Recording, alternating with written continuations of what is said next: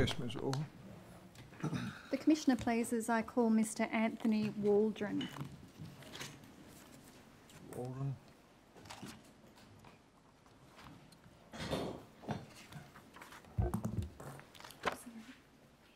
Mr Waldron, do you want to take an oath or would you prefer to take an affirmation? Uh, the oath, thanks. Yes, swear the witness. I swear by Almighty God I swear by Almighty God that the evidence I shall give that the evidence I shall give will be the truth, will be the truth, the whole truth, the whole truth, and nothing but the truth. and nothing but the truth. Thank you, Mr Waldron. Do sit down. Yes, Miss Orr. Mr Waldron, could you please state your full name, Anthony John Waldron, your address, uh, 700 Bourke Street, Melbourne, your occupation? a banker. Uh, have you received a summons to attend and give evidence in this Royal Commission? Yes, I have. Do you have that summons there? Yes, I do. I tender the summons, Commissioner. Yes, Exhibit 1.3, summons to Anthony John Waldron. And Yes. Mr Waldron, have you made a statement to this Royal Commission dated the 2nd of March 2018? Yes, I have. Do you have the original of that statement there? Yes, I do. I tender that statement, Commissioner. With or without its exhibits, Miss Orr. At the moment, is it is without its exhibits. We'll come to the exhibits, which I understand you have there as well. Exhibit 1.4, statement Anthony John Waldron to March 18. Yes. Now, Mr Waldron, you do have the exhibits to your witness statement? Uh, yes, I, I believe so. They're at the counsel's table. Now, Commissioner, I'm tendering these exhibits as well. I understand that there is an application to be made by NAB in connection with these Why? exhibits. Why is there an application to be made by NAB about the exhibits? Ms Harris? Uh, Your Honour, old habits die hard, I beg your pardon, Commissioner. Um, Commissioner, you, you, you- you made a ruling with respect to uh, redactions for confidentiality, and the exhibits which have been uploaded to the hearing book uh, reflect that ruling. I became aware just before lunch that there are six sentences in the 308 exhibits in respect of which a claim for legal professional privilege is uh, advanced. Ms Harris, this is most unsatisfactory. I accept These that, things should have been dealt with out of court without everybody sitting here. I, I accept that, Commissioner, and uh, I, as I say, I only became aware of it shortly before lunch. It's too late. Go on. I accept that, Commissioner. Uh, what we propose is this. We have uh, prepared or are finalising the preparation of a short submission and statutory declaration which conforms with the practice guideline and the requirements of section 6AA. Uh, I'm afraid that uh, copies of those documents are not in court. Might I uh, You may renew your application at 4 p.m. Ms Harris, go on, Thank Ms you, Orr. Commissioner. Now, uh, Mr Waldron, you are the Executive General Manager for Broker Partnerships at NAB, That's correct, yes. and you've been in that role since May 2013. That's correct. And you've been responsible for a program at NAB called the Introducer Program since October 2016. Yes. And you've been put forward by NAB as its witness for this Royal Commission on issues connected with misconduct by a number of NAB bankers in connection with the Introducer Program during the period from 2013 to 2016. Yes. Now, an introducer is a person who refers someone to NAB as a prospective provider of credit to the person. Is that correct? Uh, yes, as a customer, a potential customer to the organisation. And how long has NAB had an introducer program?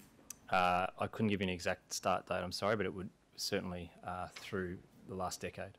The last decade. And is the introducer program still operational? Yes, it is.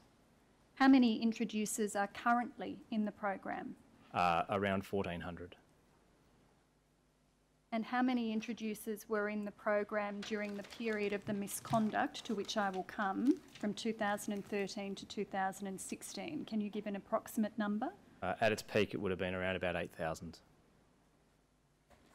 And under the introducer program, NAB pays an introducer a commission for introducing a person to NAB for their lending requirements. Is that right? That's correct.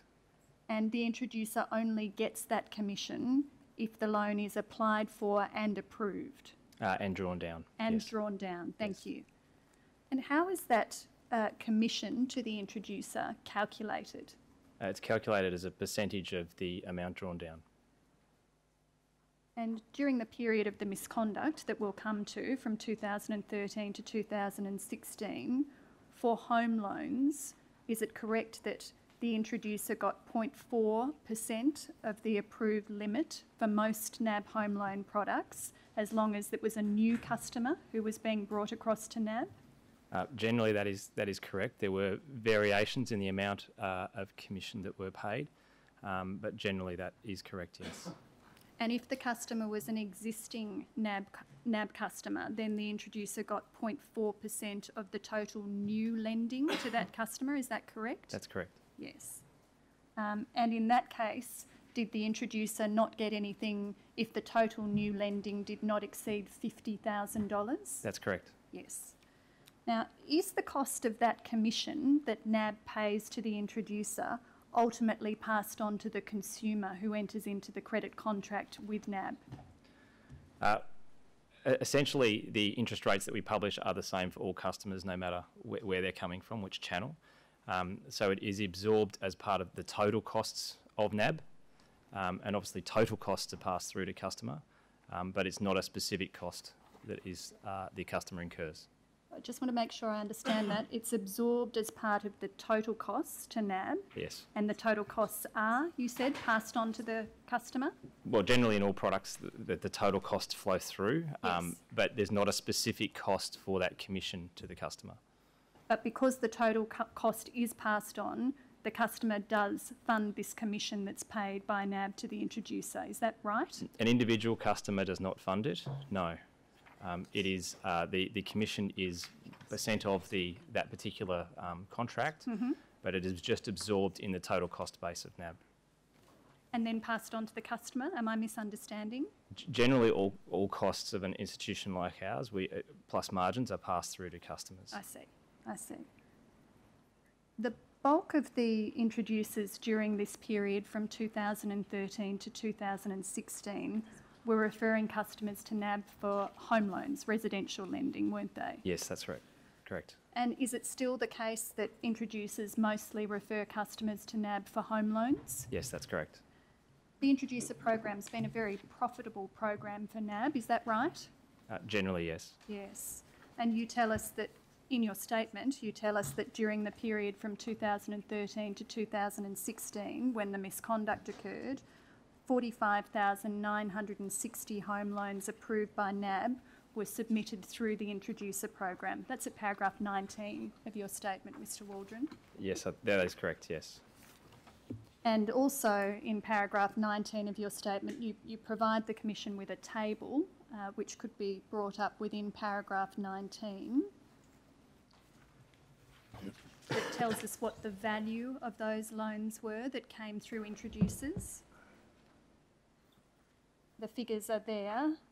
So we see that the total value for 2013 to 2016 was in excess of $24 billion.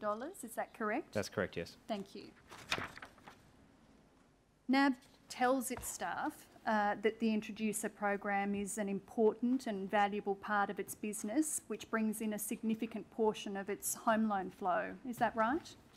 Uh, yes. Yes. And introducers can interact with NAB directly or through something called a national referral partner. Is that right? Yeah, that's correct. And a national referral partner is someone who aggregates referrals on behalf of individual introducers. That's right. So they will have a number of introducers that they bring together and then um, come to you as an organisation. Yes. Yes. And in that instance, NAB pays the national referral partner a commission. That's correct. And how is that calculated? Is it on the same basis as we discussed before for introducers? Yes, it's on the same basis, but it is a higher number. Um, generally, it is 0.6 of a percent Yes. plus GST. And again, is that only payable in respect of um, customers who make an application for a home loan, have that application approved and the funds are drawn down? That's correct.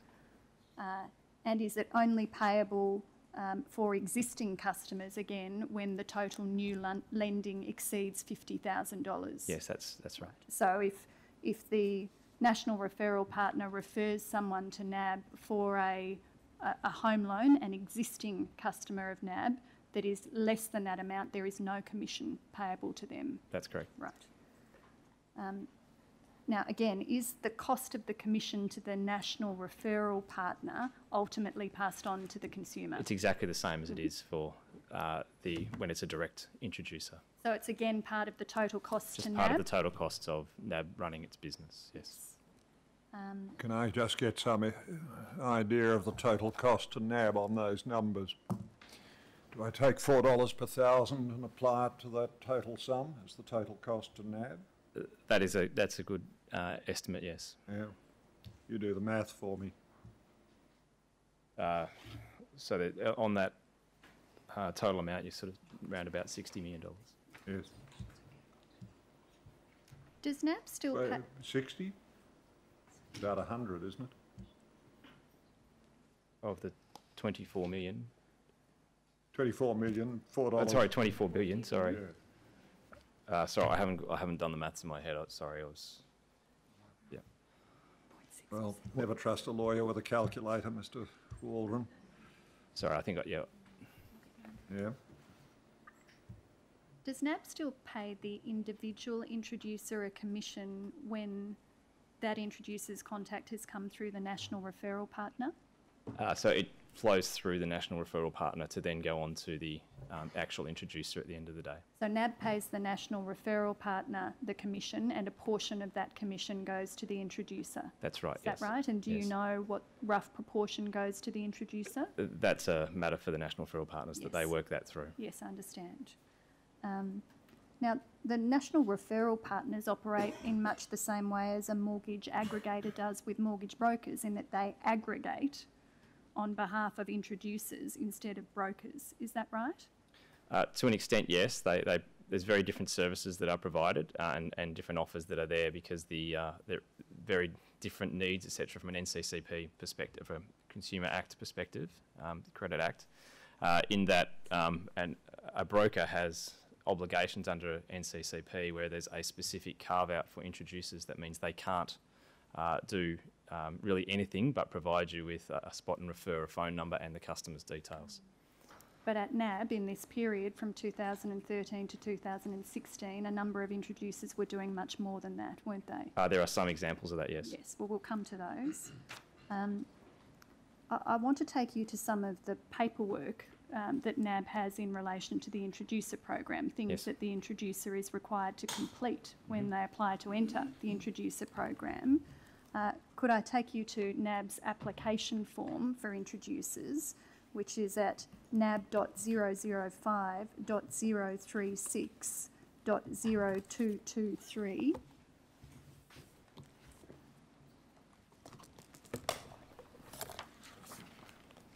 I'm sorry. I- What, what is the actual I'm tab? sorry, for your benefit, Mr Waldron, Yeah, in thank your you. statement, it's tab 119 in volume 3.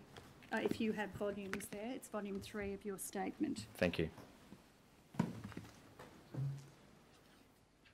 You'll see it on the screen as well, yes, I've Mr got it. I've found it. Thank you. So this is NAB's introducer application form as at November 2016. Yes, that's right.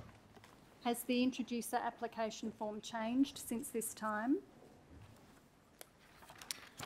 Um,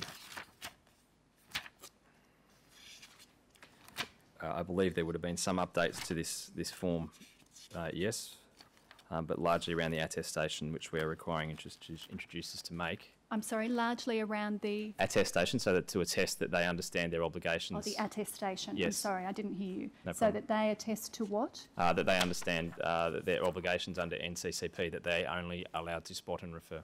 Okay, and that wasn't in the form at this time? Uh, I don't. Sorry, I'm just looking at the form now, but I don't believe so. Not not in the form itself. So the, the newer version of the form contains has- some text that tells the person filling out this form that all they can do is spot and refer. Yes, and there is, an, there is an attestation that we make the the uh, introducer go through and ensure that they understand their obligations, yes. So they sign something to Yes, that they do. in the form? Yes, Okay. yes. But at this time, nothing like that in the form? Uh, I don't believe so. I'm, we, we certainly had, there was certainly part of what were the other documents that were provided to them, but I'm not, I don't believe it was in the form at that particular point in time. There is an acknowledgement on page six of this document at point zero two two eight. Is that the sort of attestation that you're talking about? Where the person applying to be an introducer acknowledges the five things listed there?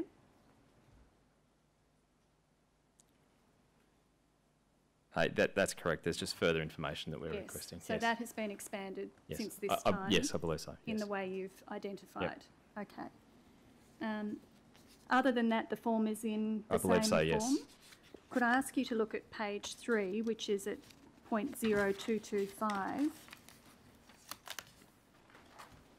Do you see there, section four, industry accreditation? Yes, Please fill in the section of the table below that relates to your industry and accreditation. yes, So the form envisages that introducers will come from a range of professions and occupations, such as financial planners, accountants, uh, property developers, solicitors, builders, architects.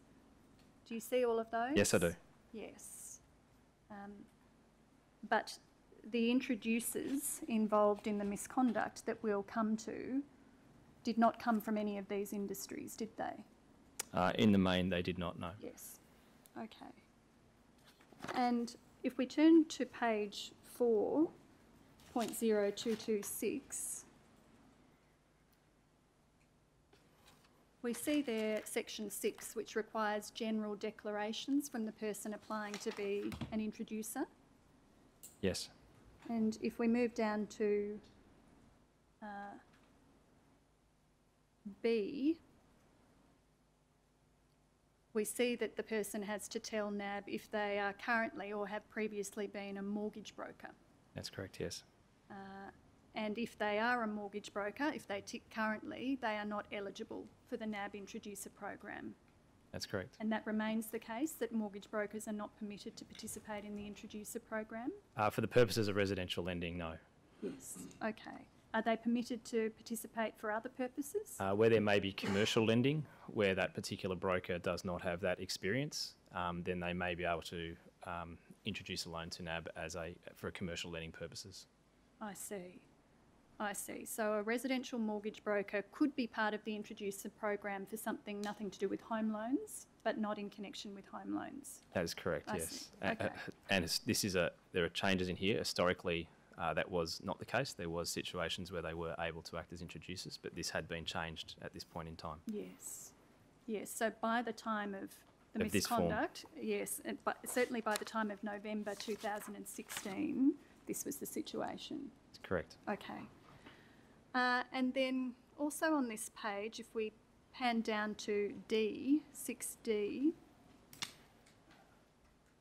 we see there that the form asks whether um, are you or any of the directors or partners referring opportunities under this arrangement involved in any investments or business dealings with any NAB employees? Does that remain part of the form? Yes, it does. And what happens if an introducer ticks, yes, I am involved in investments or business dealings with a NAB employee? Uh, we would generally see that as conflict of interest, and we would not appoint the introducer. You would generally We would not appoint the introducer. You would not appoint the No. introducer. And then at F, within Australia and overseas, um, have you or any other directors, partners been reprimanded, disqualified, removed in relation to matters relating to your honesty, integrity, or business conduct? What happens if the answer there is yes? We would not appoint them as an introducer. And could we go up to D? Do you or any directors or partners referring opportunities under this arrangement have a family or personal relationship with a NAB employee? What happens if the introducer ticks yes to that? Uh, Generally, we would not appoint them as an introducer. You would want to make sure there is no connection with any banker that is specifically working around this particular area. So we would, there would be an investigation to explore that there was no conflict of interest. So in 2013 to 2016, were there systems in place that ensured that when someone applying to be an introducer ticked yes, uh, I have a family or personal relationship with a NAB employee, an investigation into that application was commenced? Uh, so two things to probably point out there. First up, this is a form from 2016. Yes, at so- the end of the period. Yes, at the end of that period. Um, so it is different to earlier versions. Um, the, the second component of that is, um, as uh, as you know, there's obviously been control breaks down, breakdowns throughout our process that meant there have been instances where there has been a conflict. And do you know whether the people involved in conflict, the introducers involved in the conflict, do you know anything about how they?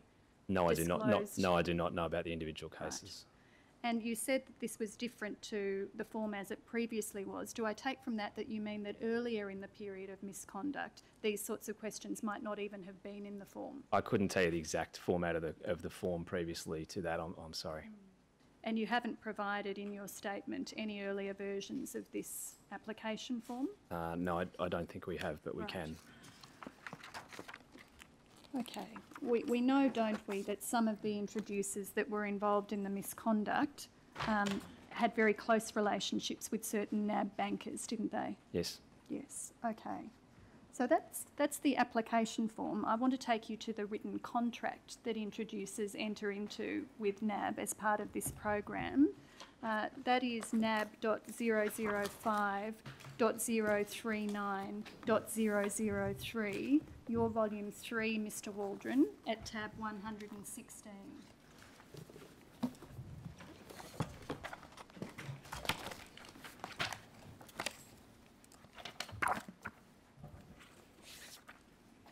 Now, you have that document, Mr Yes, I Waldron? do. Thanks. And this is a contract or agreement between an introducer and NAB. Yes, that's right. It, it does not appear to be dated. Are you able to tell us when this introducer agreement is from? Just by looking at it, no, I'm sorry. I'm not able to tell you just off the exact date of this one. I'm sorry. Is this the only introducer agreement that you've provided in your statement? I believe so. Yes. And your statement also doesn't make clear the period that this introducer agreement is from? Uh, from memory, I don't believe so. Can we assume that this is from the period from 2013 to 2016? I'm sorry. I would have to check. I, I apologise, but I would have to check. Abs- Absent some explanation, otherwise, Mr Waldron, you may take it, but I will assume that what NAB produces is relevant documents, and the relevant document is a form of agreement that was current at the time of the conduct concerned. Do you understand me? Yes, I do. Very well.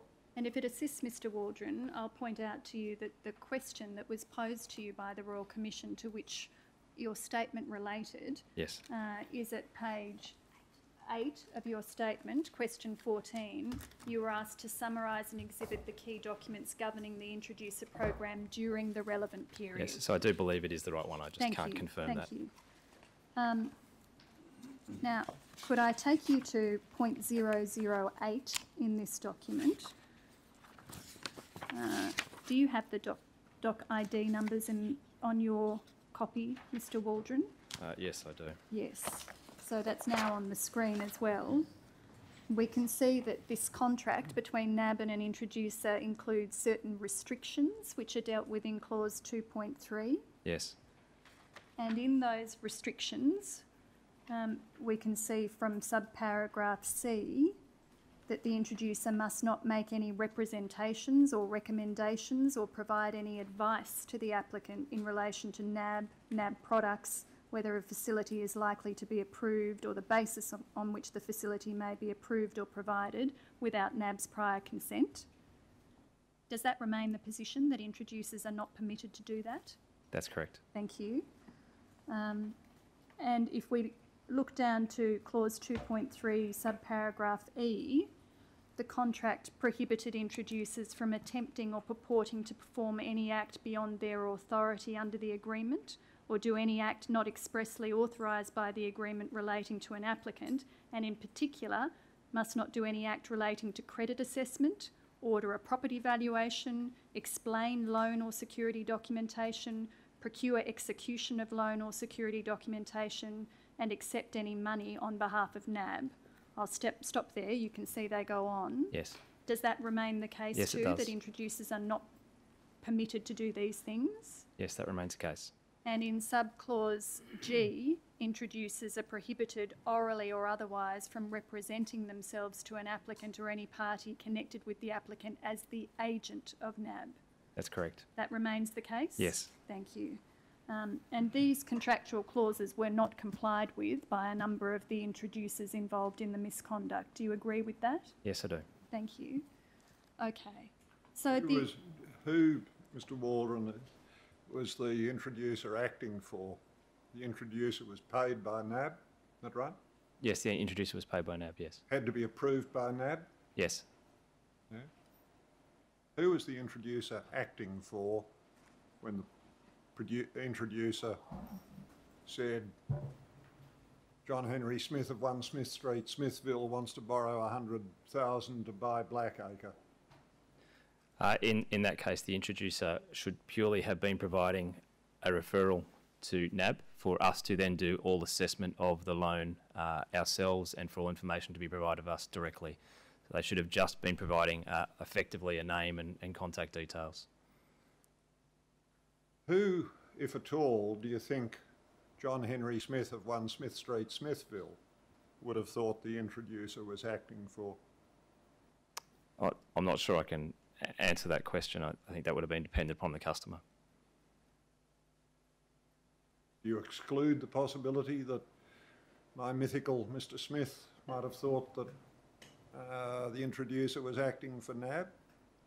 Uh, I don't think I could exclude that, but in remembering that these people that are introducing the loan are well known to the customer already for some other purpose that the customer knows that referrer for. So whether it be solicitor or whether it be uh, financial planner or accountant or, or real estate agent, um, they would have been representing themselves to the customer in that way um, and for those services, and that is how they would have got to know the customer uh, through those services.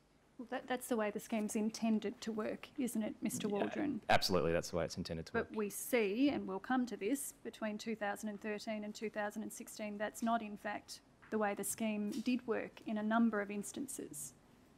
Uh, there are cases that, as you say, we will get to where there's absolutely been a breakdown in this process. The, the idea that underpins these sorts of clauses in this contract um, is that the introducer refers the potential customer to NAB uh, and then leaves NAB to assist the customer with their lending needs and plays no further role in that process. Is that right? That's correct. Yes. Um, introducers also received a document called the NAB Introducer Guide. Is that right? Yes, they did. Can I take you to that document that you've provided in your statement, which is NAB 005-068-0025? Your volume three still, Mr Waldron, at tab 117.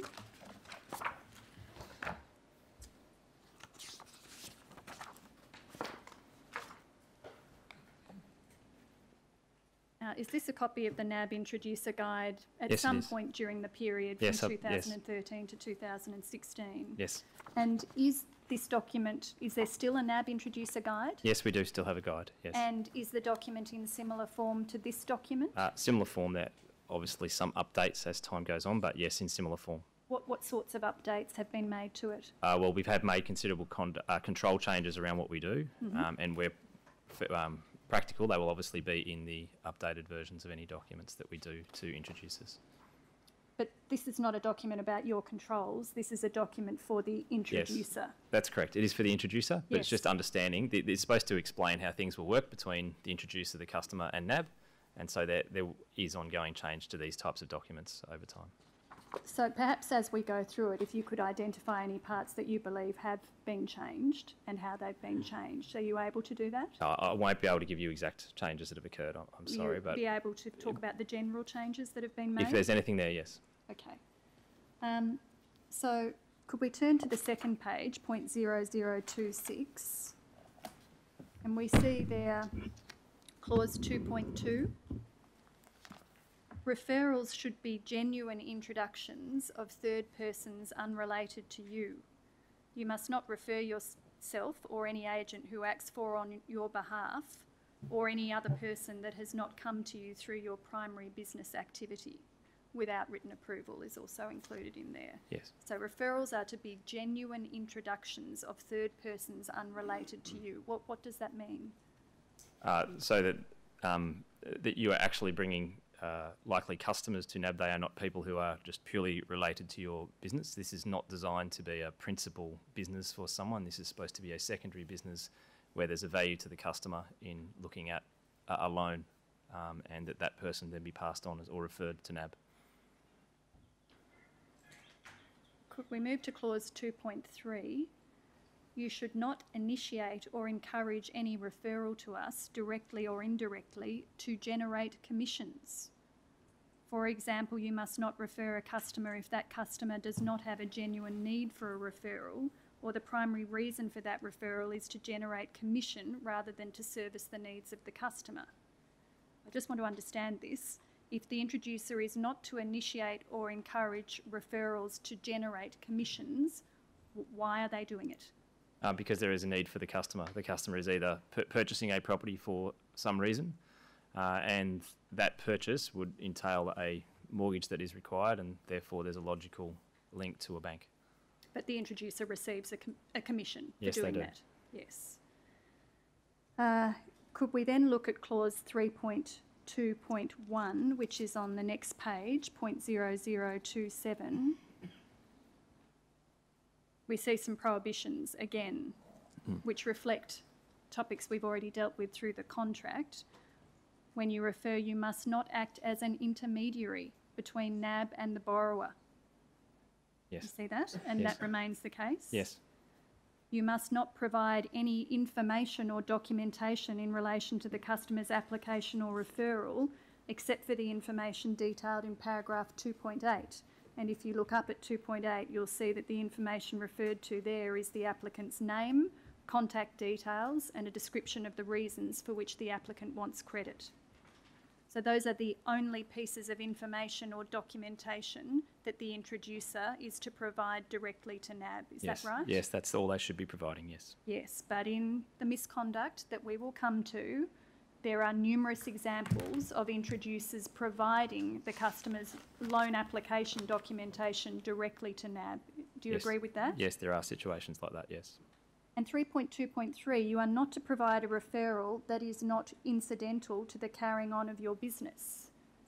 Now, you know uh, the nature of the business that the introducers who were involved in the misconduct, you know the nature of their businesses. Yes, we do. You know that they were not financial planners, solicitors, accountants, architects, builders. You know that their business involved things like running gyms. In some cases, that's the case. Yes. Yes. And how is the referral incidental to the business of running a gymnasium? Um, again, in those situations, um, it, it- it's those those uh, particular introducers doing those activities um, is not something that we would do today. Yep. Um, but there are instances of that that did occur in the past. And NAB did not detect that, did they? Uh, we weren't as we didn't actually we weren't as strict on ensuring that they came from uh, just those industries that we felt comfortable with during that period of time. So that's one of the changes, changes you've made to the application form we looked at before. You now have your list of professions Yes. and uh, businesses that you want introducers to come from, but at this time you did not. Is that right? Uh, there wasn't strict adherence to it. No. Yes, okay. Um, all right. Can we look at the information that Just- NAB, Just before we depart from this, yes, can I just understand 2.8? Does it mean that the only information that is to be supplied is NAB's a bank? Uh, all that the introducer can tell uh, the would-be borrower? So that they, they would provide um, generally just the information. that NAB is a, a bank, and then they would provide contact details through to NAB to um, initiate a discussion with the customer about their lending All that the customer's told is NAB is a bank, it lends money. I- in, yes, in terms of that, that's the theory that is that, that, exactly that, and that they would then pass them through to NAB for NAB to have a conversation with them about their lending requirements. And NAB gets the contact name, contact details, and the fact that this name at, at those contact details wants a home loan. That's the only information permitted under two point eight, is that right? Uh, practically, yeah, that's, that's a practical example of way it should work, yes. And over the life of the, uh, period that we looked at, that's worth a, a NAB paying out a hundred million, is it? Which was the outlay on the introducer program. Uh, I, I, I'm not sure, is that a question or? Uh, we believe so, that in the terms of the value of the mortgages that were put onto And the these books. introducers are not acting for NAB. Not specifically, no. Yes, do go on. I had said, Mr Waldron, that I wanted to take you to the documents that show what NAB was telling its own bankers about the introducer program at this time. So far, we've been looking Yes, at documents sure. that the introducer gets from NAB. Could I ask you to turn to your tab 125? This is NAB 005 062 0003. And Mr Waldron, is this internal information perhaps from the NAB intranet uh, about the introducer program? Yes, it is. And again, it, we can assume it's from the relevant period, somewhere in between 2013 and 2016, Uh, yes, I do. Yes, I believe so, yes. but the document is not dated. No, it's not. And this document gives guidance to bankers about how to deal with introducers, Yes, it does. And it, it sets down rules for bankers in respect of the introducer program. Do you agree with that? Yes, it does, yes. Could I ask you to look at point 0005, the third page in the document? And I ask you to focus on the notes at the top of the page. NAB is telling its bankers that to become an introducer to the bank, introducers must commit to referring a minimum of $2 million a year for personal lending or $10 million a year for business lending. Yes, that's what it says on the, in, in the notes, yes. And that was the case, wasn't it? Introducers had to commit to these volume requirements.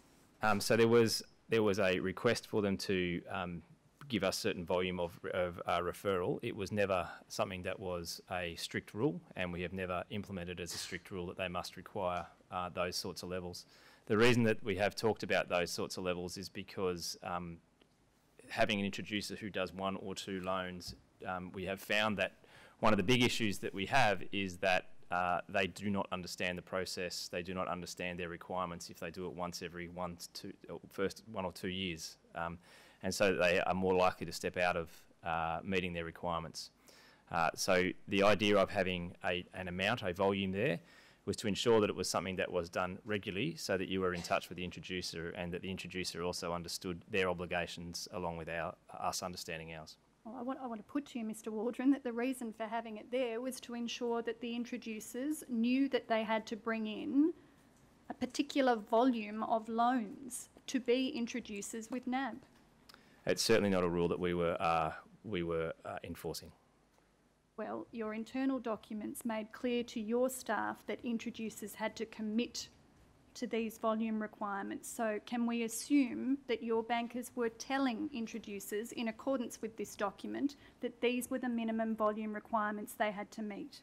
Uh, they they should have been having conversations with them about volume that was requested. Yes. Okay. Could we turn to point Just zero? before you leave that, you spoke about uh, the importance of the introducers complying with uh, uh, NAB's requirements.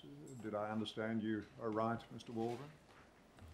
Uh, yes. So the, And that the reason for these volumes was to ensure that you got people who complied with NAB's requirements. Is that right? Uh, no, more that the issue being that where you get one one year and one f- not for another two years later, um, that is less less likely to uh, understand the processes, less likely to understand what was required at both ends. Uh, so we tended to find that not only the, the applications were of lower quality uh, as well. Can I just understand what was required at both ends? I thought we'd agreed that what was required at both ends was, one, tell the customer NAB's a bank, and two, tell NAB, name of person is such, contact details are such, that person wants a home loan. Yeah, that is correct. The, the issue is actually the potential to overstep that uh, and that they went too far, not that they didn't do enough. Over the page at point triple zero six, Mr Waldron, uh, towards the bottom of the page, we see a heading ownership of the introducer. Do you see that? Yes. Uh, bankers are told that they have to maintain the primary relationship with the introducer. And it's the banker who's signed the introducer onto the program who generally has to do that. That's correct. And that's the way it still works, that the, the banker who signs on the introducer um, has ownership of the introducer and the primary relationship with that introducer. We actually made significant changes around this um, so that uh, it's not typically a banker who signs on an introducer at all. We have specific people out in the field who will deal with, deal with introducers now uh, and the sign on process. That doesn't mean bankers don't uh, meet them and so on, but we have a process where uh, we have experts out in the field uh, trying to assess that and make sure that we're meeting all of our requirements. Uh, and we also run a process where um, if there are multiple referrals coming from one um, introducer, uh, we attempt to split that so it doesn't just go to one banker. We're trying to get greater segregation of uh, duties that occurs there. But that is a change that's been introduced as part of our reforms. At this time, this is accurate. And those reforms were made as a result of this misconduct, is that right? As a, pro- as a part of the Project Winnow, which was reviewing uh, this misconduct. And is, is this part of your changes to the onboarding of introducers? Is that right? Is Uh, that what it- NAB calls this? It's, that is part of the onboarding process and then our ongoing management of it as well, yes. Right. So you said there are specific people in the field now. Yes. Who are they? Um, we have business development managers out in the field whose role it is to uh, interact between the bankers and the introducers and to manage that process. When you say they're in the field, where are Uh, these so business development managers? Um, they are literally out on the road, uh, around in the local areas, and trying to uh, meet those introducers and work with them.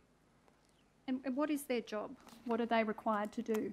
Uh, their job is to uh, multifaceted, but their job is to ensure that the, any introducer that comes on today understands that it is a very simple spot and refer process, and that's what we expect and what we need them to do. We, it's to ensure that when someone holds them out, holds out that the introducer is a particular profession, that they truly are uh, that profession. Uh, it is to meet the introducer to ensure that it is a reputable business uh, that is there. Uh, it is also to look for examples where of introducers who are the types of introducers that we do want to work with and try and build relationships with those types of introducers as well. So what you've just described is a whole lot of work in connection with the introducer and checks on the introducer so that they understand their role. Yes. But you raised this in response to my questions about a banker having ownership of the introducer. What's the role of this person out in the field in Yeah, relation to the banker? Uh, they're, not- they're working uh, with bankers uh, to again just ensure the banker understands their accountabilities that are there. Uh, but it is around trying to segregate the, the duty of the um, onboarding of the uh, the new introducers and even our existing introducers, so that they understand their accountability from just purely the banker who is there trying to fulfil a particular customer need. And is it still the case that there is a banker who has the primary relationship with each introducer?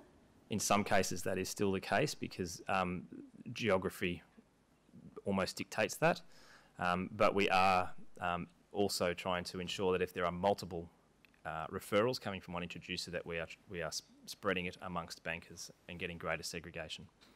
When you say spreading it amongst bankers, you mean that the applications that are being directed from the introducer are going to different bankers? Correct. Yeah. that So right? yes. So each cust- sending customers to different bankers. Yes. And, and how do you determine which bankers the introducer's home loan applications go to? Uh, it's generally done through geography uh, and um, uh, the fact that they haven't had the last three referral. I'm using this as an example number, but they haven't had the last few referrals coming from that particular uh, introducer as well. So we are attempting to ensure that you don't put all the lending th- from one introducer through the one banker. Can an introducer say, I want this loan application to go to banker X? They can request it, um, but it's not something that we will necessarily uh, adhere to.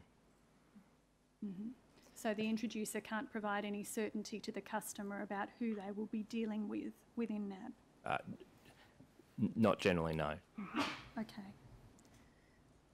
When a customer is referred to NAB by an introducer, they have to sign a consent form. Is That's that correct. right? Yes. And you've annexed one of those to your statement. Uh, could I uh, ask you to go to volume five, tab 294, and I'll just find the document ID number.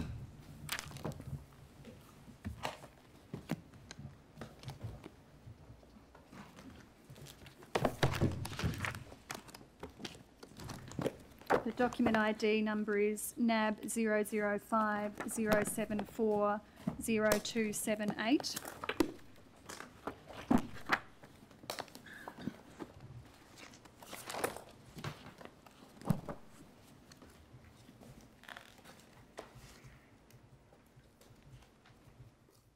Is this an example of a form that a customer would sign uh, when their business has come through an introducer? Yes, it is.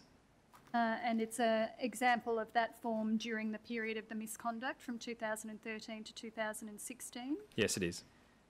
Uh, and so we see the customer's name is at the top. It- This relates to an application for a home loan with NAB. I or we have submitted my or our application to NAB following an introduction by name. Yes. That's how it works. And then the customer makes a series of acknowledgements that are underneath that, which include an acknowledgement that the introducer is not an agent of NAB for any purpose. Is that Yes. right? Yes, that's right. Um, and NAB is not my or our agent, nor the agent of the introducer. That's correct, yes. And then there is an acknowledgement by the customer down the page about the commission that's to be paid to the introducer. Is that right? Yes, that's right. And on the second page, we see that the signature of the customer is required. And this is an example of one we can see on the second page that was signed by a customer on the 15th of July 2015. Yes. Thank you. All right. So those are the documents that I wanted to take you to about the introducer program. I want to now move to asking you some questions about the discovery of the misconduct to which I've already referred a number of times.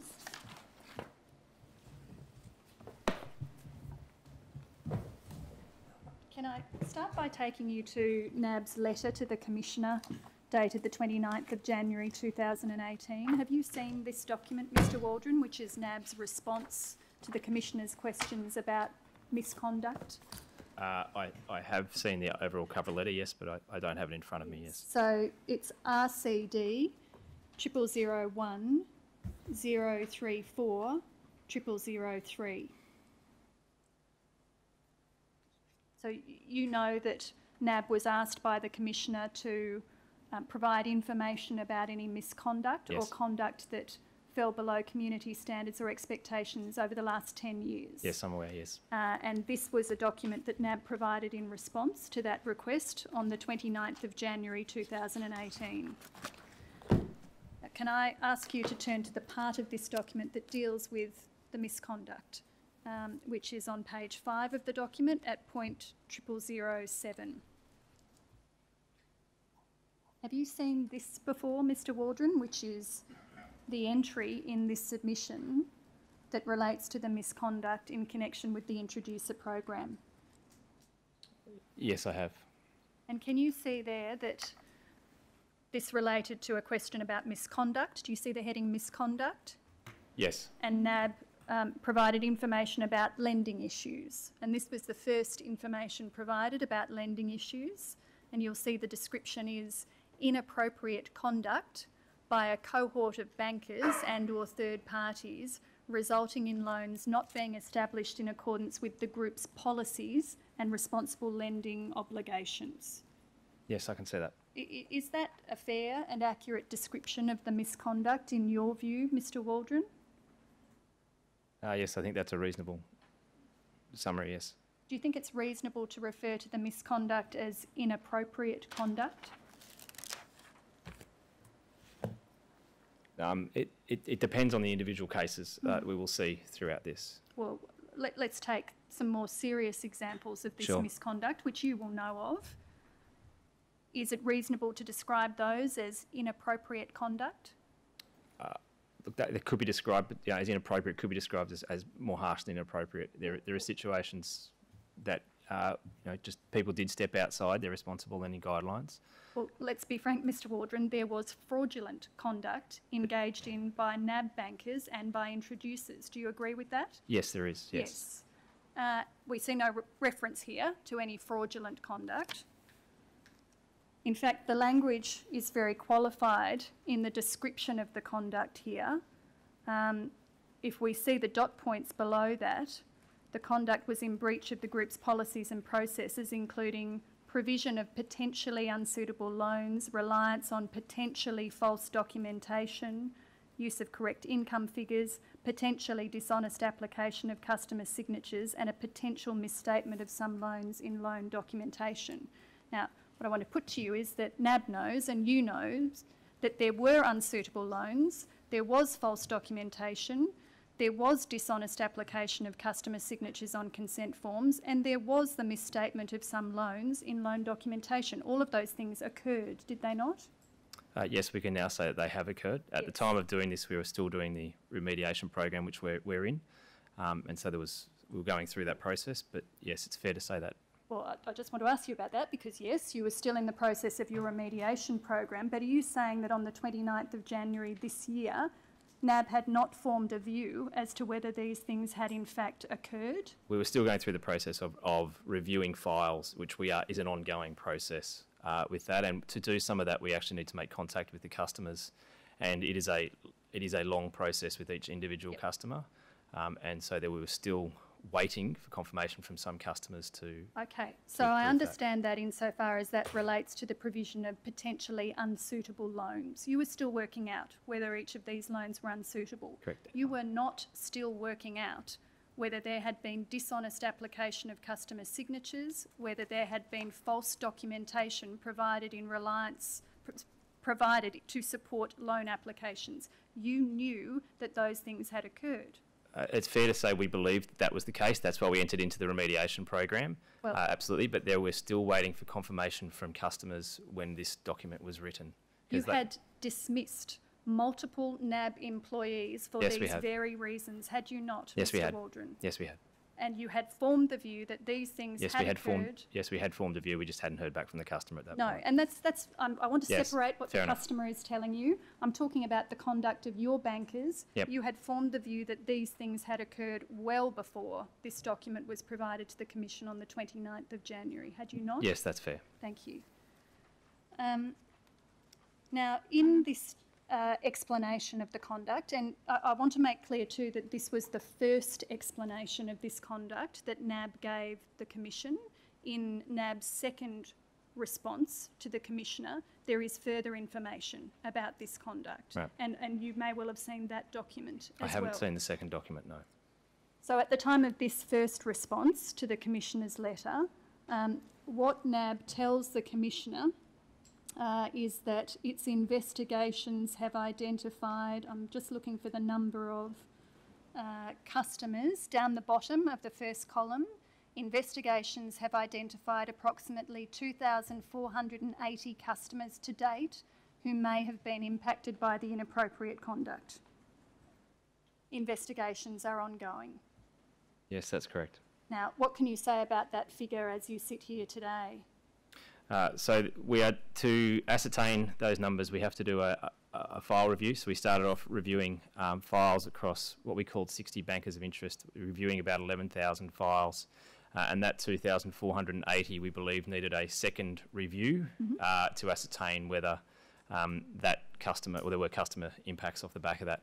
At present, we're still working through all of those reviews. We're about 70 something percent through the uh, that second file review as as of this morning. Um, and in that case, the number has reduced because we have um, ascertained that there are some instances where uh, there isn't an issue with the customer's file, um, and we're still working through finalisation of those exact numbers. So, what would you say that number is as at today? Are you able to give a figure? Uh, I wouldn't be able to give an exact figure, I'm Okay. sorry, but it is lower than the 2,480. I see. I see. And we see also from this page in the second column that there were two self-reports to ASIC about this conduct in February and August 2016. Now, I'm going to come to those, but you see that that, that was information given to the Commissioner. And NAB was asked by the Commissioner uh, in the letter that this is a response to whether the conduct resulted from practices including risk management, recruitment, or remuneration practices. And we see the response to that in the third column. Do you see there?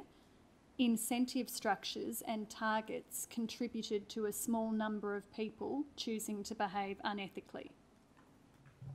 That's correct, isn't it? NAB has formed the view that its incentive structures and sales targets were a causal factor in this misconduct. That they were part of, yes, Yes, one of the causal factors. one of the causal factors. Yes, and the first one that the that NAB chose to tell the commissioner about here.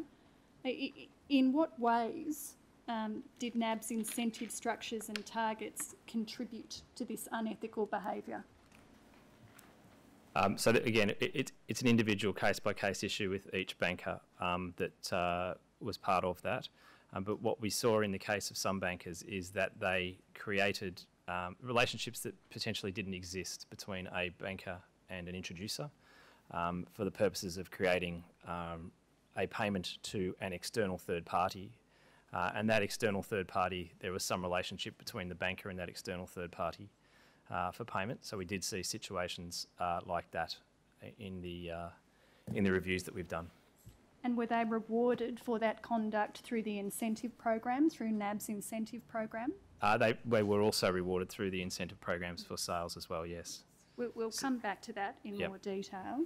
Um, and NAB also told the Commissioner in this third column that it had identified that certain controls had proven ineffective, including detection of fraud, management of conflicts of interest, monitoring and reporting, and the introducer program onboarding, we now know what that means, and due diligence processes.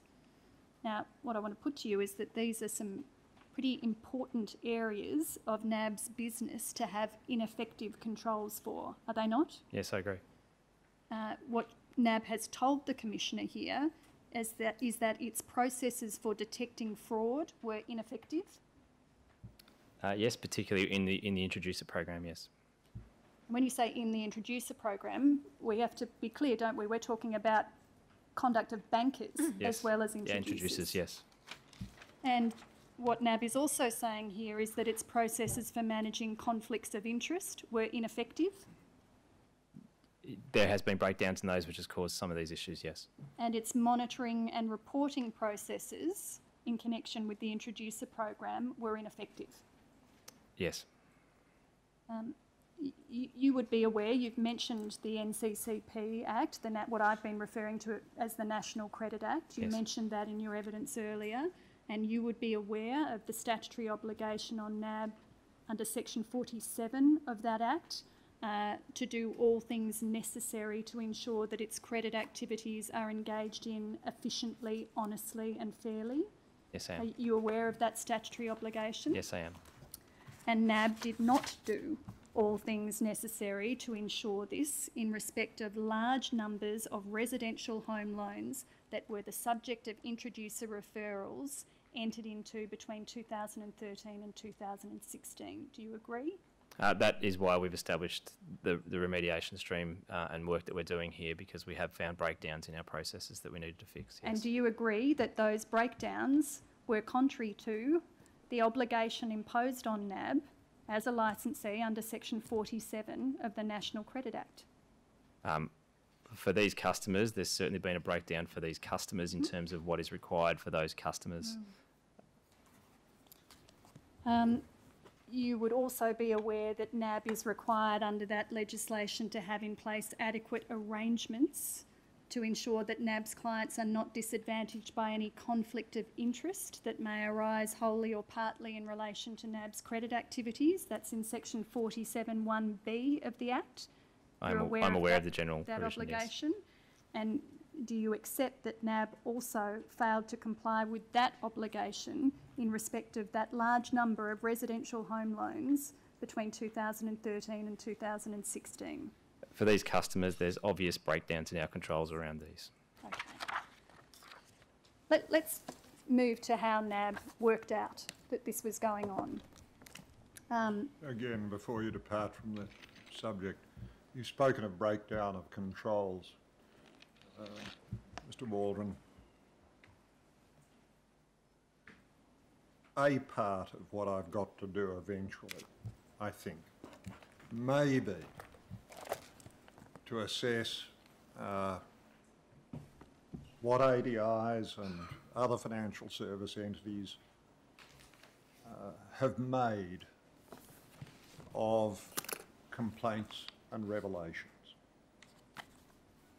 The industry is a large industry, large participants, lots of people. Things go wrong. It's a human system, therefore, things go wrong. Sometimes things go wrong through dishonesty, sometimes things go wrong because of neglect, carelessness, or just sheer coincidence. Understand all of that.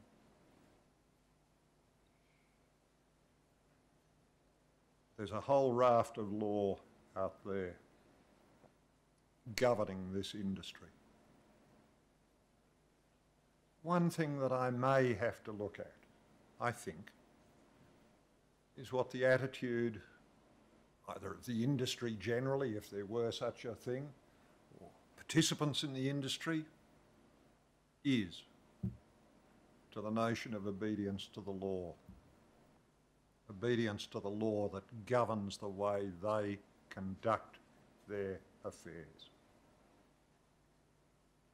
There may be a difference, I don't say there is, but there may be a difference between a breakdown in controls and an acknowledgement of breach of law.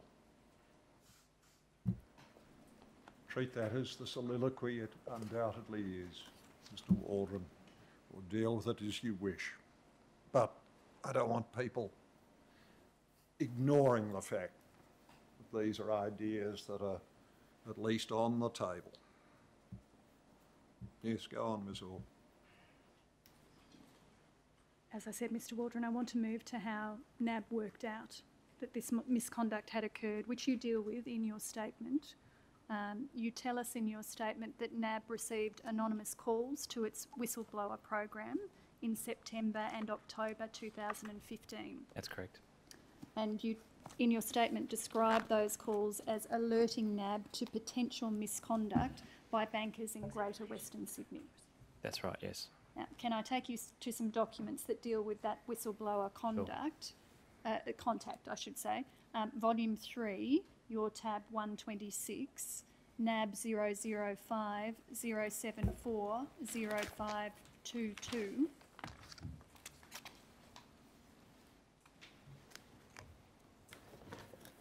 Now, uh, Mr. Waldron, this is a document, an email that records what a member of NAB has said to another member of NAB about the first of those whistleblower complaints. Do you see that? Yes, I do. It's uh, Katie Carroll writing to Fiona Lynch about an anonymous WB whistleblower complaint I received on Friday. Anonymous alleges the below staff members are charging NAB customers a fee for personal loans. These fees are allegedly made as cash payments under the table.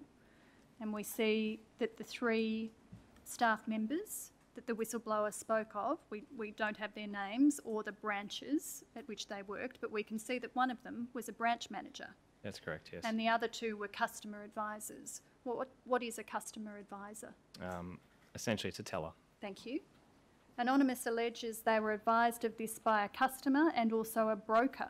Anonymous was not prepared to provide names of the customer or broker who provided uh, with this information. I assume that's either him or her. Um, Anonymous alleges this practice has been in place for five months. Now, this is the first whistleblower disclosure. It wasn't about the introducer program at all, was it? No, it wasn't specifically about that, no. It was, in fact, an allegation of bribery.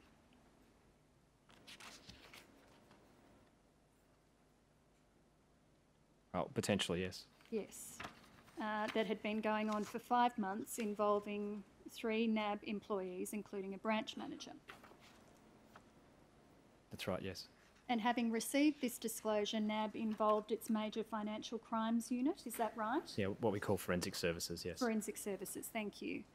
Could we turn to um, 50526 in your tab, if you just move through a few pages, Mr Yes. Waldron?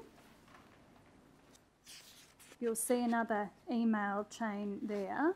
Yes, Um, now, if, if you turn to the second page there, which is 0527, you'll see the email we just referred to. yes, Then if we move in the chain to the page before it, 0526, we see an email from Mike Griffiths to Katie Carroll, copied to Forensic Services. And Mr Griffiths says to Katie, uh, and I want to take you to the second paragraph, the information received is third hand, general in nature, but coincides with another two separate pieces of intelligence that have been received indicating such type of misconduct has taken place within NAB retail, there's an area redacted there, or the local area surrounding same. The intelligence received separately alludes to completely different bankers, but there is a correlation to the extent of alleged same type of activity and even similar name. Our preliminary assessment for planning purposes indicated to me that we should work firstly with the other intelligence, which was more factually based, and provide greater detail. Do you see that? yes, I do. So, having received this whistleblower complaint on the 14th of September 2015, NAB discusses it internally and it's revealed that similar conduct is already being investigated, different bankers but same area. Is that right? Yes, that's correct. So NAB knew about conduct of this nature in this area prior to the September 2015 whistleblower disclosure. Uh, so it is uh, suspected at that particular point in time, yes. And our, our forensic services team are con- continuously doing reviews uh, looking for misconduct. Um, and so, Well, what, what they're doing here is looking into two separate pieces of intelligence. Correct, Do you see the reference there? yes, I do, yes. Do you know what those pieces of intelligence were? No, I do not. Can I show you some documents to try and assist with that? Um, can I show you a document which is not annexed to your statement? It's NAB 032 001 0605.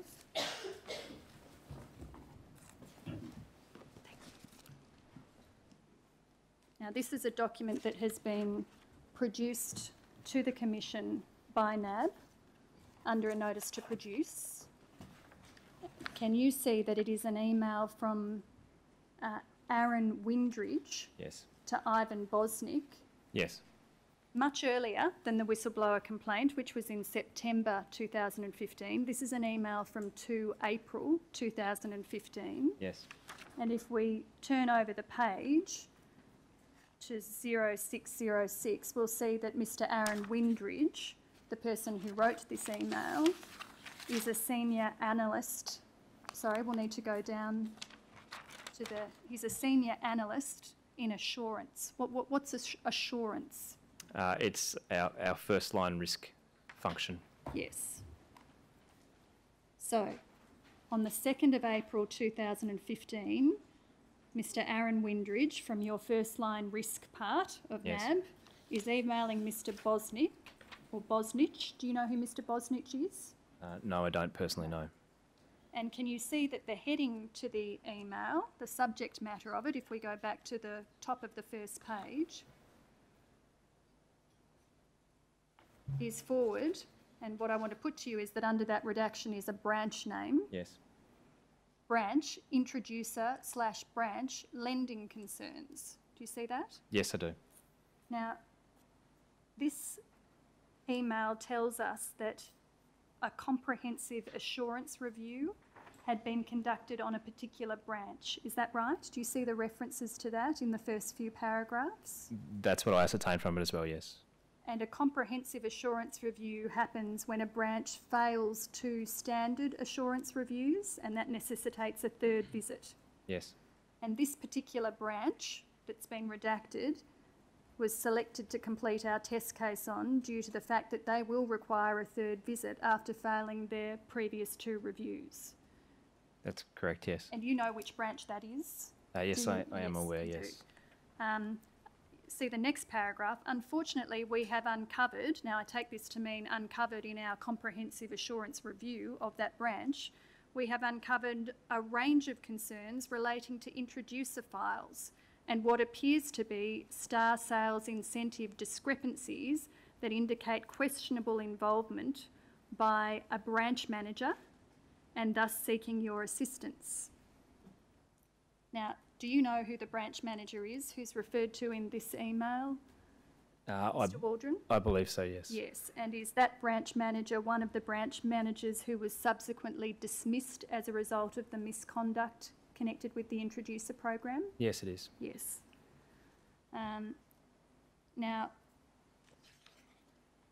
Mr. Windridge tells Mr. Bosnich uh, that he has identified concerns relating to introducer files and what appears to be star sales incentive discrepancies. Can you explain what that means? What the star sales incentive program is? Uh, Star Sales is incentive program is, is a program that uh, those writing um, mortgages and, and lending are uh, under for as their sales incentive scheme for our branch network, our call centre, and our mobile lenders.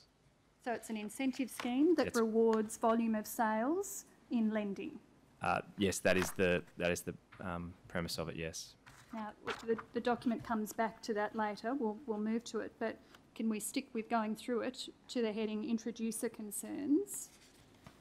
Yes. And we see there a lot of redactions, but a redaction at the start of the line, which is a redaction that refers to a particular introducer, has referred significant business to a redacted branch over the recent past. NAB profiles list the introducer connections address in a property aligned to or in close proximity to the family of a particular branch manager. Is that right? That's correct. Uh, then there are references to the branch manager and a former NAB employee and their um, residential addresses, uh, and a reference to the business address of the introducer. Do you see that? Yes, I do. And then Mr Windridge says, this raises the question, what is the connection between uh, the branch manager and the introducer? Whilst it appears that the introducer has been a long-term customer of the bank, we've been unable to locate any details about the introducer on Google to validate that there is a business operation. And since February 2012, the introducer's referrals to the branch have totaled 211 loans, with commission paid in excess of $402,000. Commission payments are credited to a particular NAB account, and when the credit is received, large internet transfers are debited. We are unable to determine where these funds are transferred and if there is any link with the branch manager. Do you see all of that? Yes, I do. So this is what NAB is in- uncovering in April 2015, months before the whistleblower disclosure. Do you accept that? That's correct. Yes. Uh, If we go over the page, we'll see some further information. Um, Can I take you to the section underneath the large redaction? A newly int- established introducer to a branch with nature of business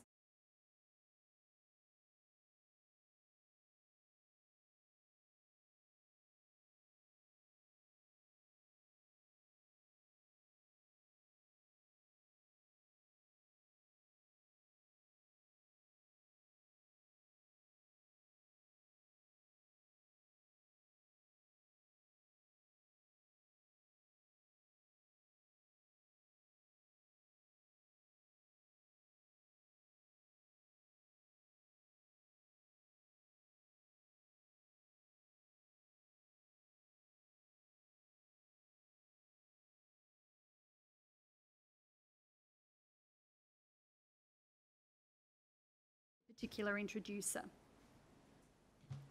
Now, there's more discussion there, but I want to take you down to the part that deals with the star sales incentive discrepancies. What we see here is Mr Windridge telling Mr Bosnich each introducer should be aligned to a banker or at least a separate introducer number held for each banker receiving referrals from the introducer.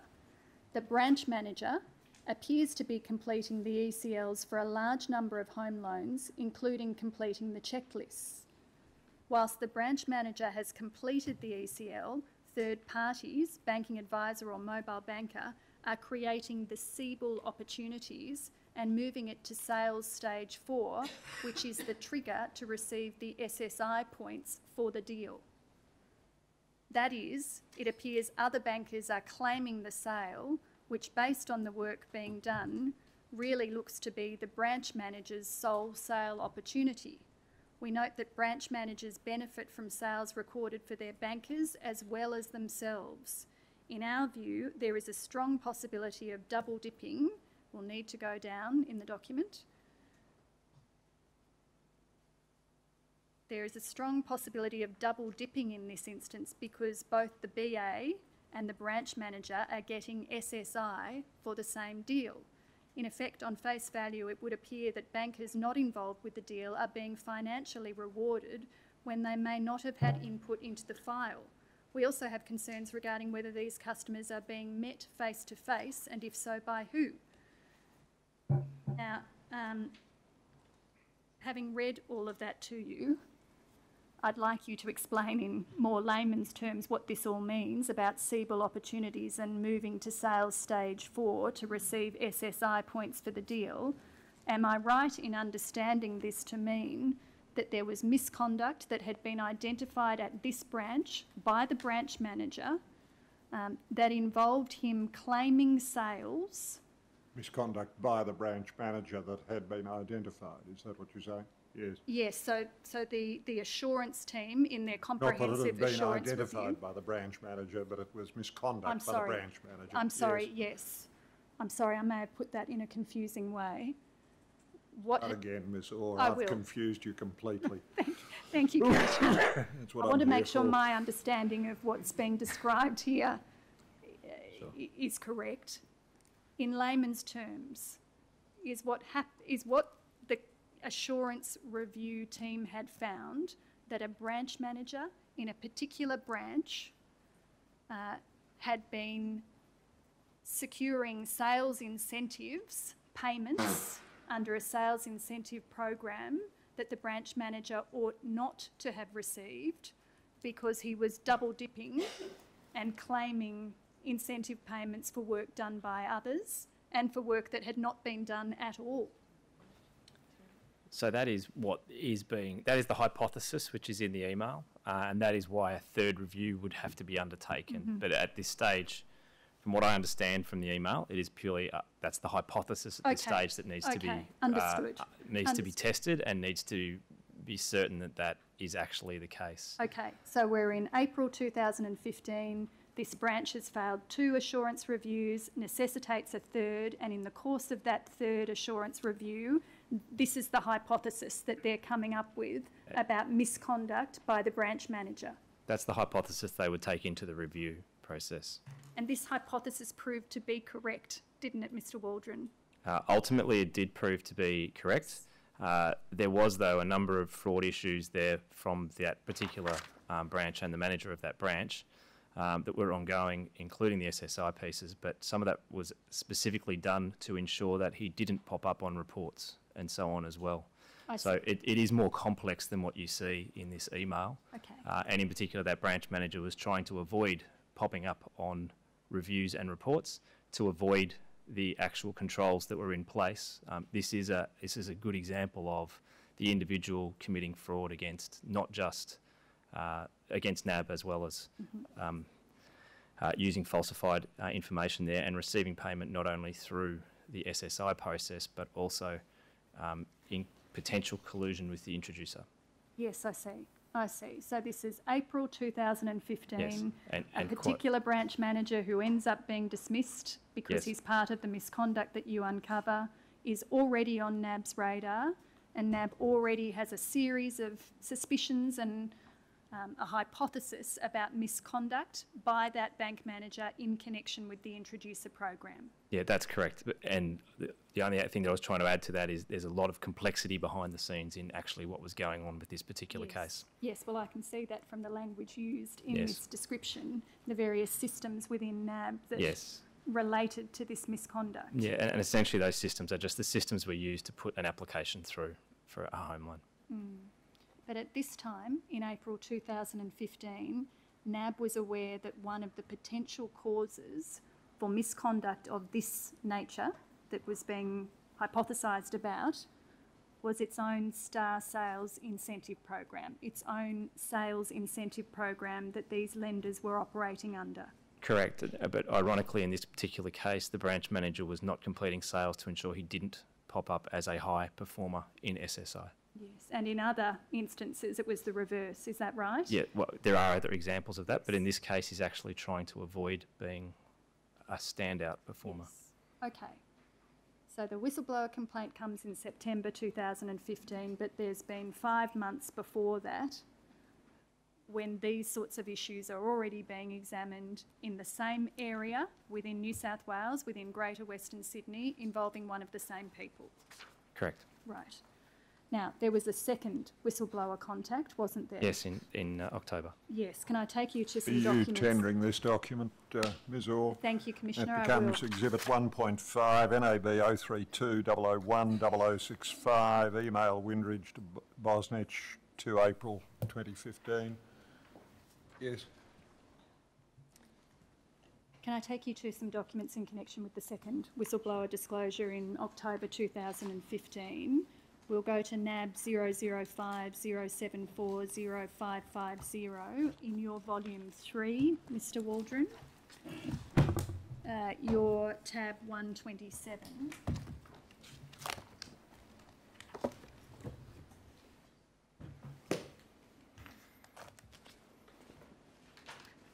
Now, Mr Waldron, this is an email, an internal email within NAB that gives a summary of the information disclosed by the second whistleblower disclosure. Is that right?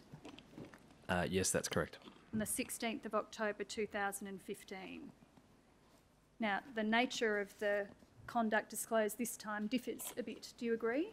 Uh, yes, it does. what we see here is that an anonymous person calls and advises that uh, uh, this person was concerned with a syndicate in the Western Sydney LAM, Uh, local area market. local area market, taking bribes and the like. That person reported the following there were 11 people involved, six of them branch managers. A particular person was running the whole syndicate. A number of other people who are named but redacted were all involved and all worked for another person whose name has been redacted in the past. The branches that are involved are listed, and I want to put to you that there are five branches that have been redacted there. So this Yes. person is reporting about misconduct across five branches involving 11 people, six of whom were branch managers. Is that right? Uh, I believe so, yes. And the whistleblower tells NAB that these people are making up fake pay slips, fake ID, fake Medicare cards. And the person has seen a little bit of evidence and has also heard from others in the local area market. One of them, a branch manager at a different store not involved in the syndicate. They charge $2,800 bribery for each customer for home loans mainly, but also personal loans. Uh, there's then some information about the bank manager and their location. The CA, customer advisor. Correct. The customer advisor went for a home loan. Is it customer advisor? CA stands for Customer Advisor, yes. The customer advisor went for a home loan and someone thinks he used a fake guarantee. They could not identify the person on the guarantee. The CBA statement used in support of the loan had a date, date stamp of 2003 down the bottom. People are being promoted on the basis of home loans and other lending, so they appear they are smashing their targets, but some of it's false. This is what the whistleblower was explaining. Uh, now, is that, again, do we interpret that as being about the incentive program and people being rewarded for their sales of home loans and smashing their home loan sales targets? I'm only reading what's what's here in the whistleblowers report. It's very difficult to actually know exactly what they were talking about at that particular point in time. Well, what do you think they're talking about when they're talking about they're smashing their targets? Uh, I presume that the whistleblower was talking about them um, exceeding their whatever their targets were uh, around sales or around referrals or whatever they were um, for the in, in the attempt to get promoted. So NAB employees who work in lending have sales targets, number of home loans per month, per quarter. Generally, there is a sales target uh, that is there for most uh, of our lending uh, people, and it, it is not always product specific. It depends on the type of role they are in. Mm. The whistleblower is recorded as saying one customer recently said at a particular branch they told him he could borrow $800,000, but the valuation was only $450,000. The whistleblower said the money exchanges hands in cash in envelopes, white envelopes, usually over the counter. Money is deposited at CBA, so NAB can't detect the deposits, happening on a daily or weekly basis and has been happening for a number of years. Whistleblower was very concerned about confidentiality. Whistleblower had heard the matter raised before, said the whistleblower had heard the matter raised before, but it was still going on. So wasn't sure if anything was being done about it. Whistleblower sounded genuinely concerned about how bad this is and how bad it would be for the bank. Now, this is the information provided by the second whistleblower in October 2015. Is that right? That's correct. Yes. Um, now, the NAB branches that were listed by the whistleblower included, did they not, the particular branch that we had been discussing in relation to the assurance, the comprehensive assurance review. So one of these five branches was that same branch that NAB had been working on from April 2015. Yeah, correct. And they were all, all in the Greater Western Sydney. Yes, thank you. All right, so having received this information in these two whistleblower disclosures, NAB commenced an investigation. Is that right? That's correct, yes. And that investigation was commenced in October 2015? No, that's not correct. It, it would have, a, a, uh, investigation occurred, would have started immediately from the first whistleblower report. So we would have been doing ongoing investigation, had a second, uh, had a second uh, whistleblower as well, so that we would have actually been looking at it, and then the second whistleblower report also occurred, so that we would have added to that at that particular point in time. We didn't wait for the second whistleblower report to start looking at things. Well, that, that's not what you said in your witness statement, Mr Waldron. Could I take you to paragraph 24 of your witness statement?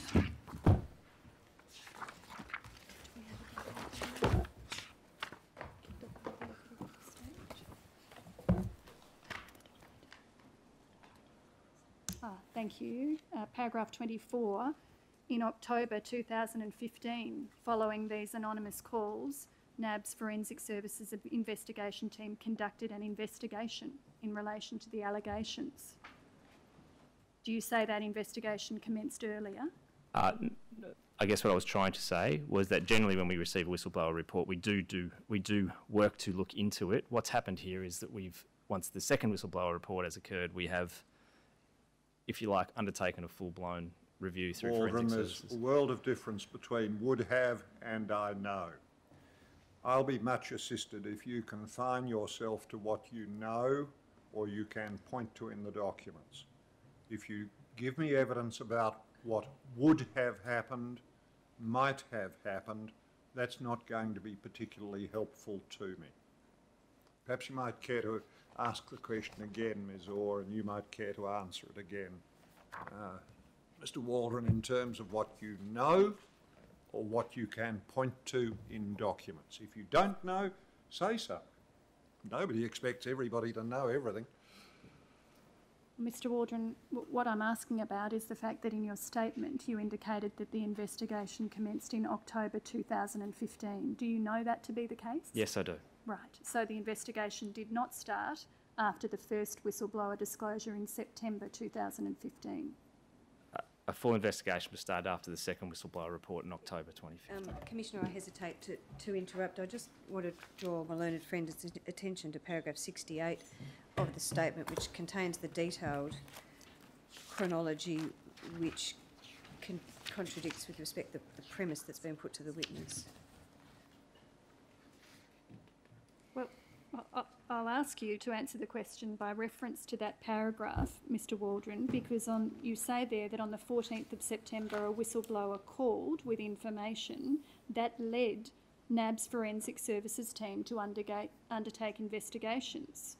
The only time that you pin that investigation commencement to is in the paragraph that I've just referred to, paragraph 24, where you pin it to October 2015.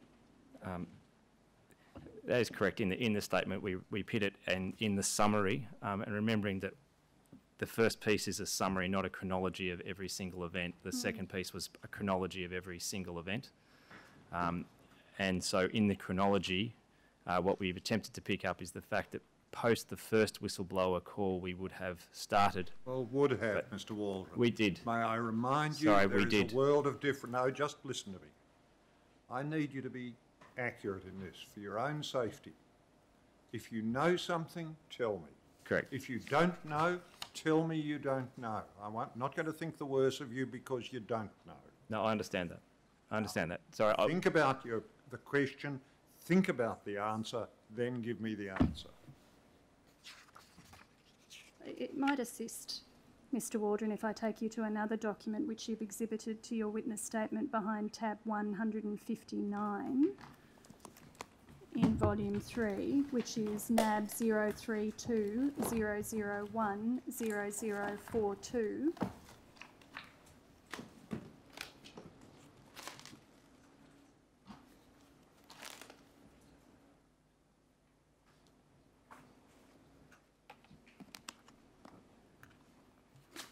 This is a letter that was written to ASIC on the 21st of December 2015.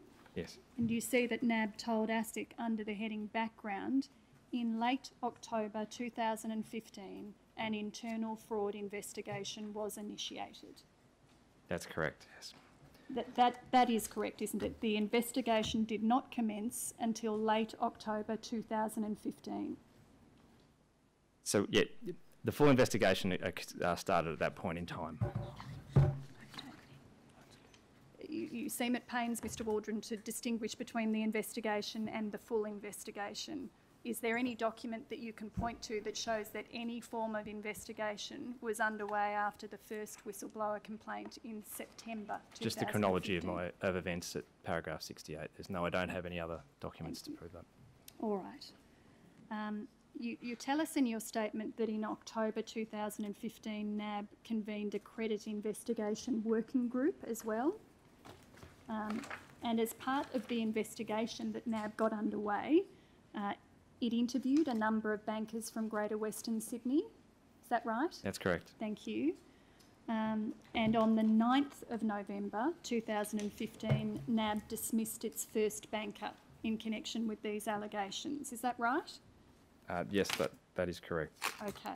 So the first banker is dismissed 9 November 2015, and I'd like to show you a document that deals with the conduct of that banker.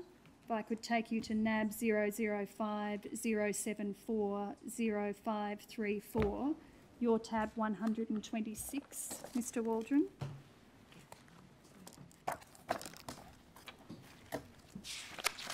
Now you'll need to move through tab 126 to get to 0534.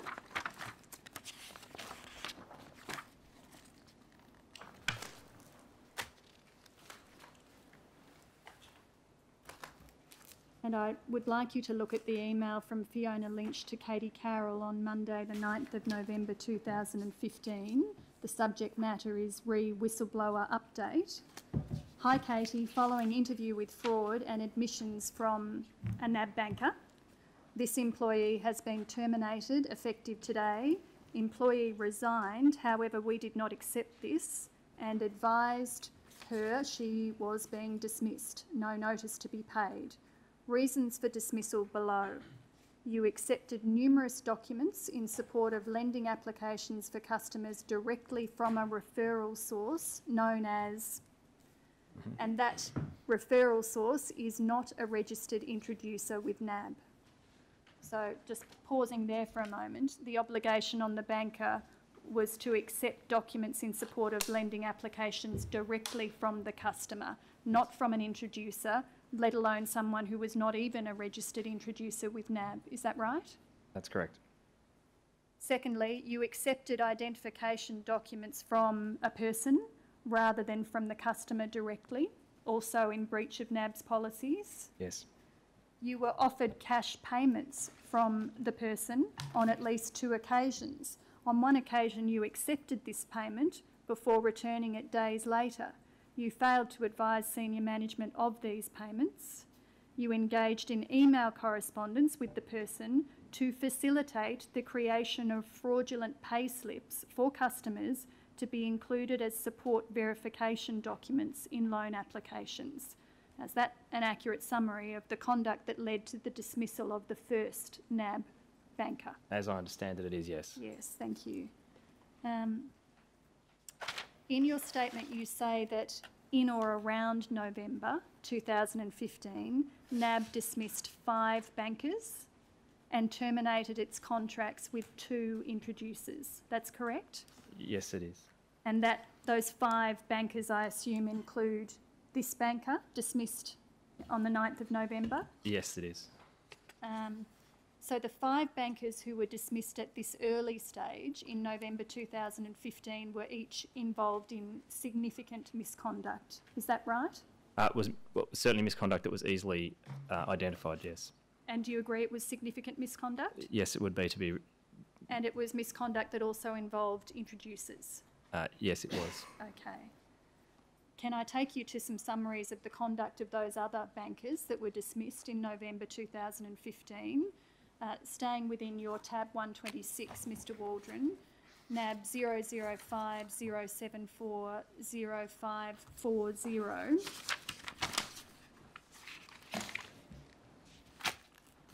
This is an email from the second email on the page, an email from Fiona Lynch at NAB to other NAB employees dated 1 December 2015, and it provides an update on the whistleblower investigation.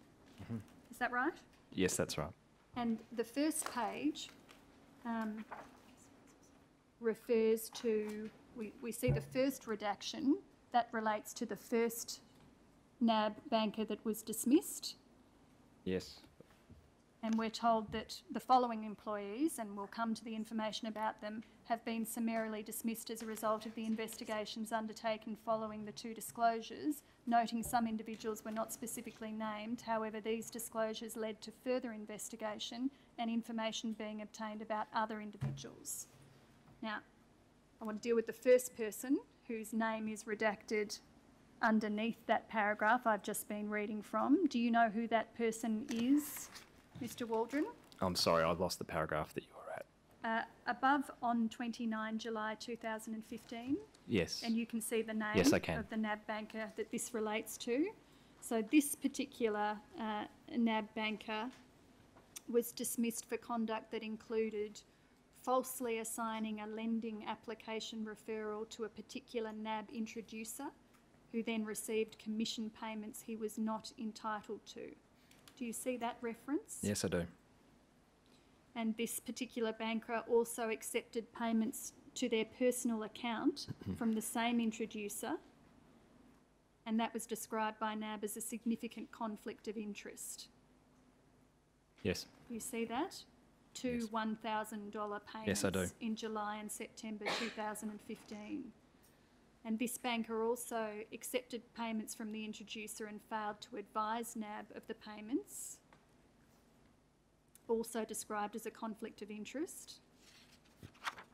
I may be referring, uh, yes, sorry, I'm, talk- I'm talking about the same payments, but the failure to advise NAB of those payments is A conflict of interest. the conflict of interest. Yep. Then there's false allocation of referrals to a particular introducer who had not referred the customers. Do you see that at the top of the next page? This resulted in the introducer receiving commission payments to which he had no entitlement. Top of uh, page Well, have we moved on to a different banker? I'm sorry, I'm sorry, my mistake, we have. So let's leave the second banker for now. Sticking with the first banker whose name you can see there. Yes. We can see that the other conduct includes not completing face-to-face meetings with clients and a lack of duty of care when reviewing documentation in support of lending applications, which resulted in fraudulent documents being accepted. That's correct, yes. So that, that's the conduct of the first banker that led to that banker being dismissed. I'm calling him the first banker, but this was the second banker that NAB dismissed. Yes, And, understand. and now I move to the next banker, who I apologise, I had already moved into there because of the redaction. Uh, this second banker in this list had conduct that resulted in this, their dismissal that included falsely allocating multiple referrals to a particular introducer, despite that introducer not having referred the customers, resulted in the introducer receiving significant commission payments to which he had no entitlement. This banker was also dishonest in their responses about their relationship uh, with the introducer uh, and about the introducer's personal de- details. This banker requested an increase to the commission payment percentage to the introducer with no valid reason to do so. And the contact details provided by the banker was the address of a property owned and occupied by members of the banker's immediate family. This banker had a personal relationship with the introducer, which represented a significant conflict of interest and which the banker did not disclose. And on the 15th of October 2015, the, this banker paid $15,000 to a customer's account um, from their personal account prior to the customer's loan being drawn down. The customer later repaid the money. This represents a significant conflict of interest which you failed to disclose. The banker acted in this manner despite being verbally warned and required to undertake remedial actions following a similar incident in September 2015. Now, you know the name that has been redacted for this banker. Yes, I do.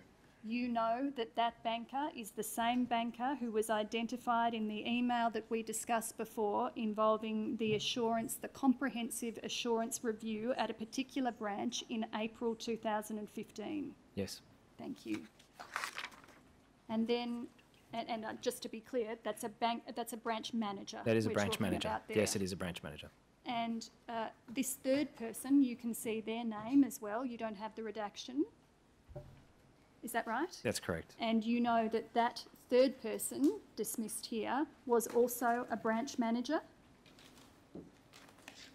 Yes. Yes. And this third person is dismissed for conduct that includes accepting numerous documents in support of lending applications for customers directly from an introducer. Oh, I'm sorry, from a person who the banker was aware was not a registered introducer with NAB. Engaging in email correspondence uh, with a person sending and receiving fraudulent pay slips for customers to be included as support verification documents in loan applications. This banker was dishonest in their responses as to the nature of their relationship with the person and the frequency of their communication. This banker was aware of other employees in a particular branch regularly accepting referrals from the same person this banker knowingly condoned this practice and failed to advise management of this unauthorised activity. This person failed in their role as branch manager to provide appropriate oversight of the lending within a particular branch. This resulted in numerous loans being supported by fraudulent documentation. This banker demonstrated a lack of duty of care when reviewing documentation in support of lending applications, which resulted in fraudulent documents being accepted. So that is the conduct that led to the dismissal of the third person in this list, the fourth person that NAB dismissed in connection with this conduct. That's correct. So by this point, of the four people who, who have been dismissed, two are branch managers? That's correct, yes. Right, and, and two at a level below branch managers. And each of these people um, are working at branches in Greater Western Sydney. That's correct, yes. Thank you. So the conduct of each of these bankers that we've just discussed involved dishonest conduct, we see that, Yes, and it involved fraudulent conduct. yes, it did. Um, now, uh, again, I want to ask you, as someone with the benefit of not having redacted documents, the five bankers that you refer to that were dismissed in or around November 2015, they were from a number of different branches within Greater Western Sydney, weren't they? They were, yes. How many branches were they from? Uh, off the top of my head, I'm, I'm not sure. I would need to check. So we know there's two branch managers, multiple branches. Um, we know that one of the branch managers is the same person that NAB's been looking at since at least April 2015 in connection with the introducer program. So this is November 2015. Another thing that you've told us that happened in November 2015 was that the NAB Group Chief Risk Officer recommended that consideration be given to creating a task force to investigate whether there had been collusion among bankers that could constitute fraud or breaches of NAB's responsible lending obligations. Is that right? That's correct, yes. Okay, so in summary, we're in November 2015, and by this time, five bankers from multiple branches have been dismissed, including two branch managers. Two introducer arrangements have been terminated That's as a result of this in, in, investigation. There are multiple arms of NAB involved in investigating the conduct. Is that right? That's correct, yes. Uh, and the Group Chief Risk Officer has recommended creating a task force to look into this. That's correct. These are all things that had happened by this point in November 2015. So NAB wasn't treating this as just isolated incidents of dishonesty at this point, were they? No, we weren't. Uh, NAB knew that this pointed to significant failings in its risk management systems. Uh, we believed so at that, that particular point, and we were still trying to work out whether it was in a local area or widespread at that particular point. But It yes, certainly wasn't in a single branch. wasn't a single branch. Absolutely, It's across multiple branches Absolutely. and people within very senior positions in those branches. that's correct. But by this time, November 2015, there had not been any report to the NAB board about any of this, had there? Uh, no, the first uh, first uh, report to the board was in the December board meeting. There was no report to the board until the 15th of December 2015, was there? Uh, that's correct. Yes. And at the same time, um, there had been no report of any form to ASIC, had there? Uh, not at that point in time, no. But you're aware of NAB's statutory obligation as a financial services licensee under section 912D of the Corporations Act to make written reports to ASIC in certain circumstances. Yes, I am. And you would know that NAB had to give ASIC a written report if it had breached or was likely to breach any of the obligations set out in section 912 capital A of the Corporations Act. Were you aware of that? Uh, yes, I am aware of that. Uh, and the breach was, or the likely breach, was significant. That was the second requirement for the reporting obligation to kick in. You appreciate that? Yes. And whether or not a breach is significant is to be assessed having regard to matters such as the number or frequency of similar previous breaches, the impact of the breach on the licensee's ability to provide the finance, financial services under the licence, and the actual or potential financial loss to clients of the licensee arising from the breach or likely breach. Are you aware that they're all matters that the Corporations Act directs you to in assessing whether or not a breach or a likely breach is a significant one that needs to be the subject of a written report to ASIC? Yes, I am. Thank you.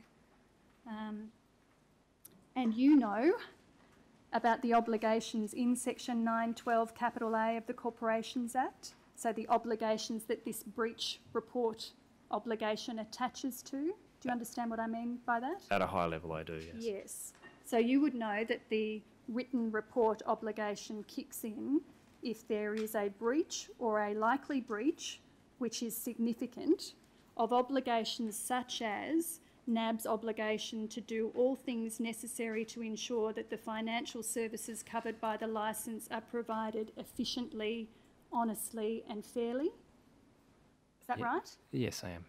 Um, it also kicks in if there's a breach or likely breach that is significant of NAB's obligation to have in place adequate arrangement for the management of conflicts of interests that may arise wholly or partially in relation to activities undertaken by the licensee as part of the financial services business.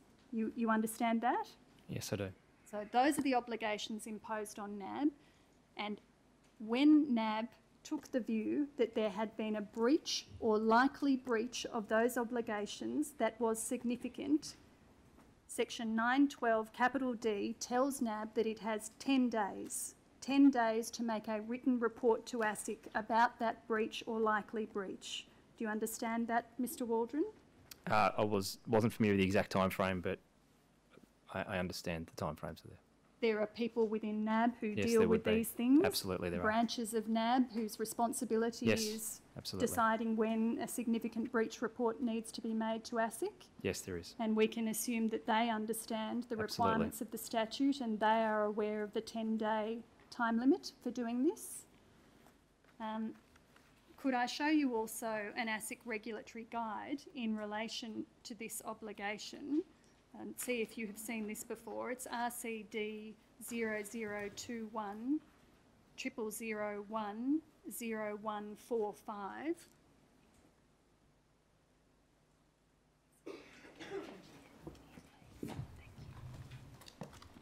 Have you seen this document before, Mr Waldron? It's an ASIC publication. It's a regulatory guide that deals with breach reporting obligations by Australian financial services licensees.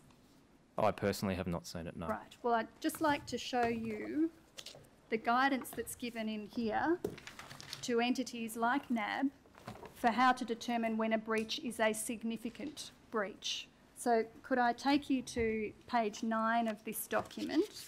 The page numbers are in the bottom right-hand corner. Do you see there, table three, examples of breaches that may be significant?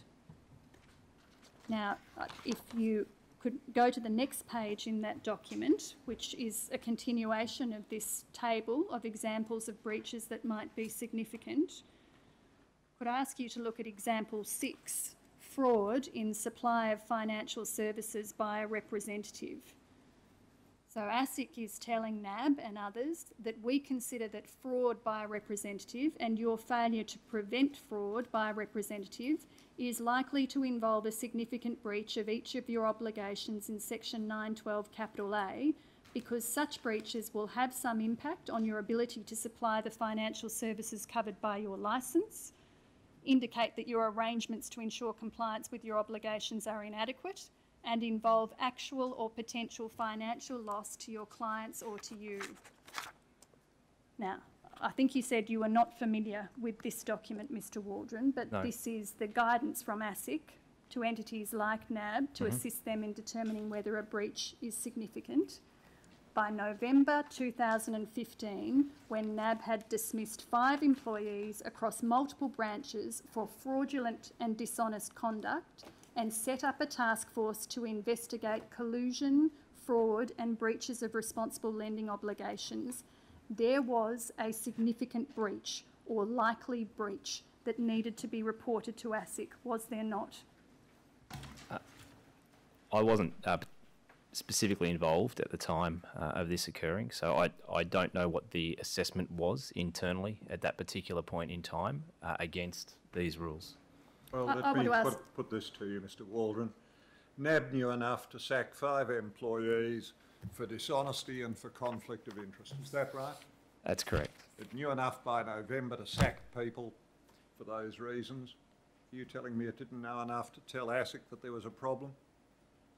Uh, no, I'm not telling you that. All I'm telling you is that I wasn't directly involved with the assessment at that that. point in time, so I'm, I'm not certain why or why not decisions were made. But NAB has put you forward as the witness to deal with Correct, these yes. matters, and the ASIC notification, when it ultimately comes, is annexed to your witness statement. Yes, Now, in I've December. provided you with the guidance provided by ASIC, and I ask you whether you accept that in November 2015 there had been a significant breach that needed to be reported to ASIC. Uh, So I, I would take guidance from our, our internal people on something like that. We have specific people whose role it is to assess that. Do you know when NAB lodged its Section 912D breach report with ASIC, Mr Waldron? Uh, I would have to check the dates in my statement. I think it was around December, but I would need to check those dates. Well, it- wasn't in December, Mr Waldron. Uh, it was months later in February Oh, sorry. of Yes. 2016. Do you see February. that reference in paragraph 92 of your statement?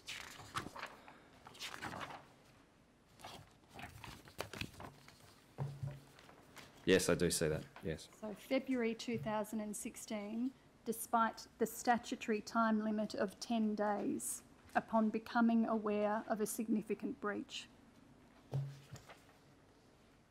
Can you offer any explanation for that, Mr Waldron? Uh, no, I, I cannot. Uh, other than that, we had formally notified of the event, but we hadn't completed the Section 912 uh, D assessment. But there had been some notification to ASIC, but we hadn't completed that assessment. So I, I cannot, I can't What tell do you you mean why. by that? When was there some notification to ASIC?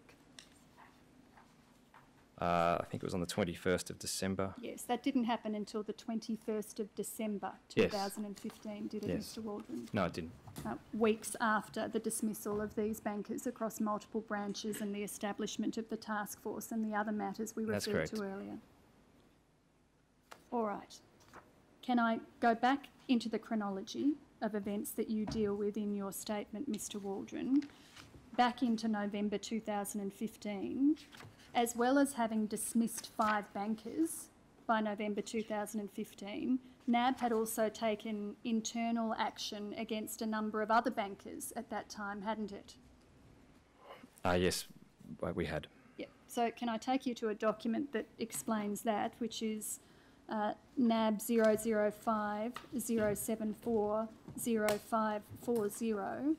Before I move on to that document, Commissioner, I will tender the ASIC regulatory guide that I have taken Mr Waldron to.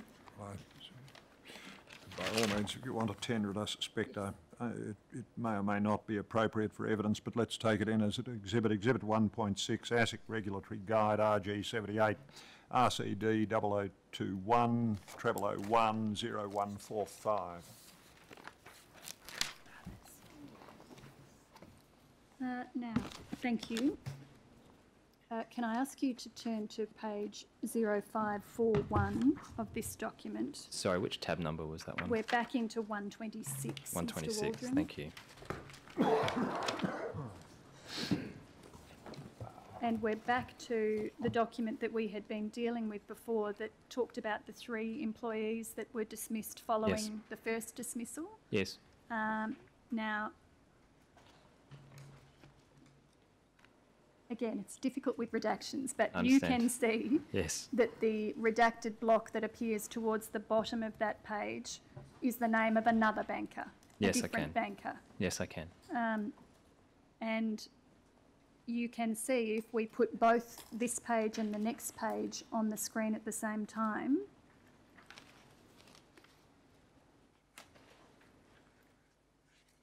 that there are three other bankers whose names have been redacted. Yes, I can see that. And these are three bankers that at this same time in November 2015, NAB took internal disciplinary action against. Is Yes. that right? That's correct, yes. And you can see the names of these three bankers. Yes, I can. Um, and you can see that uh, the first of those bankers, you can see that there was a file review and there were things detected in that file review. And there was a recommendation made that appears at the top of the following page. LSR recommendation is for an amber non reversible gate to apply. This will result in a 25% reduction in SSI payment. Do you see that? Yes, I do. And if we look down, I want to ask you some questions about that, but if we look down to see what recommendations were made for the other two bankers, we can see that the next one had a recommendation for an amber reversible gate to apply. That's correct. And the third one had a recommendation for an amber non-reversible gate to apply. So two had amber non-reversible gate recommendations and one an amber reversible gate recommendation. Or given the time, I wonder whether the absolute excitements of amber reversible gates and amber non-reversible gates might better be left over for tomorrow, given Ms Harris has an application that, uh, to make. Thank you, Or is it a, is it a convenient It time? is a convenient time. Yeah. Thank you, Commissioner. Thank you. There's no need for uh, you to remain unless you uh, think it necessary, is all. Yes, Ms Harris, you want to take up some question of privilege?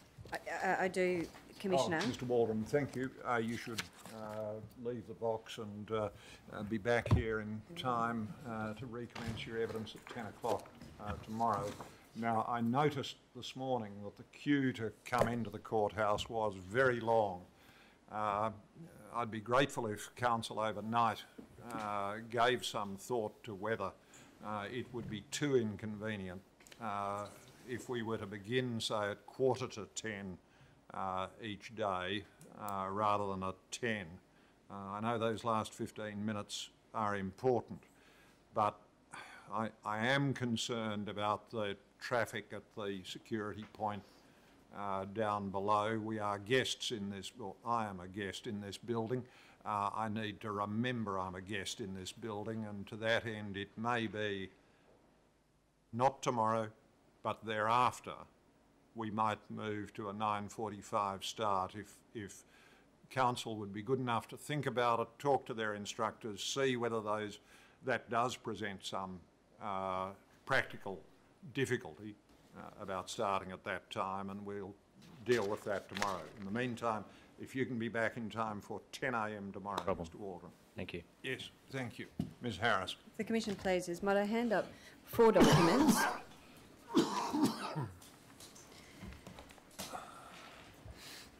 Uh, The documents are firstly submissions and a statutory declaration which cleave to the, the requirements of both the practice guideline number two and section six AA of the Royal Commissions Act.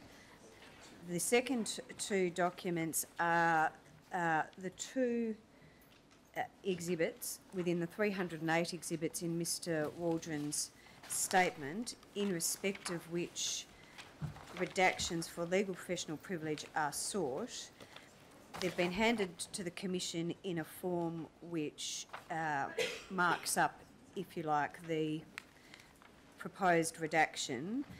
Uh, if the Commission has document uh, NAB 005 043 0313, which is referred to in paragraph 65 of Mr Waldron's statement. There's only the one redaction in that, is there? Indeed, Commissioner. And who's JT?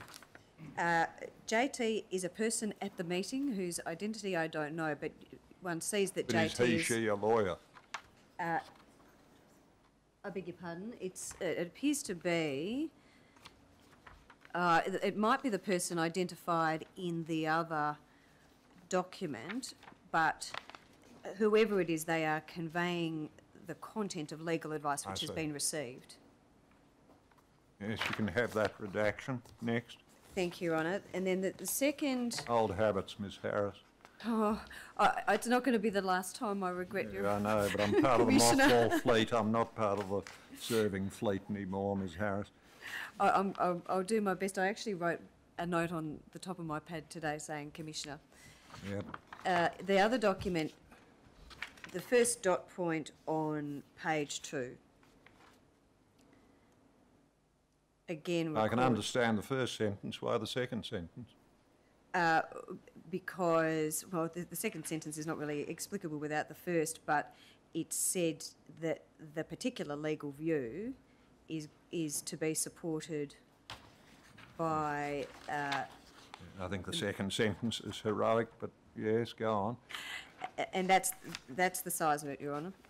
I've done it again, I beg your pardon. It's long day. You may have those. Is there any other? No, no, Commissioner. I mean it when I say these things are not to be taken up in the course of hearing. And- They have, if, if you have them, tell the solicitors we have made a mistake, there is an application. I will sit out of hours to deal with it. And Commissioner, we had will not deal with it during the hearing. no, we, we understand that, Commissioner, and we, uh, we can put it down to teething problems, but we hear, hear the Commission loud and clear. Yes, thank you. Uh, 10 a.m. tomorrow, please.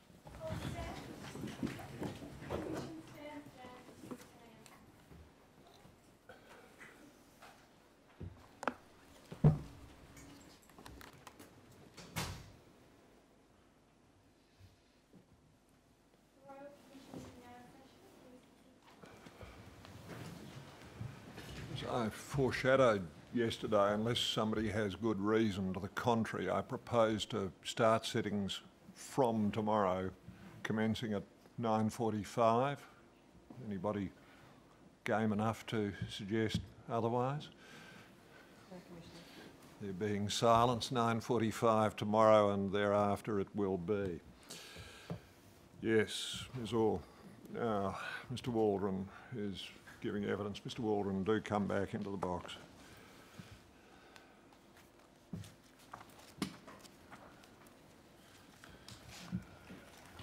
Yes, Ms Orr. Mr Waldron, before I come back to the document that we were looking at uh, when I last asked you questions yesterday, I want to raise with you a document that's been handed to me by NAB's counsel this morning. Uh, Now, this document is not, I'm afraid, Commissioner, on the online court book. I have some hard copies and I can provide a hard copy to you, Commissioner, and to the witness. Thank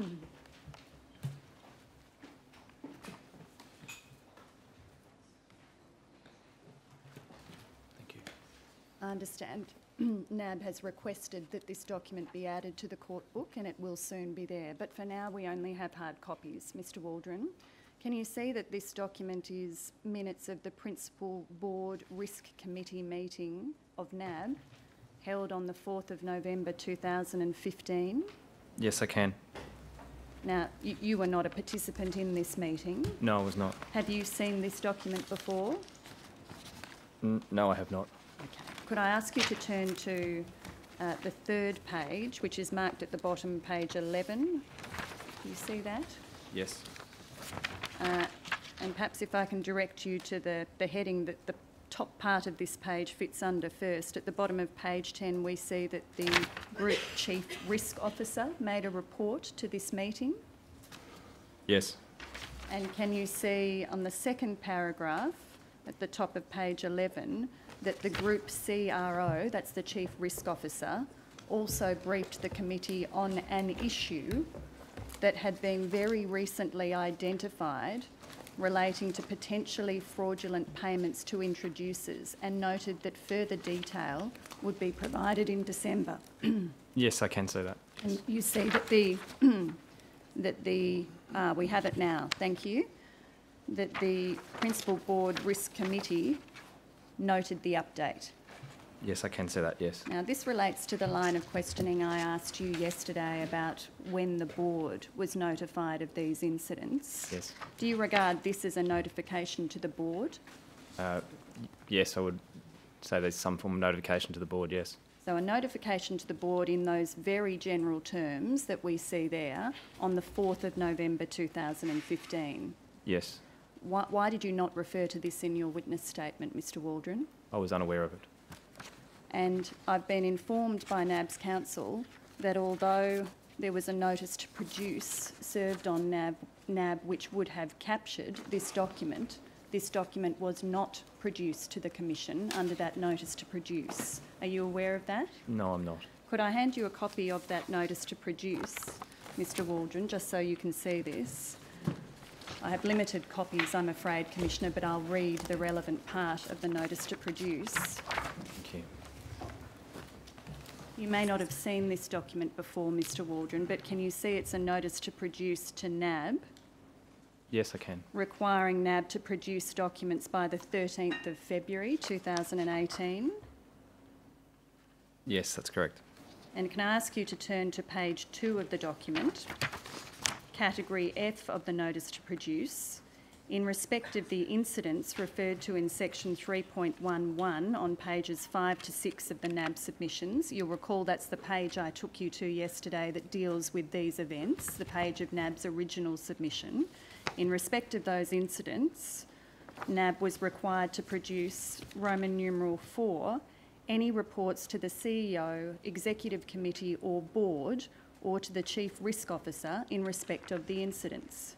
You see that? Yes. Can you offer any explanation for why NAB did not produce this document to the Commission in accordance with this notice to produce? Oh, I'm sorry, I can't. This is the first time I've seen the document.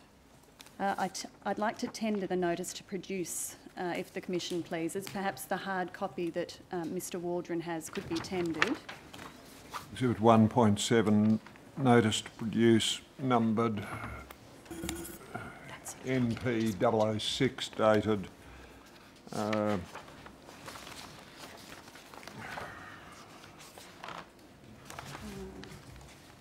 seven February 2018 to the proper officer, NAB. So what we now learn, Mr Waldron, as a result of this document that's been provided to the Commission for the first time this morning, is that there was some form of notification to the Board on the 4th of November 2015, of which you say you were unaware. That's correct, yes. Yes. And what the board was told was that there was an issue that had been very recently identified relating to potentially fraudulent payments to introducers. Now, very recently identified, I want to put to you that issues of this nature had been on NAB's radar since at least April 2015 as a result of the documents I showed you yesterday. Uh, those documents do outline that, I- so I don't, I don't know where that, Yes. Response What I want to put to you is that it's not correct to say that the issue had been very recently identified as at 4 November 2015. as I said, I have, I've only just seen that then, so I'm not sure the background of that paper. But in any event, the board is aware that there is a problem from the 4th of November 2015, but as we heard yesterday, there is no report to ASIC for some months after that time. Uh, so there was no uh, Section 912D report, but there was uh, a notification to ASIC in December and then a subsequent meeting in January before Yes. the There was a No, letter in December, letter in which we'll December. to. That's correct, yes. Uh, but the statutory breach Statu- report was not until February 2016. That's correct. Thank you. All right, could we return to the document that I was asked? uh, I think have uh, this uh, Principal Board Risk Committee uh, document as an exhibit, Exhibit 1.8, NAB 005 130 treble zero one, minutes Principal Board Risk Committee meeting for November 2015. Could I take you back to the document that we were looking at at the end of yesterday, Mr Waldron, uh, which is 005 074 0540, your volume 3, tab 126. Sorry, tab. 126.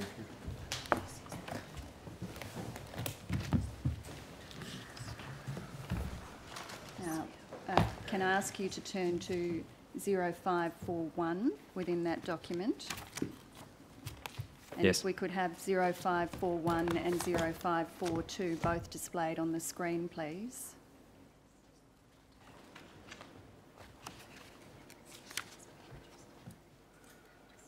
Now, yesterday I had put to you that there were these three employees who were not dismissed, but whom, uh, but who received uh, conduct gates, amber reversible and amber non-reversible conduct gates.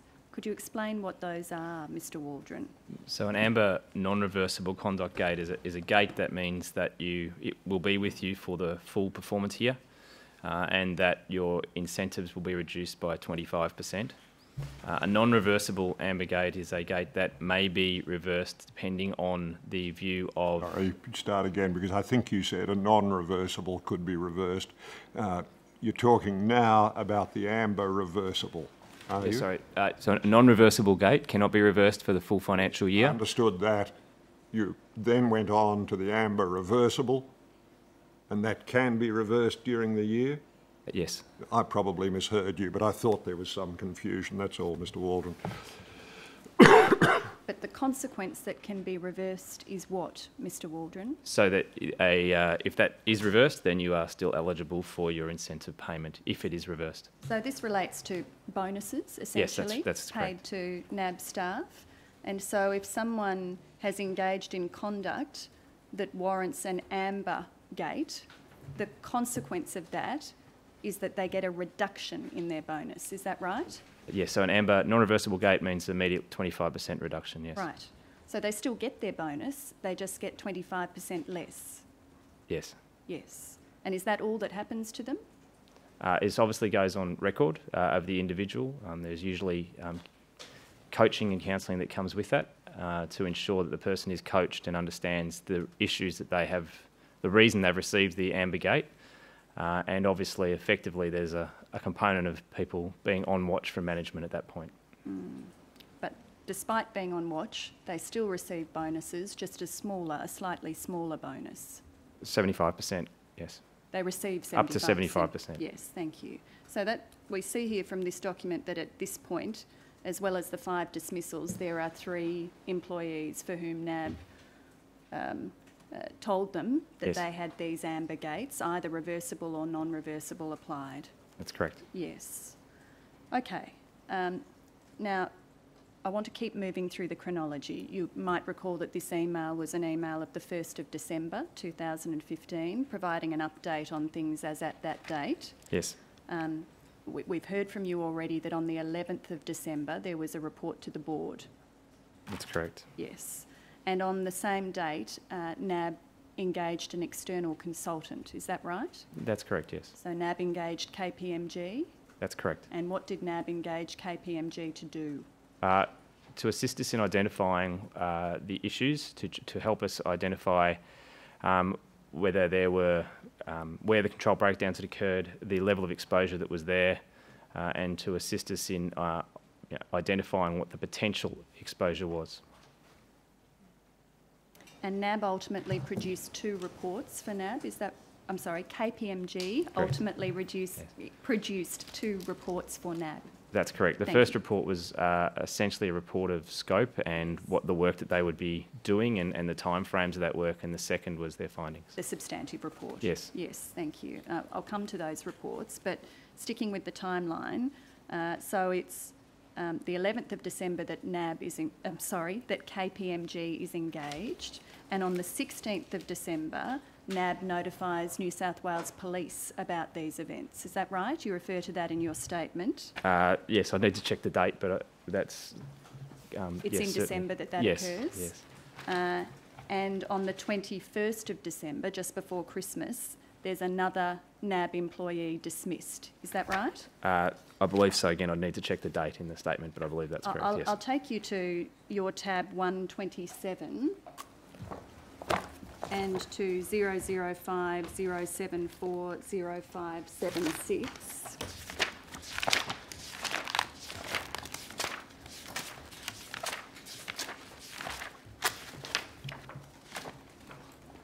yes. This relates to the dismissal of uh, a further person, a sixth person. It's an email dated the 21st of December 2015. Yep, that's correct. 2015. Do you Yep. see that? Yes, I do. Uh, and you know the name of this person Yes, who's dismissed on the 21st of December. We can see from this email that they're another branch manager. Is that right? Yeah, that's correct. Yep. Uh, and the conduct that led to this branch manager being dismissed is described in those bullet points there. Yes, that's right. On multiple occasions, you willfully entered false phone numbers on customer files. Further, on multiple occasions, you have entered false information in relation to referrer contact details. You were dishonest in your response when you initially stated you were unaware of how identical numbers had come to be entered on different customer profiles, later admitting you had knowingly entered those details.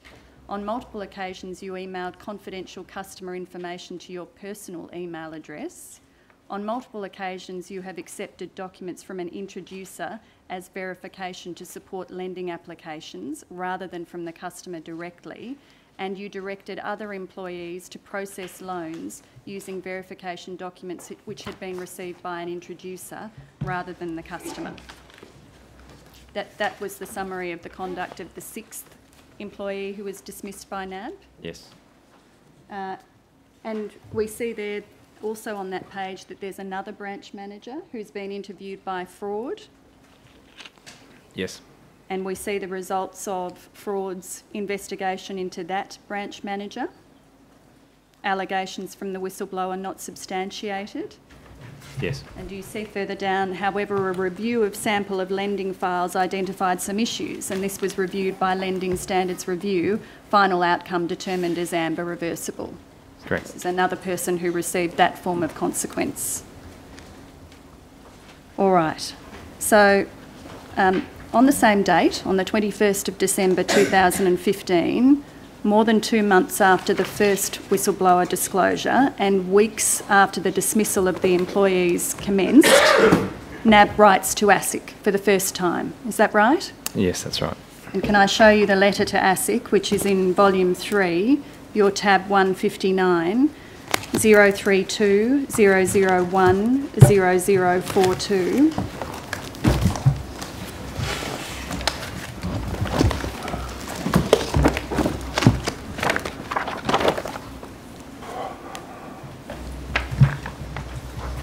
Thank you.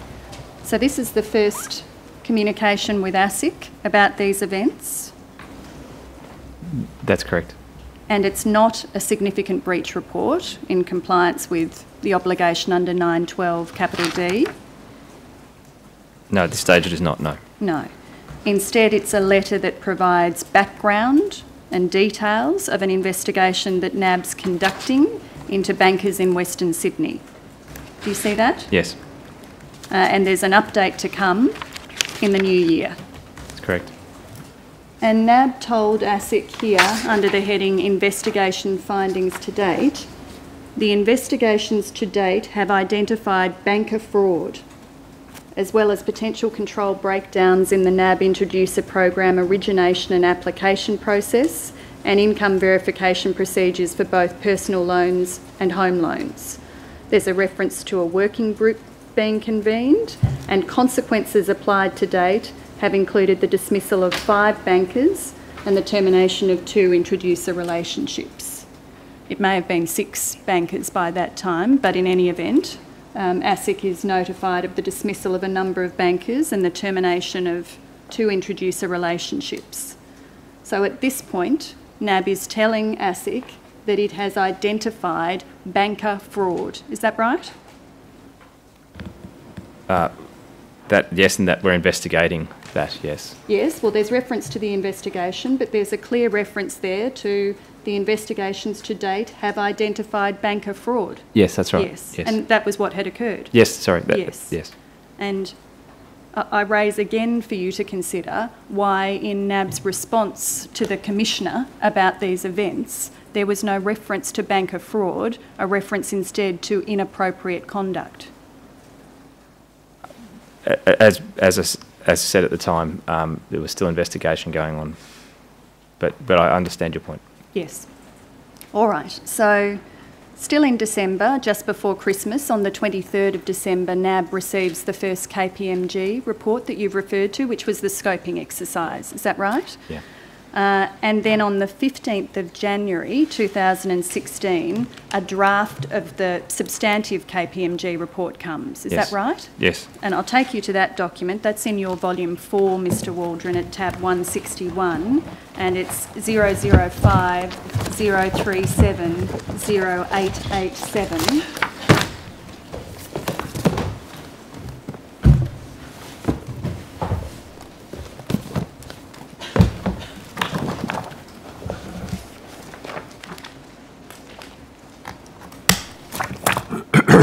the draft of the final report of KPMG. That's correct. You're familiar with this document? Yes, I am. Thank you. Can I take you to 0896?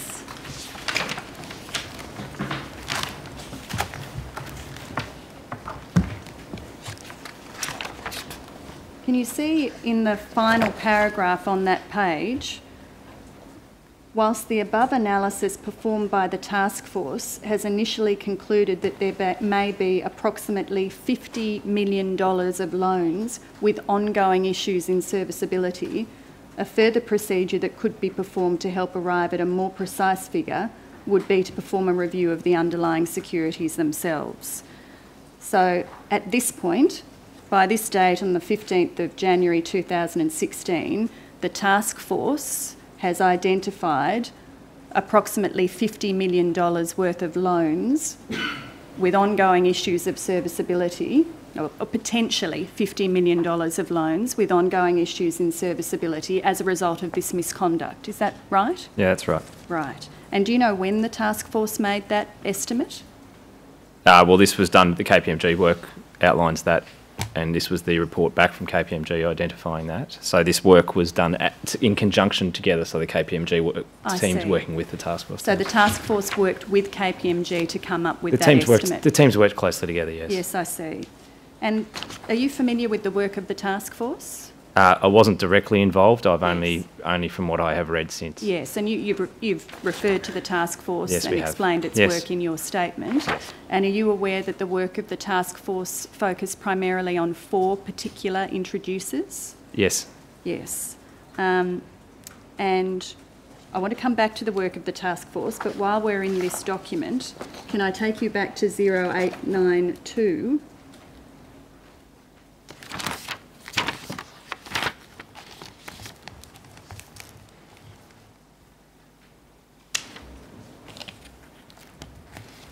Can you see there that there are eight introducers of interest? Their names are blocked out at the top of the page. yes, I can. Um, And are you aware, uh, I'll just take you to the page before this as well, if the two could be displayed together, 0891 and 0892.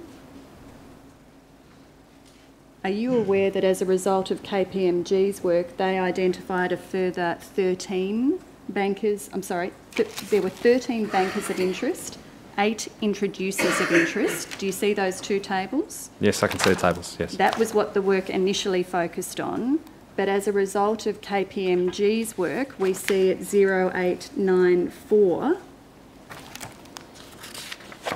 that in addition to those eight introducers and 13 bankers that they started with, in the middle of the page, as a result of these observations, we identified a list of 11 additional bankers for potential further investigation. And over on to 0895.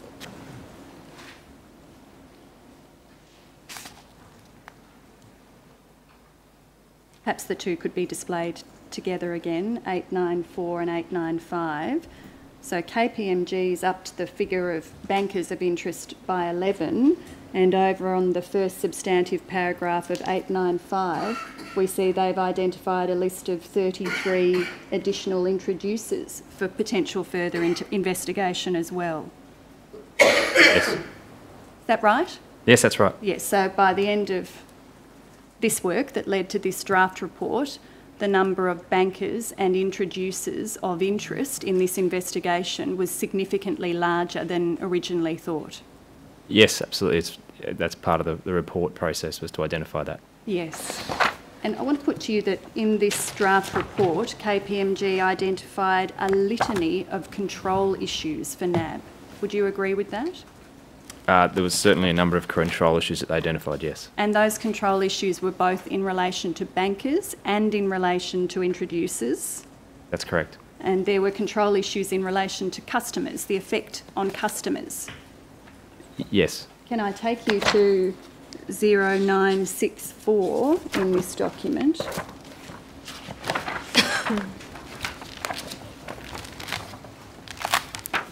Do you see? And it might be helpful to start with 0964 and 0965 displayed together, please.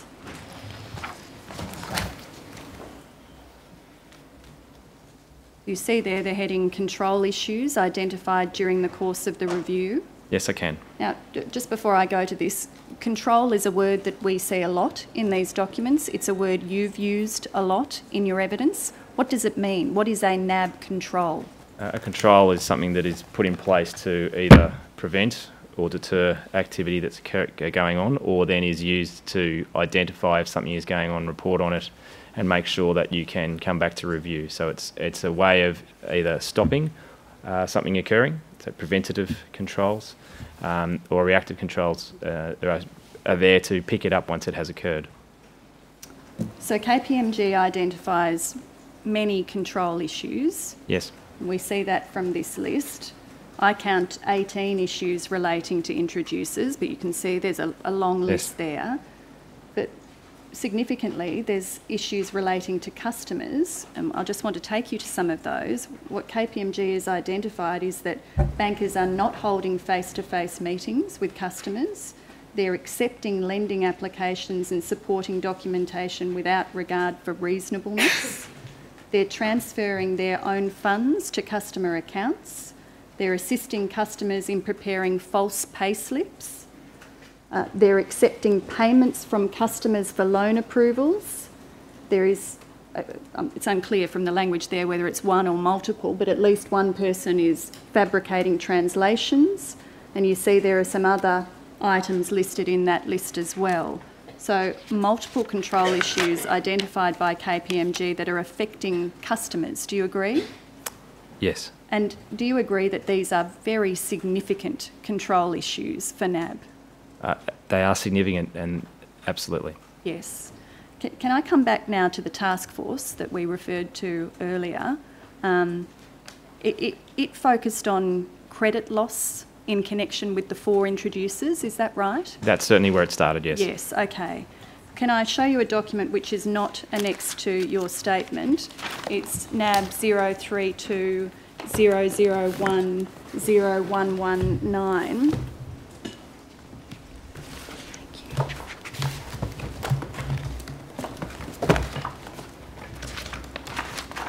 Have you seen this document before, Mr Waldron?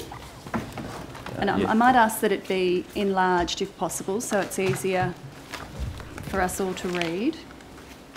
Have you Yes, seen I this have. document? Yes.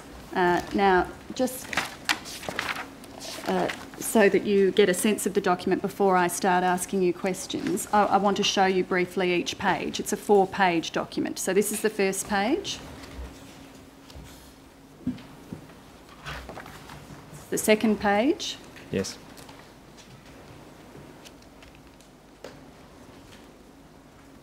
The third page.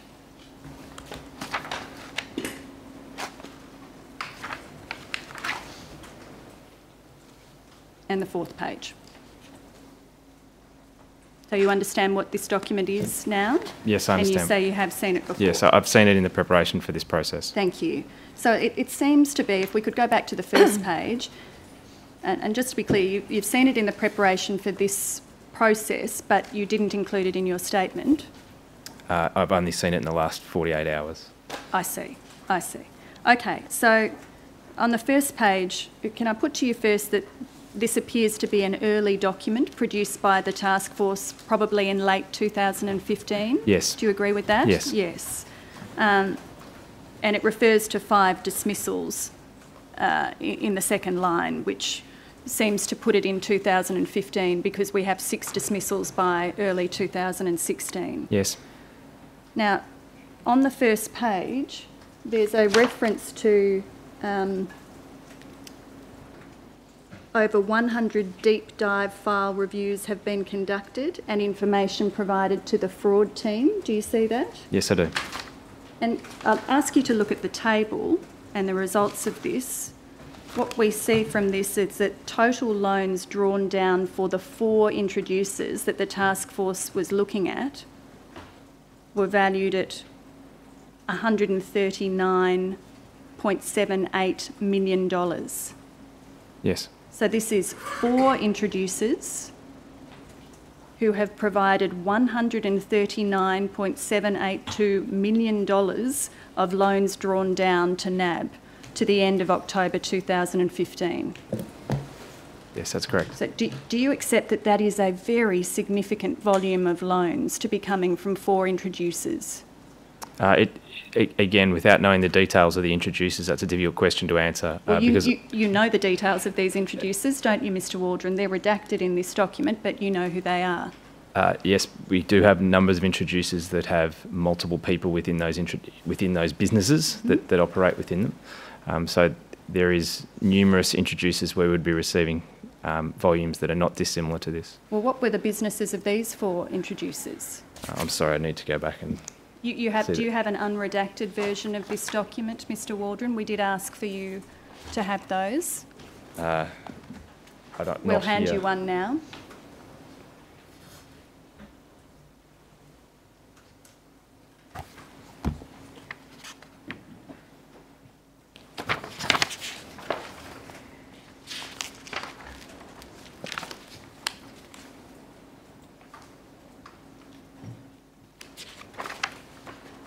Can you see the names of the four introducers in the third and fourth pages of the document, Mr Waldron? They're redacted in our version, but they appear in the appendix introducer summary, which runs across Yes, I two can. pages. You familiar with those introducers whose names appear in those two pages? I am familiar by name of those introducers. I'm not familiar with all of their activities. All right, which are you familiar with? You don't need to name the introducer. I want to understand what you know about the business of the, the, introducers. the second of them was a was a gym. was a gymnasium, thank Yes. you. All right, can we go to the second page of this document, which is the early insights of the task force? And the first early insight here is an important one, isn't it? This is very early in the piece, and the first early insight is remuneration structure driving inappropriate behaviours. That's correct. Brackets SSI, which is the Star Sales Incentive Program. Correct. So from a very early point, NAB was aware that a driver for these called inappropriate, but we know fraudulent behaviours, was its own remuneration structure. That's certainly one of the root causes. Yes. Yes. Um, now, these early insights also include in the third dot point double dipping through duplication and or post dating of opportunities. Is that again connected with the remuneration structure? It would appear so. Yes, so the double dipping is about double dipping to get more bonuses. Uh, it it would appear so. Yes. Yes. Uh, and there's also and one of the early insights into the root causes sales cultural issues. Do you see the second last dot point? Potential duress and internalised behaviours. Yes, I do see it. So again, there's an early acknowledgement by NAB that there are issues with its sales culture Yes, that is what is pointed out in this report. that are identified as a root cause of this misconduct. Yes. All right. Can I show you another document that appears to be a task force document? Commissioner, I'm referring to a- number of documents that are not annexed to Mr Waldron's witness statement. I can either tender those as a list Let's at do end. it as we go, or Yes. otherwise I- I'll certainly lose count. Uh, Exhibit 1.9, document NAB 032001019. Uh, What shall I describe it as? Well, Four-page document, uh, headed task force summary. task force summaries, thank you. So I said I wanted to take you to another task force document, Mr Waldron, which is 03200010123.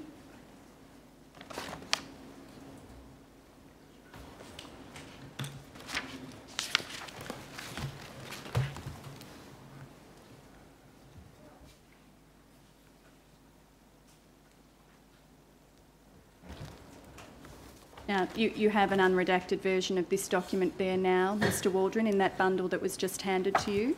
I'm just trying to find which one it is. I think it's, No.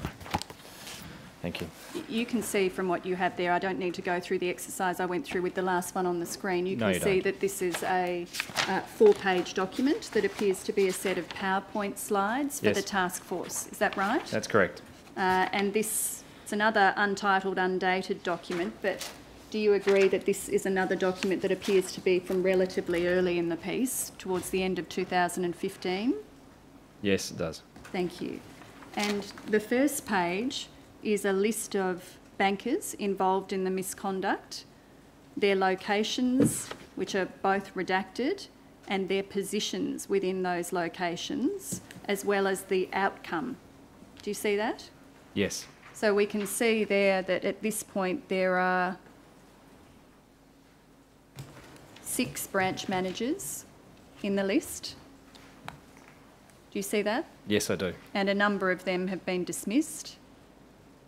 And there's also a reference to RER towards the bottom. Could you explain what that is? Uh, it stands for Regional Executive Retail. They um, have Sorry, account- Mr Waldron, I missed it. Say Regional again. Executive Retail. Sorry. it's- microphone's a little Is that a position that someone yes, it is. holds? Yeah, it's, So- it's it's a person who has um, carriage of a, a local area market, has a number of branches that report through to those uh, those see. regional executives. So someone in a supervisory role over the entire local area market? That's Is that correct. a fair characterisation? And there's no outcome listed here for that person, it just has outcome in red. Do you know whether there was an outcome for that person? Uh, from memory, you know, I, I believe that they were um, uh, amber gated. Yes, so not dismissed. Uh, and amber, do you think reversible or non-reversible? I'm sorry, I'd have to We- check. We I'm may be sure. able to check that in some documents as we go. Can I take you to the second page of the document? And again, this is dealing with the volume of loans brought in by these four introducers that the task force has been looking at. Yes, You can see that the four introducers, which we can't see in the redacted version, are the same Yes, they are the same, introducers as referred to in the previous document. yes, And again, you can see that the total value of the loans drawn down is that one hundred and thirty-nine point seven eight two million figure, yes, in, same as in the previous document. Now, what we see additionally here is the total number of those loans or the total value of those loans that is currently delinquent. Do you see that final column there? yes, I can. So there are, there is three point six zero nine million dollars worth of those loans from the four introducers that at the date of this document is delinquent. Is that right? Uh, yes, that's what it. That's what it says. And what, what does it mean for a loan to be delinquent? I'm not sure of the definition definition that they have used for the preparation of this report. Um, Do you understand it to mean? it generally would mean that it uh, has not been paid and it's in arrears. Yes. So that's a significant value of loans where the customers are struggling to make their repayments and have ended up in arrears. That's correct. Thank you. And on this same page, we see some discussion of the personal loans attached to a particular banker whose name you can see. Uh, that's one of the bankers who was dismissed, is that right? That's correct. and there've been 44 customer loans reviewed for that banker. And what we see there is that a considerable proportion of those loans were found by the task force to be in distress. Do you accept that? Yes, that's what's said here. Yes. Yes, so 44 loans were reviewed, 34 of the 44 were currently active, 20 of the 34 are currently managed by collections Yes. with a total outstanding balance of 400,000 and 14 of the loans in collections are in currently in arrears for more than 90 days and three have been written off. So of this very small sample of 44 loans reviewed, again, we see a significant proportion where there were customer consequences, where the customers were not able to meet their liabilities under these loans. Yes, that's correct. Yes. All right. I'll leave that document. I'll tender it if the Commissioner. Exhibit one point ten, NAB oh three two double oh one oh one two three, entitled People Update. I'm going to return again to the chronology, Mr Waldron. Uh, we were at the KPMG report, the draft KPMG report that was provided to NAB in January 2016. Now, you refer to other events in January 2016 in your statement. Uh, one of those is the escalation of the matter to something called the Group Risk Return Management Committee. Is that right? Yes, that's right. Okay, could we look at the document that shows that, which is your volume four, tab 166, 032 011 2605.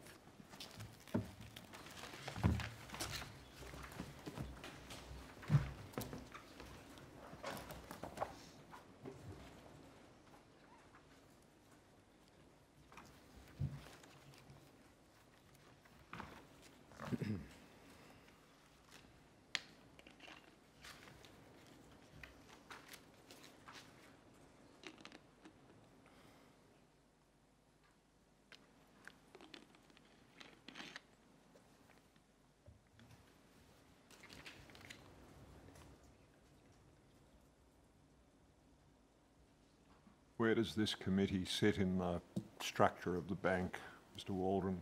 Uh, What sort is- of level are we talking about? Uh, this is the um, highest management risk committee that we have. So this um, in- Next level of board uh, it is risk a, yeah, it's below committee? it's below So the this board is risk under committee. the board risk committee, it's It's correct. executive It's the executive team of the bank.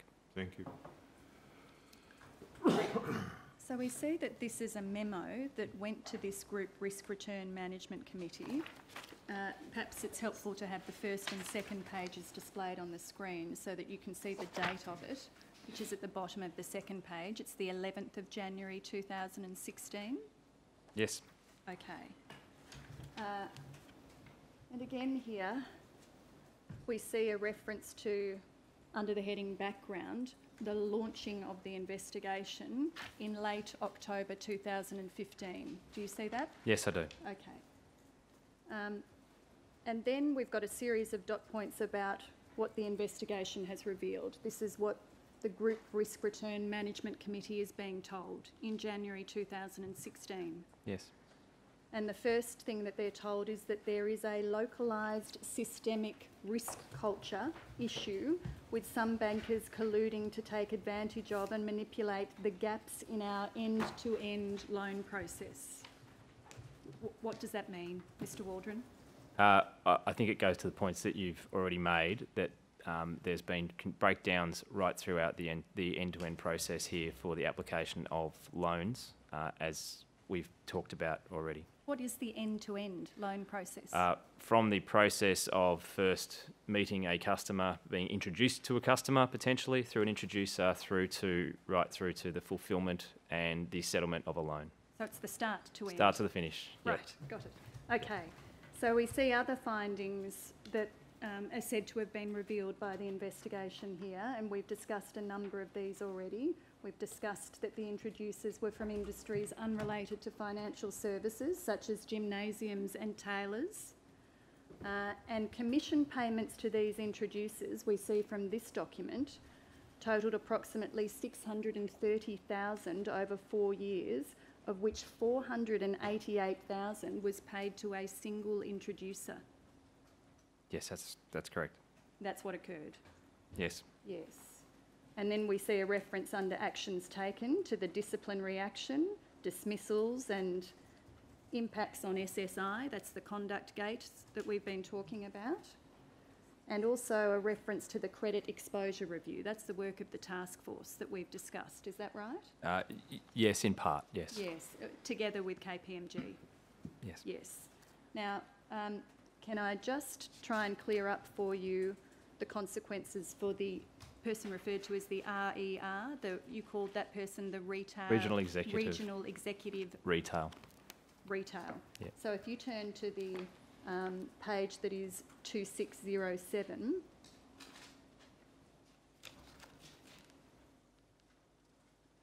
Yes.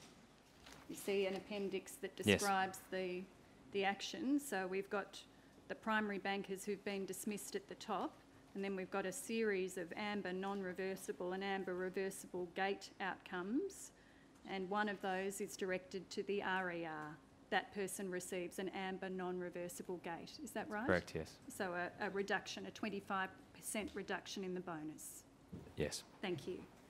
All right, we can leave that document, uh, you also refer in January 2016 to something called a significant event review panel doing a piece of work. Uh, can I take you to a document about that? Volume 4, tab 162, NAB 0320010044.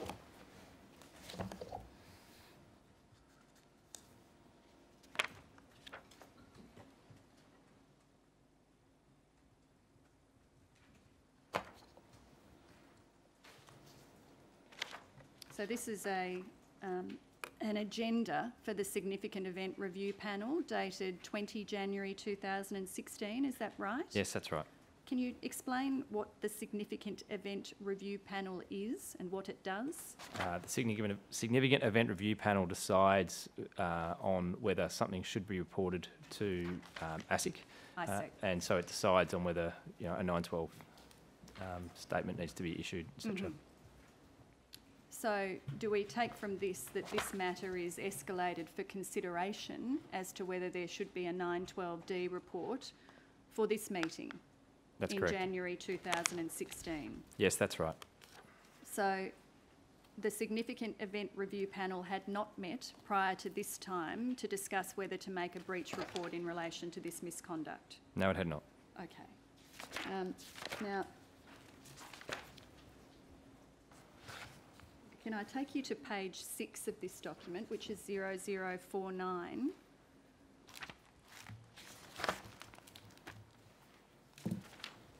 So this, this panel looks at a number of things.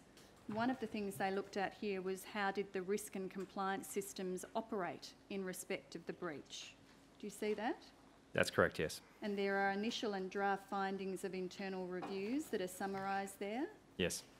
Uh, and there's a number of significant failings listed there. Do you agree with that? Yes. Including limited training uh, being available and provided to frontline bankers regarding introducers, Yes, that's it. and Yes. a lack of or limited ongoing due diligence of introducers against risk databases. You see that That's too? right, yes. All right. So, as a result of the Sorry, deliberation. what's that mean, Mr Waldron? Does that mean that NAB hasn't done something, or does it mean that introducers haven't done something? It says lack of due diligence. Who's lacking? Is it NAB, the introducer, what? It's NAB. I see. So this panel, based on the information provided to it in January 2016, makes the decision uh, to lodge a written breach report with ASIC. That's correct. That's right. And, and that occurs, as we've already discussed, on the 3rd of February 2016. Uh, I believe that's correct date, yes. Yes, I'll, I'll show you the document. It's your That's- tab 167 and it's 0320010069.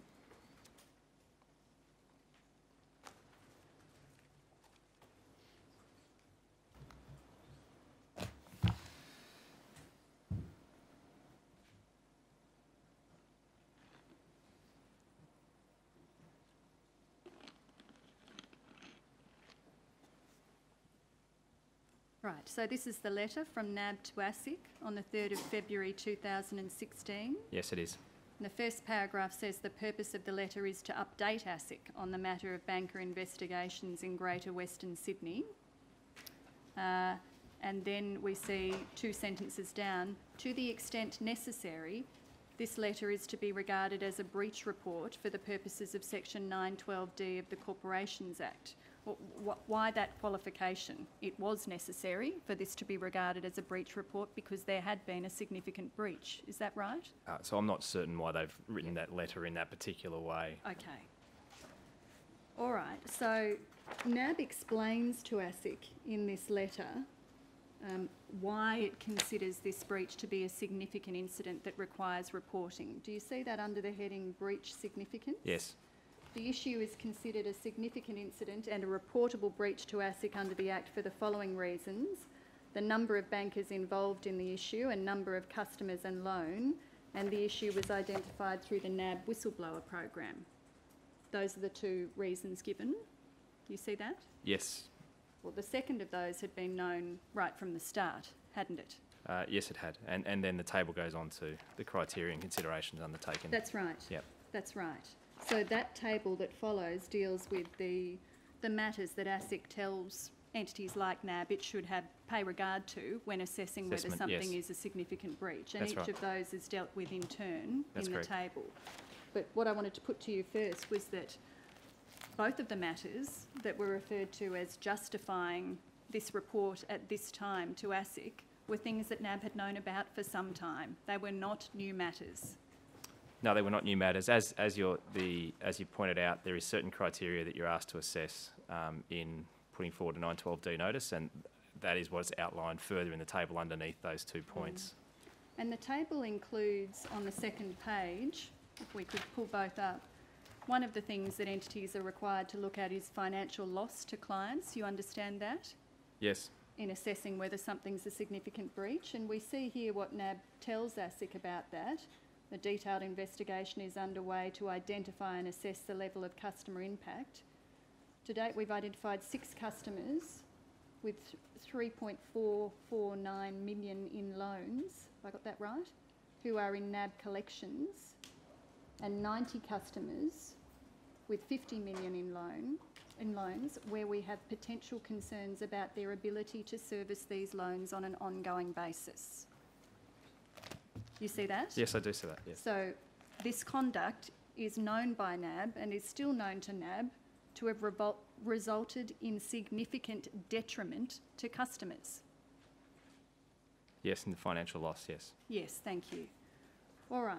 Um, uh, I, I just I want to move now to some examples of findings that you've referred to in your statement um, from the file review that NAB conducted, which I, I think probably commenced around this time. Is that right? Uh, yes, the file review started uh, around about uh, February of, of that year, yes. Around February Yes, but- 2016. Yeah, noting that we'd had to do file reviews to get to that point. Yes. But to do the full file review process started about that point, And, yes. and what did the file review process involve? You, you selected customer files to review carefully, is that right? Uh, yeah, so every time we found what we termed a banker of interest, um, we went back through files to assess whether we thought there was um, issues with responsible lending, with documentation, with potential fraud. Um, and obviously, you're reviewing those end to end, um, and you need to have people who are able to assess those documents and have a large amount of credit expertise and expertise in dealing um, with these particular issues. Um, and if I may add to that, it's also when you're able to look at um, loans in uh, or documentation in um, with all of them at once, you start to see pattern, um, and you know that is what occurs um, through this process. And NAB did see patterns, did they not, in this file review process? That's correct. Yes. They saw patterns of consumer detriment in that there were numerous customers who were having issues servicing their loans, making the repayments. And, and what we saw was issues. Just before you move on, do you agree with what I just said then? That was the outcome of what we found. Yes. Uh, yes. Carry for, on. for some customers. Yes? Um, we also found a, a situation of particular introducers, particular bankers. Um, you were able to uh, identify, um, you know, for example, um, similar pay slips from uh, one lot of introducers, for example, um, and you're able to identify that only when you look at a pattern, uh, when you look at all of the files together. I see, I see. Um, I'm focused though on the detriment to the customers. I, I understand what you're saying, which is then when you've got a lot of files, you can start to see Correct. patterns of Yeah. um, fraudulent documents that appear on multiple files, for example. But I want to focus on what you learnt from the file review about the consequences of all of this for customers. Sure, I understand that. And the customers included, signi- sorry, those customer issues included significant responsible lending issues, did they not? There were many customers who had received loans that they ought not to have received because they did not have the capacity to repay under the loans. At this stage, we were still uncertain of that. Yes. What we had was um, potential that that was the case. Yes, Um, but at this stage, we were uncertain of that. Um, particularly if there was an issue, say, with an income verification. What we didn't know was what was the actual Yes. income situation, what was the real situation for that particular customer. Um, and in many instances, that actually requires getting right back to talking to the customer again. Um, so we had to go and do full file reviews to assess some of those things. Um, and when we say you see patterns, you also not everything is the same. Uh, so you might see uh, from one introducer three customers who've got similar looking pay slips or, or whatever, but 15 who don't. Um, and so we had to go through a full assessment of each individual customer and individual loan file to do that. Um, and to truly assess whether the customer had been impacted, in many cases, you physically need to speak to the customer, which is what our remediation program eventually does get to. Yes, so you're emphasising in your answer there um, what you knew at this point.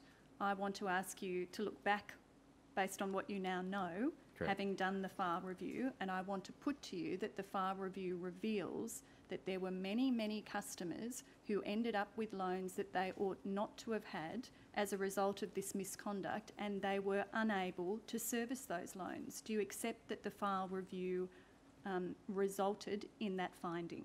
The first file review res- has resulted in us uh, needing to get more information to truly understand that. The, the first file review has not told us that they are definitely in that situation. There are some obvious cases where that is the case. Um, and it's important to note that for those customers who may have been feeling that through the process, they always had access to our um, what we call NAB Assist team, who are there to help customers through financial hardship. And there were examples of that where customers did go through that process and received assistance through that process, um, and who are identified in these groups of files as well. Uh, But, but at this stage, we were not certain Okay. of the situation because whilst we might have had, and again, I'm using income verification as the example here, but there are other things to talk about there as well. Yes? We didn't know the real situation for the customer. So I've, I've managed to move you slightly further along, Mr Waldron. You started with what you knew at the time the file reviews were started. I've moved you to Yes. having done the first file review. There was a second file review. Uh, so, um, as we get to in our remediation process later on, we talk about a process of first file review, second file review. Yep. Um, and uh, we've, we found, so in our remediation processes that we have established around um, GWS and when we get there, Project Beacon later on, um, what we have done on all of those cases is a first file review, which you get some sense of could there be an issue on that file, uh, and then a second file review, which goes into more detail uh, around that, and then we, we move on to the contact to the customer at that point to assess whether there is a true issue or not. I understand that's the process. So I want to ask you, sitting here today, Yes. knowing what you know as a result of the file reviews that have been done up to today, with that state of knowledge, do you accept what I'm putting to you? Um, that the file reviews have revealed that there were significant numbers of customers who ended up with loans as a result of this misconduct that they ought not to have had and which they were unable to service. At this point in time, we are still uncertain on most of those cases. So uh, you, don't accept that you've identified customers in that position? Uh, we have identified some, so uh, you- you're talking about most, etc. Uh, at this point, Many. there are there are some who we have identi- identified in that situation. What we can't be certain of is their actual financial position at this point in time. We need there's potential to have to go back and talk to them and understand that. Okay. Do you accept that your file review revealed responsible lending breaches Yes. by these bankers? Yes, Yes. Uh, and the customers were not having their income and expenses adequately assessed to work out whether these loan products were suitable for them. uh, in some cases that was the breach. In other cases, there were other things that were breaches. Um, but in some cases, that's absolutely true. All right, can I just take you to an example of a file review document that we have from the 30th of March 2016? This is another document that was not annexed to your statement. Um, it's 03601621115.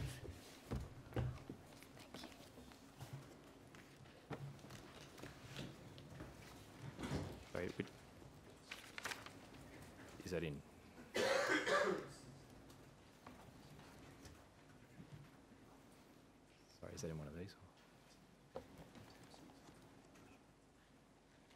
Ah, okay, thank you. I- This is a one-page uh, document, Mr Waldron. Uh, This is a one-page summary of findings of a particular file review, is that right? Yes, that's right. On the 30th of March 2016. Yes, that's right. This is, this is an initial file review for a, um, This is a first round file review, is yeah, that right? for a, o- o- this is essentially done to uh, ascertain whether a banker has done the wrong thing. Yes, and we see from this file review that it was ascertained that the banker had done the wrong thing. Is that right?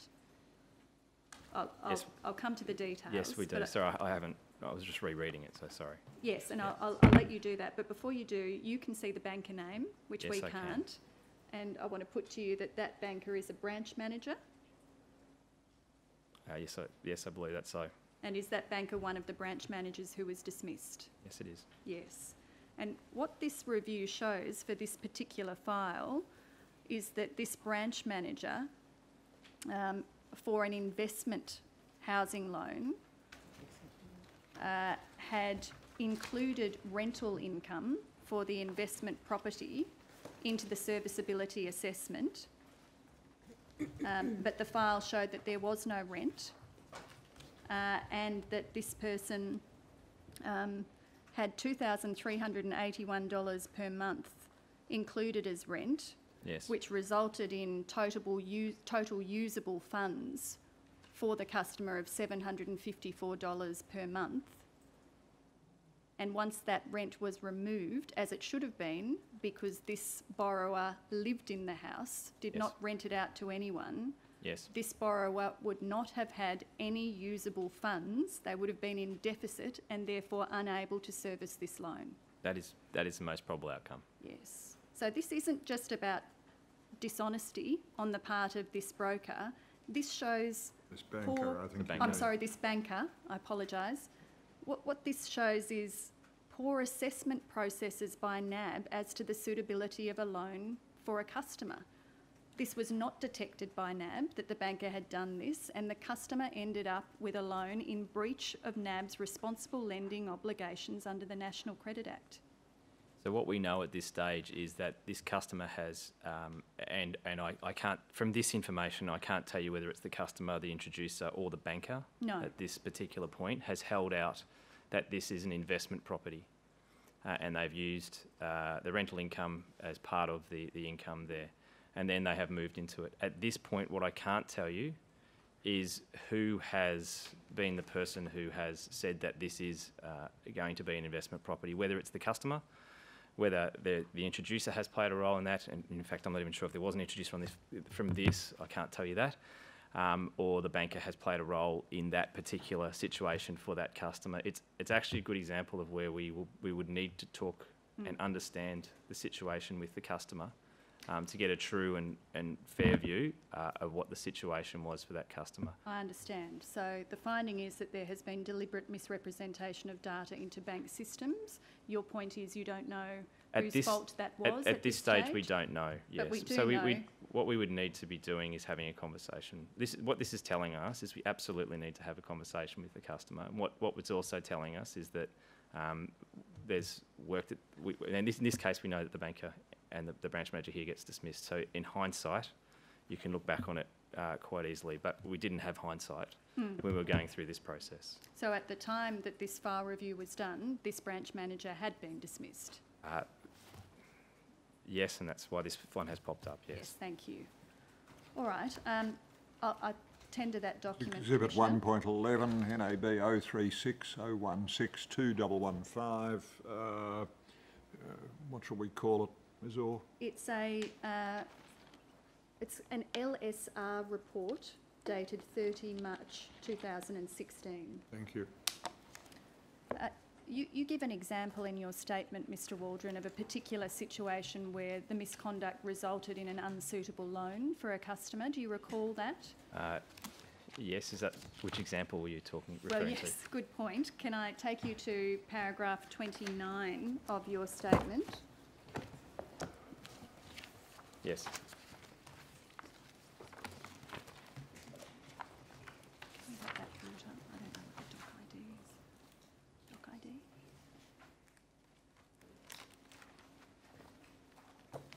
So in paragraph 29, you give a chronological account by way of example of one application which on the current state of the investigation appears to be an unsuitable loan for the customer. Yes, And this loan involved an introducer who was a real estate agent, is that correct. right? Yes, And it was a home loan. and the customer provided the documents to the introducer. Yes, Now, that was contrary to NAB's policy. correct. Uh, and the customer provided the funds to complete the transaction, not to NAB, but to the introducer. Yes, that's correct. So more than $100,000 in Yes. total provided to the introducer, also contrary to NAB's policy. Yes, And the banker must therefore have accepted that money directly from the introducer rather from the, than from the customer. Is that right? yes, Now, and that was a breach by the banker of NAB's policies. yes, that's right. Uh, and the introducer and the customer, we see from this account, attended the bank together to complete the application. And we see from your statement that the introducer did most of the talking in that meeting. Yes, Again, that would be contrary to NAB's policies in relation to introducers, both for the banker and the introducer. that's correct. Uh, and the loan was then approved. Yes, And in a review of this file as part of NAB's investigations, it was discovered that this particular customer had five dependents who were not disclosed to NAB. yes, Um, but NAB had an obligation under the responsible lending provisions in the National Credit Act to make reasonable inquiries into this customer's financial situation, did they not? yes, we did. And do you accept that NAB breached that obligation?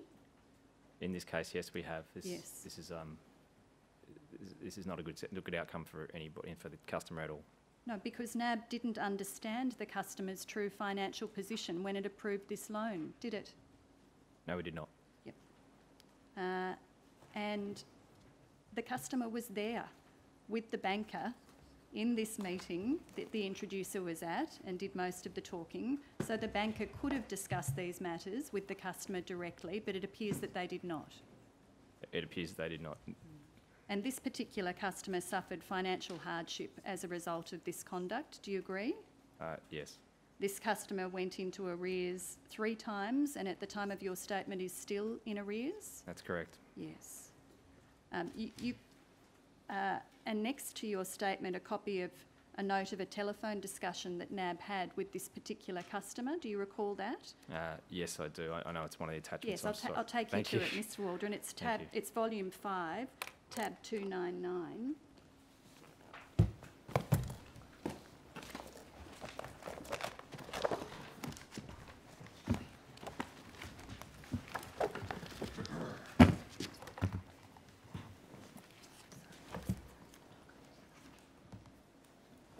I'm sorry, I didn't give the doc ID 00507402773.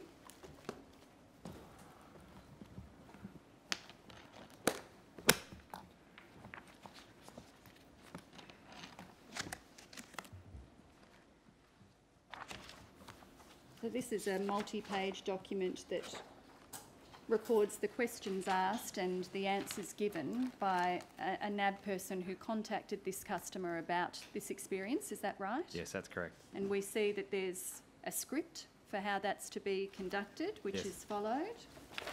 Uh, and if we turn to the second page,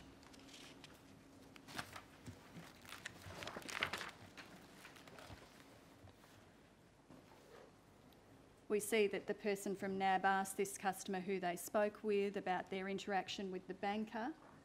And the customer advises that her initial conversation was with a broker who is also a real estate agent. Uh, and she said it was a, a broker, not an a broker or introducer, and she said it was a broker. It appears the customer was confusing introducer with broker as their, appli- their application on is attributed to an introducer, not broker. That's correct. So the customer doesn't seem to have fully understood the role No, of this don't. person at all. No, Um, customer advised that the broker said he, she will apply for the loan for her. She couldn't remember the introducer's name, but believed they could have been called. Um, now, could I take you to 276? I'm sorry, I'll take you to 275 first, where the NAB representative asked the customer about her circumstances at the time of the loan. And at the time of the application, the customer worked, and we've got a redaction there, but I think it's permissible for me to say that the customer worked two casual jobs as and the jobs are redacted, her net salary from the two jobs was in the range of what you see there. Uh, Those figures don't make sense, but No, I they don't. interpret them to be $2,200 per fortnight. Yeah, I think that's what it's supposed to say. And her expenses below are listed. She's asked about where she lives, still resides at a particular address, pays $900 a fortnight at Brent, and at the time of the application, she paid $850 per fortnight. Now, if we move over to 276,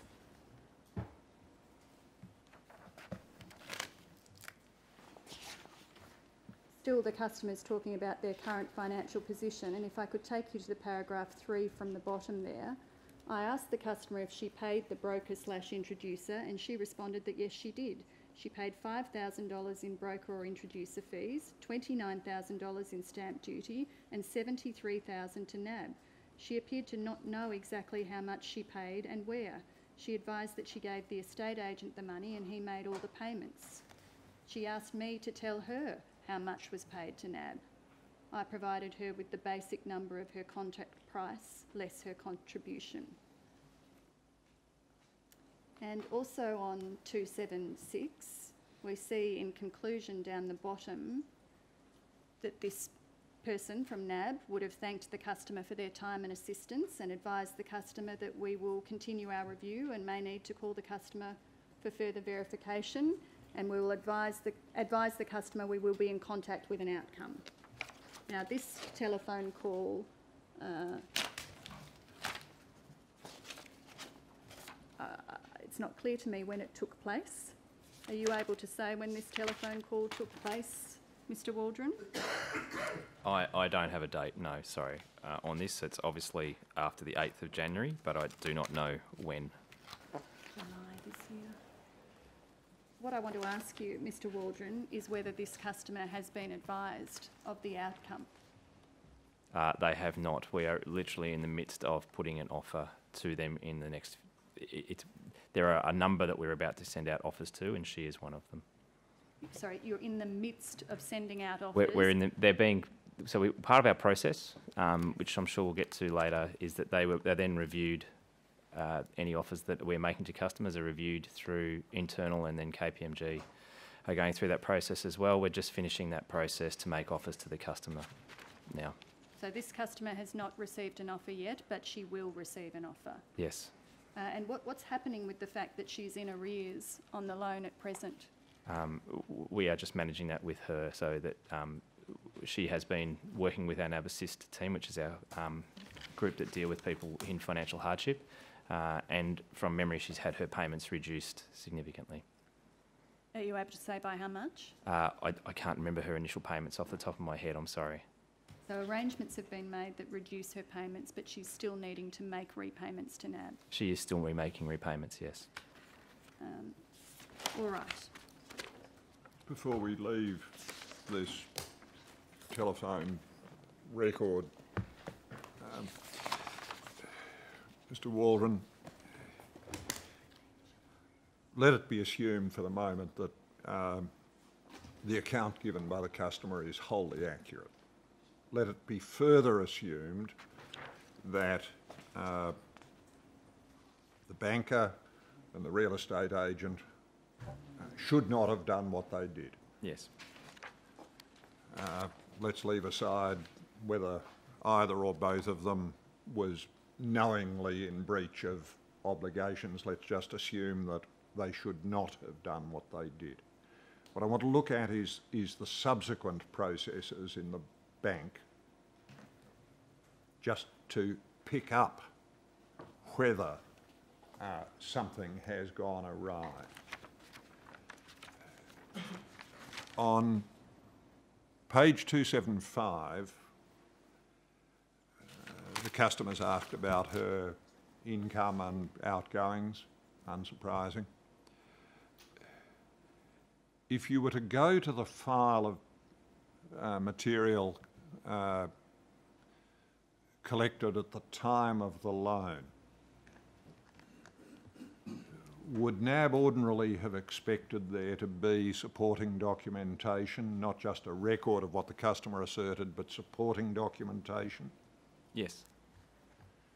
payslips or uh, some such material? Yes.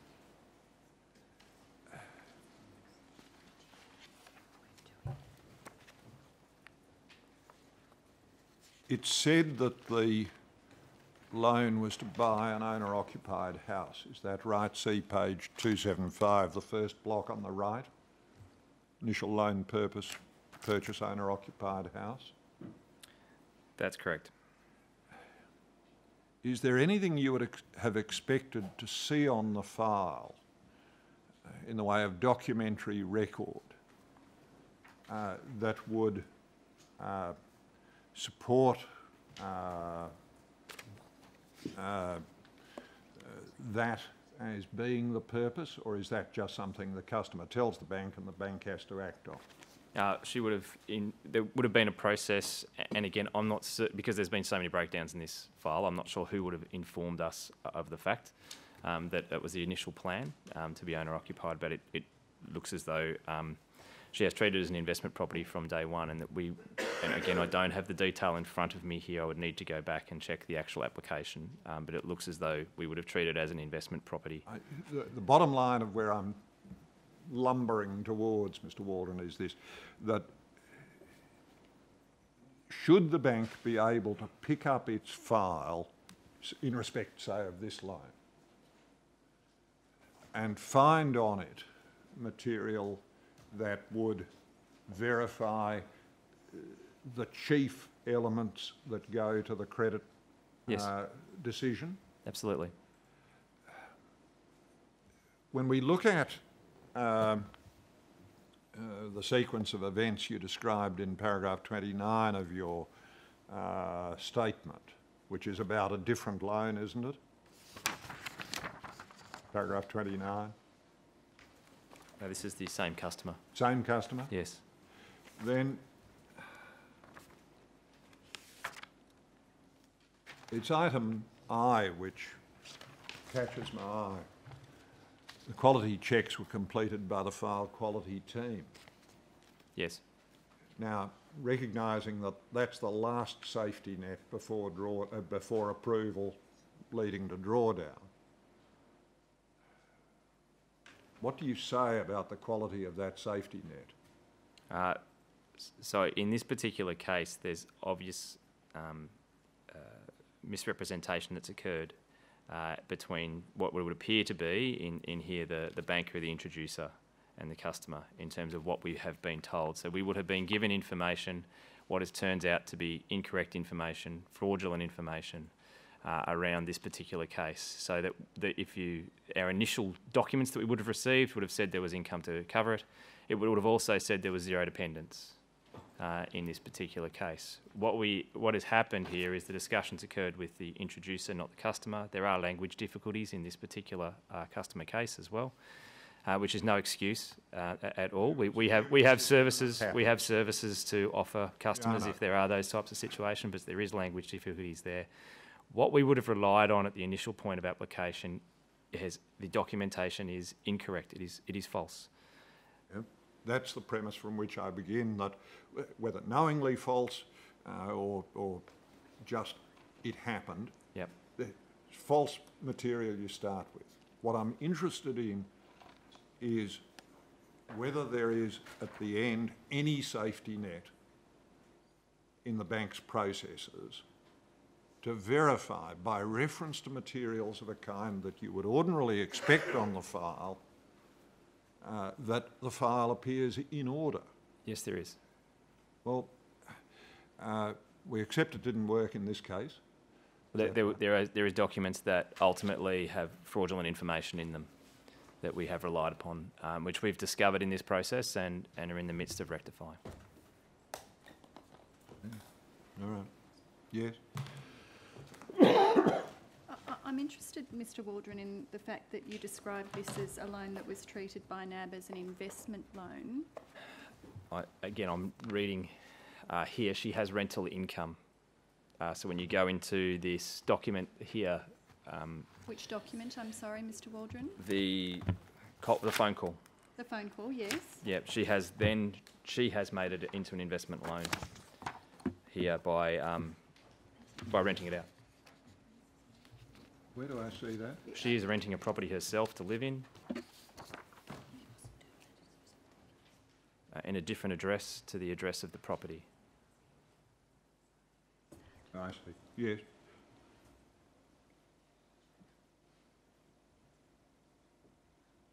So the, the assumption would be that she has turned it into an investment property.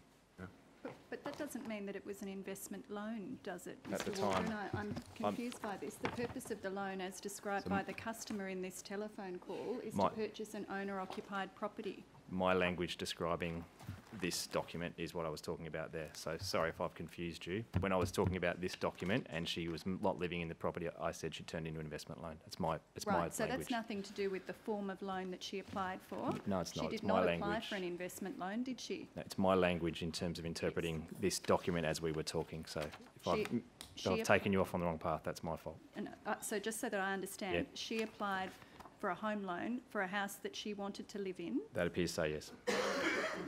That's what she told the NAB Yes. officer who called her? Yes. An owner-occupied property. So it was not an investment loan? No, it's further on in this that she talks about in, um, Subsequent renting. events? Yeah. Yes, thank you. All right. Um, so we can, we can take it, can we, that this conversation with this customer would have occurred sometime last year? Uh, no, it's occurred certainly after the 8th of January. If you look Oh, at 8th of January if you look year. at the the table here in the the second component, debrief on correspondence, um, the the first What uh, page part are of- you on, Mr Waldron? uh, two seven three,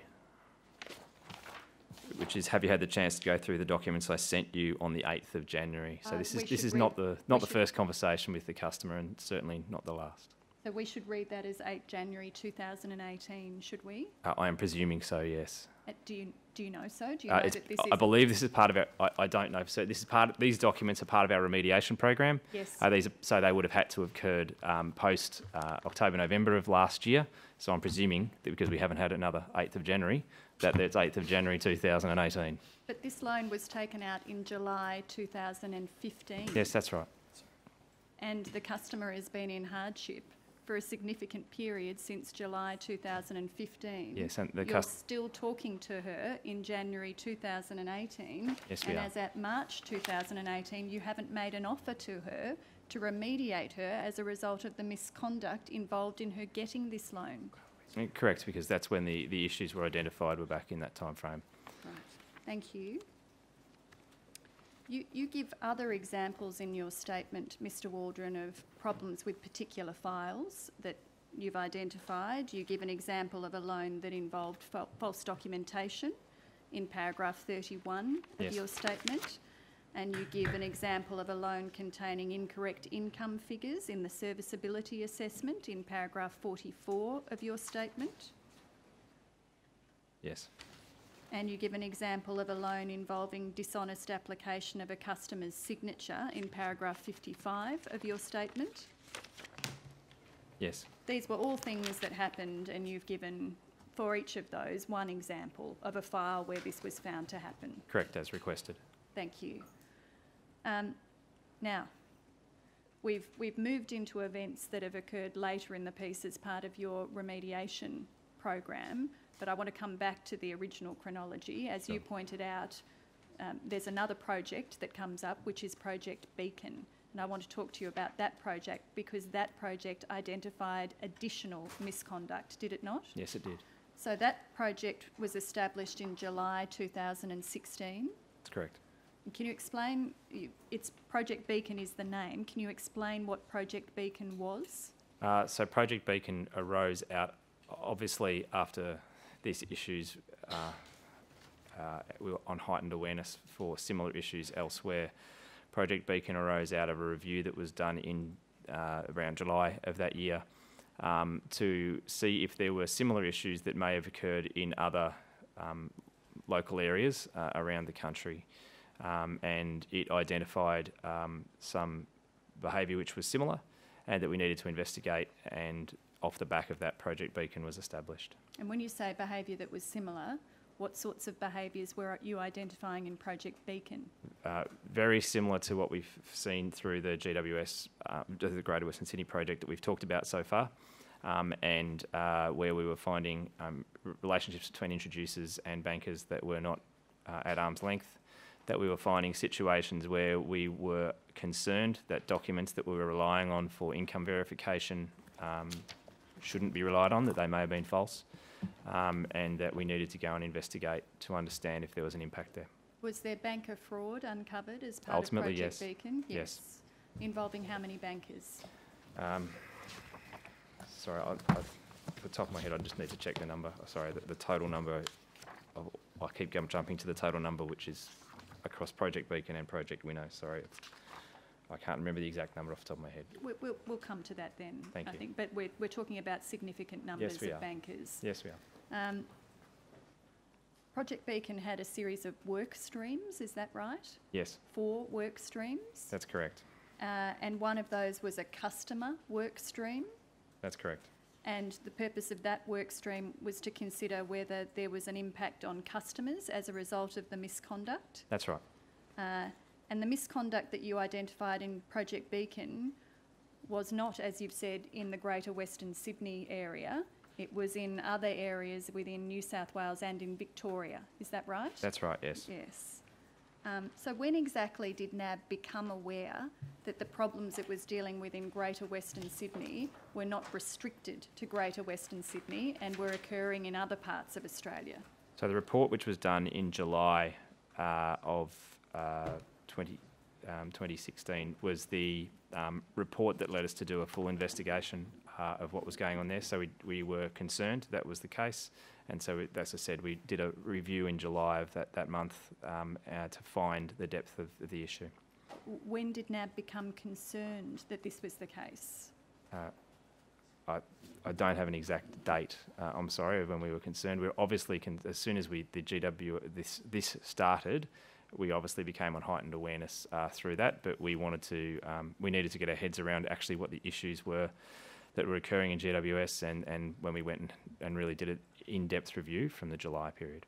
So you started a project to look into this? Yes, we To did. examine it further in July 2016? Yeah, we, we, we asked for a review to be done, which was that, and the outcomes of that review were tabled in July 2016. But you are unable to say when NAB started suspecting that there were issues in other areas that would require that review to occur. I said I couldn't give you an exact date. Um, so we, we, were, we were concerned, obviously, from fi- right from the process of the GWS piece. We wanted to investigate further throughout the country, but we didn't instigate a for review until uh, until July of Well, 20. what caused you to instigate it for review in July 2016?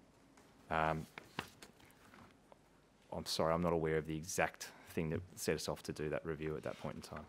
So someone thought in July 2016 that it was a good idea to look into this further.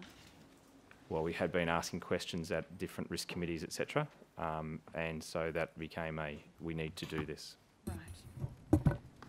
So there was a Project Beacon working group set up to look at all of this? Yes, there was. And the first meeting of that working group was on the 18th of July 2016. You deal with this at paragraph 127 of your statement, Mr Waldron. Thank you. Yes, that's correct. And the next day, on the 19th of July, the matter was raised with Enterprise Operation Risk and Compliance. Now, am I right in thinking that that's the successor to the significant event review panel that we discussed earlier, or are they two different bodies?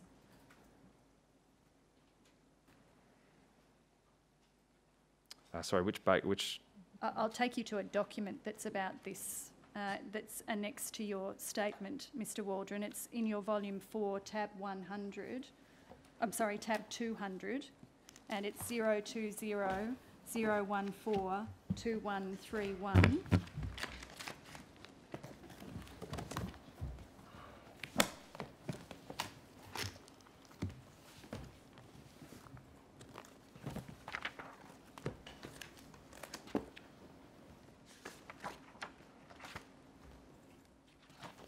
So you may not have referred to this in terms in your statement, Mr Waldron, but you've annexed this document to your Yes. statement. yes, So again, we see this reference to the significant event review panel, Yes. but the document's in a slightly different form to the Yes, one it we is. saw before. It's got Yeah. this enterprise operational risk and compliance banner.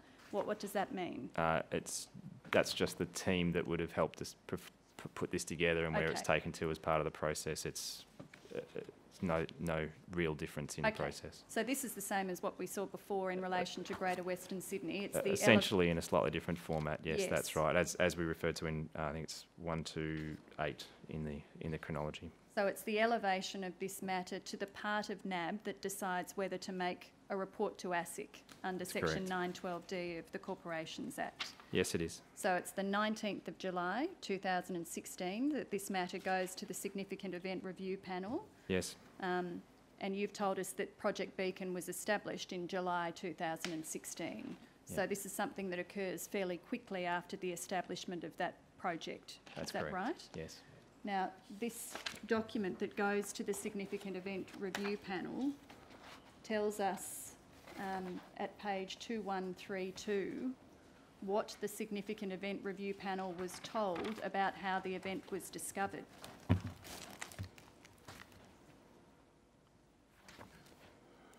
Do you see there that in February and December 2015, Retail proposed further enhancements and amendments to the testing of the Retail Introducer Program? Yep. And then in the next paragraph, It's in, in May and June, 44 bankers were selected primarily on introducer commission volumes as follows. 39 bankers, mobile bankers and banking advisors were selected primarily on their dependency for approximately 50% of their loans obtained from introducer flow Yes. and five bankers were added as a result of specific requests by the business and second line risk teams. And of those bankers, 28 were located in New South Wales and the ACT and 16 in Victoria. That's correct. Yes. So you can see now from this document that before the establishment of Project Beacon in May and June of 2016, these 44 bankers were selected for examination. Yeah. So this was this was the review which was being done, which was tabled in the paper that I talked about in July. Yes. Yes. So this was the pre-work for that paper. Yes. Yes. Uh, and this, I, I hope, assists you though with understanding and being able to answer questions about when the concerns started that led to Project Beacon being commenced. Uh, absolutely. Yes. Yes. Uh, so uh, the 44 bankers are selected, and there's a review done of those bankers. Um, are you able, before I talk about the outcome of that review, are you able to say anything about the five bankers that were added as a result of specific requests by the business and second line risk teams? Do you know anything about why someone from those teams suggested that five extra bankers be added into the mix? I don't have direct knowledge of that. No. Sorry. Does it seem that they must have been bankers that were on the radar of people in the business and second line risk teams as potentially problematic already? Uh, it w- there is obviously a reason for it that would appear to be Yes. a logical reason. So the outcome of the review identified that all of the 44 bankers utilised their NAB email address not aligned with not aligned with code of conduct expectations or NAB policy. That was the first layer of the findings, wasn't it? Yes. But then there's a further review, an assurance test and resultant review referred to under event details that identified additional concerns in relation to 22 banker and email accounts. Yes. And can you see there that the concerns that are identified are, include 19 of the bankers receiving verification documents from introducers beyond the spot and refer model? Yes, I can. and 11 of them, um, confident- confidential information has been sent to a third party by the banker. Yes. Uh, 16 of them have received information documents from the introducer relating to the application. And Yes. fo- 14 of them, there's banker receipt of signed application or consent documentation from an introducer. So we're seeing very similar Yes, sorts of conduct as in re- relation to Greater Western Sydney. Yes, we are. Uh, although the initial cause for looking into these bankers seems to be more connected with the use of their NAB email address. Is that right? Uh, that we found that that was one of the um, early indicators that you could see uh, these types of issues arising. So it was certainly used as a as a way of trying to identify whether there was similar issues. It was a flag. It was a flag, yeah. That suggested you Yeah, should look further for these 44 bankers, and when you looked further, you did find a number of significant problems. Yes, we have. Yep. Okay. Um, now, this document tells the significant event review panel that based on the above, this is at the bottom of that page we were just looking at, 213T, 2132, potential areas which may have been breached include section 47 of the National Credit Act. We've spoken about that previously. That has the duty to do all things necessary to ensure that the credit activities authorised by the licensee are engaged in efficiently, honestly and fairly. And also potential breaches of 912 capital A of the Corporations Act, which we also discussed Yes. yesterday. And then do you see towards the middle of that page, based on the facts and information available at the time of drafting this memo, could the event constitute a significant breach for the purposes of reporting to ASIC and or APRA for determination by the SERP? Answer, yes. There is the potential significant breach based on the current information available at the time of drafting this memo. That's correct, yes. So that's the recommendation made to the significant event review panel that this should be reported to ASIC. Yes. And do you see there that in going through the criteria for working out whether this is a significant breach, now consideration is also being given to the prior breaches in connection with the Greater Western Sydney misconduct? That's correct, yes. Yes, okay. Um, So the decision is recorded on 2134. Does the event require reporting? Yes. To whom is the event reportable? ASIC. And the reasons for reporting it are detailed there. The potential breach may be considered reportable under NAB's AFSL obligations, which mirror elements of its ACL obligations. This specifically would be under 912D of the Corporations Act. And can I ask you finally to look at the last page of this document, 2135? There's, in the last line, further review into the introducers involved is expected by 25 July. Currently, 62 introducers have been linked to issues identified in the review. Yes. So at this point, the 44 bankers have been identified and there's been work done into their conduct, and that has revealed connections with 62 different introducers. Correct. Right. Now, um, after this time, after the 19th of July 2016, NAB started interviewing the bankers, is that right? That's correct, yes. Uh, and as a result of those interviews, 12 of them were suspended. Yes. Uh, and on the 31st of August 2016, so you'll recall that this memo to the Significant Event Review Panel was the 19th of July. On the 31st of August, a breach report is made to ASIC. Is that right? Yes, it is correct. You deal with that in 139 Yes. of your statement. And can I show you that breach report, which you've annexed to your statement, Mr Waldron? It's volume 4, tab 208, NAB 0320010020.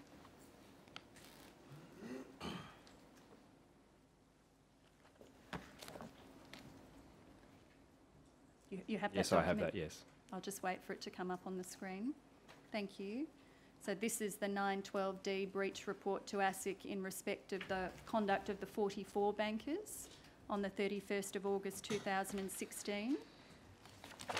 Um, Could I ask that you be shown the second and third pages of this document on the screen together?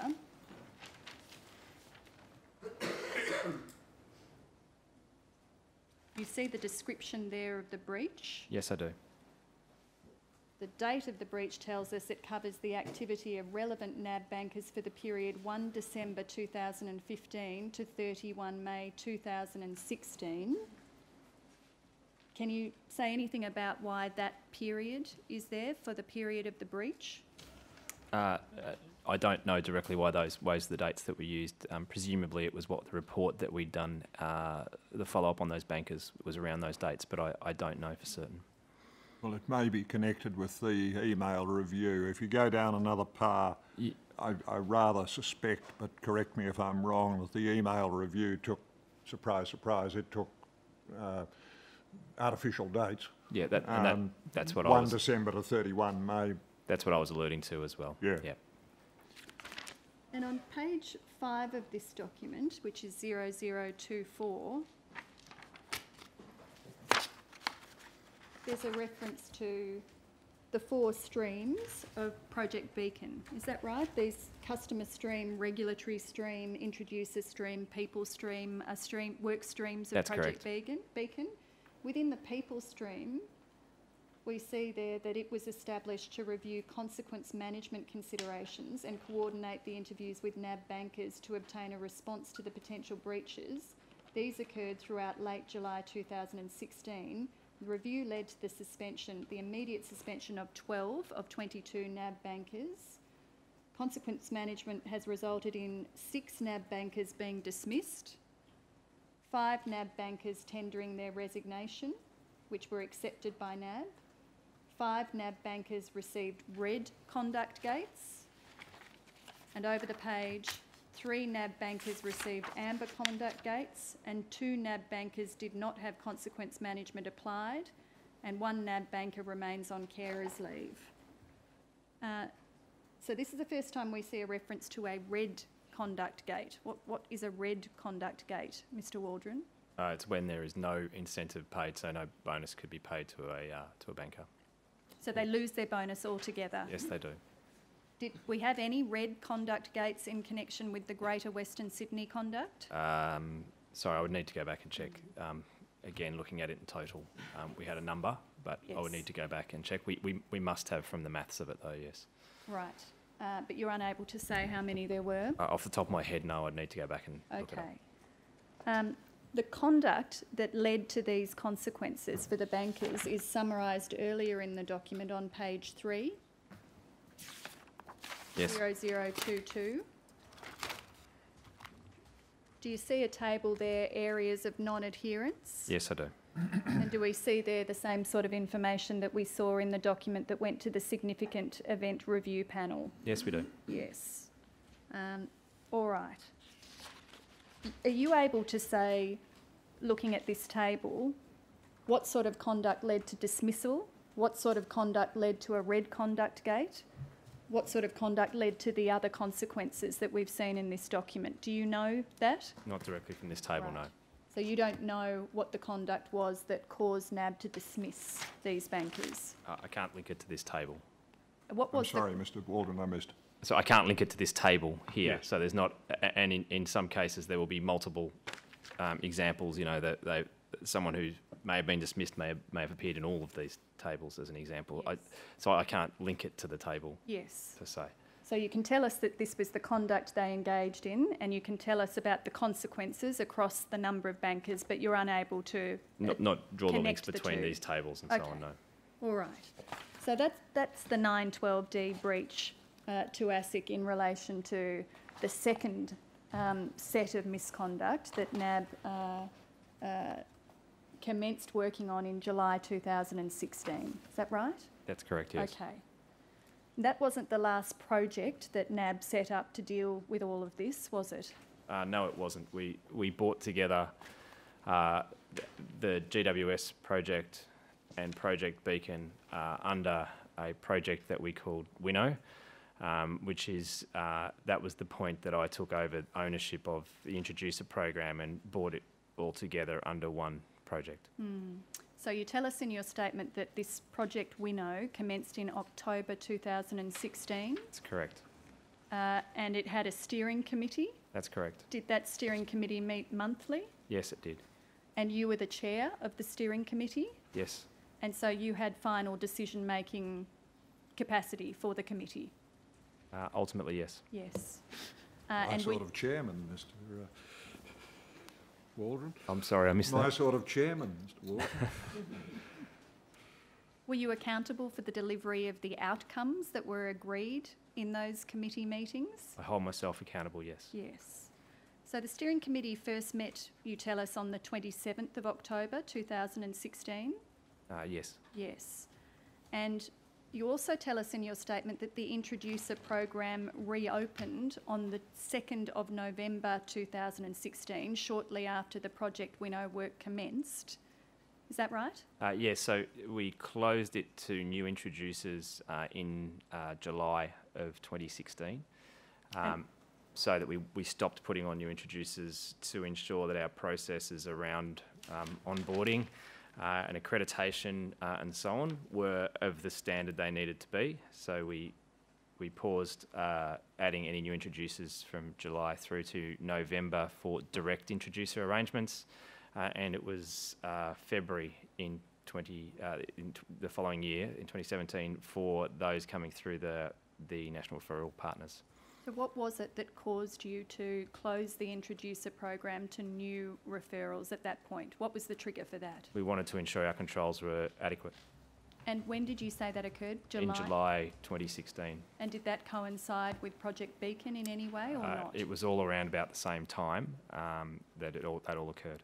And who made the decision to close the introducer program to new referrals at that time? Uh, I'm sorry, I'm not I'm not too sure which individual made that decision at the time. But in any event, once you've started Project Winnow in October 2016, not long after that at all, the introducer program is reopened. In in November, it's reopened for direct introducers, so those who have a direct relationship with us. Yes, Yes, and did the work of Project Winnow have anything to do with the introducer program being reopened in that way? uh, it was more the work that had been happening prior uh, around ensuring that our controls were, um, we believed, adequate and in place, and that we'd been able to also do some backbook review of um, introducers at that point as well. So we were going through a, pro- a process of starting to remove uh, introducers from our list uh, as well. I want to come to that process.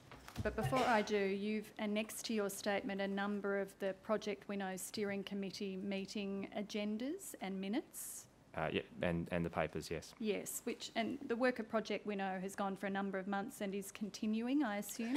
Yes, it is um, in a slightly different format, but yes, it is. Okay, could, could I take you to just a couple of the documents that you've provided us? The first one is at volume three, tab one thirty-one, and it's zero zero five, zero four three, zero four two seven.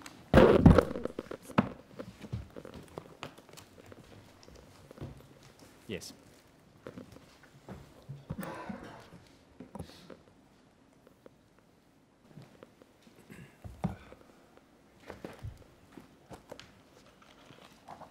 Now, this is a document relating to the first steering committee meeting on the twenty-seventh of October, two thousand and sixteen. That's correct. Can I take you to page six of that document? So these documents are all organised according to these work streams, these different work streams. So like Project Beacon, Project Winnow had a number of work streams, is that right? That's correct. And this page gives an update on the introducer channel work stream. That's right. Uh, and there are core issues in relation to the introducer channel that are identified in this first meeting of the steering committee. Is that right? Yeah, there is. And one of those, which we see as the second last dot point, is that banker incentive and introducer commission structures potentially not driving the right behaviours. That's correct. So there's continuing awareness by NAB that its incentive and remuneration structures are a causal factor in this misconduct, which now underpins not just the Greater Western Sydney conduct, but also the Project Beacon conduct. Yes, that's correct. And and there were changes that were going on within that structure as well during that period of time. This is October 2016. These incentive and commission structures are still in place Uh, and are they- still a problem. Uh, those those structures are in place, but there has been changes uh, to those structures, which By this point, by this point, yes. what changes had been made by this point in Um, October 2016? So there was uh, a couple of changes. First up to our um, what we call the, the Star Sales Incentive uh, program for the bankers who are largely selling mortgages. Uh, there had been the introduction of what we called a um, decelerator. Um, so the way that this worked is it worked off revenue payment. So if you once you re- reached a certain level of rev- revenue, you became um, you, you continue to earn uh, above um, target like reward. And uh, what we did is got to certain levels. Instead of earning, and, and I'm making the numbers up for uh, Yes, for I example, understand. instead of earning um, $3 for every $1,000 of revenue, uh, you'd earn $1.50. And then when you reached another level, you'd earn 50 cents. Uh, so it, it reduced the total amounts that could be paid uh, quite substantially through the introduction of that, what we called decelerator uh, uh, process. Um, there was also um, scorecard changes that were being made around this time, um, and uh, they were um, significant in terms of changing the percentage of um, sales, particularly for leaders, uh, that were specifically based on sales as well, and and what was termed at the time cross sell. So, so I understand that the decelerator or the decelerator, as you called it, it didn't change the fact that bonuses were still paid and that they related to revenue payments. It just reduced the rate at which those bonuses would be paid um, after certain revenue levels were reached. Is that right? Yes, that's correct. Okay.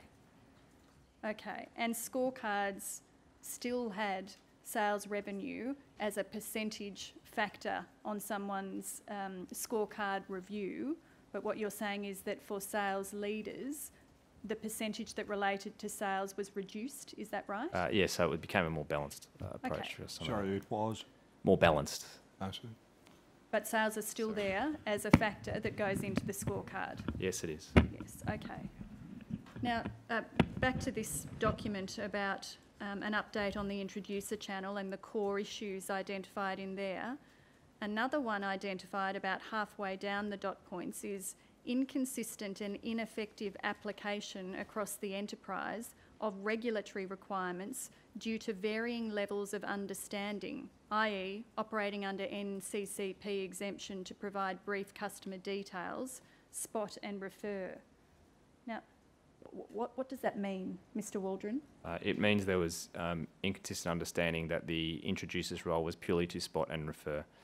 Um, part of this was caused because uh, we had also, uh, at some instances, allowed um, mortgage brokers who are licensed uh, to be providing uh, a spot and refer deal, and introduce a deal uh, for residential mortgages as well. And there had been confusion around um, those who were licensed versus those who were not licensed providing uh, referrals. Um, and ultimately, it shouldn't have mattered if they were acting as an introducer. It should have been purely a spot and refer uh, type situation. Uh, and um, I think yesterday I spoke to the fact about us removing, becoming quite clear that you're either a broker or an introducer uh, with us. Um, and this was part of that process of, of uh, moving to that. So, in lay terms, what this core issue is, is that bankers don't understand that introducers are to do no more than spot and refer. There was confusion, especially where that introducer was potentially a licensed credit, provi- uh, credit assistance provider. And there's still that confusion in October 2016, although these events that led to all of this um, were detected on one view in April 2015, on other views in September and October 2015. So you haven't cleared up bankers' understanding of this situation more than a year later. Uh, I think what we're trying to ide- identify here is all the core issues that were there. Um, we certainly were going through training programs and so on with people uh, at that point in time, um, but to say it was 100% fixed uh, was not the case. Can I just take you to one final page in this document, which is page 10 of the document? This is another work stream. It's the regulatory reporting work Yes. stream. There's a reference at the top there to progress made, which refers to notices having been responded to. That's ASIC notices, I assume. That's correct. Uh, and the first update, update letter with respect to the banker behaviour and introducer relationships rich, risk smart ID event was provided to ASIC on the 29th of September 2016 and you've got another scheduled update on the 30th of November 2016. I want to ask you about the next entry. A straw man has been prepared with respect to the strategic engagement with ASIC about the Greater Western Sydney introducer fraud matter and the banker behaviour and introducer relationships Risk Smart event. Internal engagement continues on this stream of work. We have not yet approached ASIC for a meeting and will wait until the key messages are further refined before we do so. What straw man is being referred to here, Mr Waldron? Um, it, it's important to note that uh, from an ASIC perspective, they were still talking about um, our GWS project and our Project Beacon uh, pieces. Um, and whilst internally we started to draw those together and draw together the issues behind the scenes as being uh, one, uh, they just had occurred in um, and, and identified at different times. Uh, and that we need we needed to go back uh, here through to um, to ASIC to ensure that we could explain the fact that these were, were linked, that that um, that there was um, uh, some understanding of the core issues that sat behind what caused GWS. And at this stage, we'd also done, and I, I don't know the exact numbers off the top of my head, but many more file reviews uh, around the GWS piece. Uh, and it was being able to go back to uh, to ASIC to explain uh, our findings from a banker behaviour perspective uh, at that point as well. I, I'm sorry, it may be me, but I, I don't understand that as a response to my question. My question was what is the straw man that had been prepared? What, what is a straw man, Mr Waldron? It's just supposed to be, uh, it, well, from memory of what we were talking about at the time, it was just supposed to be an outline of the issues that we were identifying, how they impacted GWS from a people perspective and the, um, uh, the behaviour perspectives that were there, and that we were also seeing that into our Beacon project as well. Well, that, that, that's not a straw man, is it, Mr Waldron? What do you understand that term to mean? The straw man. uh, Yes, what is a straw man? uh, an example, almost a, a situation of an example, or, or a, a situation outlining um, uh, a, a draft or hypothesis. Well, it's a fallacious example, is it not? Uh, I'm, I'm certainly not intended to be. I'm sorry. Well, who had prepared this straw man? A straw man has been prepared. Is this NAB who's prepared the straw man? Yes, it would have been a draft of documents that we'd prepared. Yes, So it's a document. It's a reference to a document. uh, presumably yes.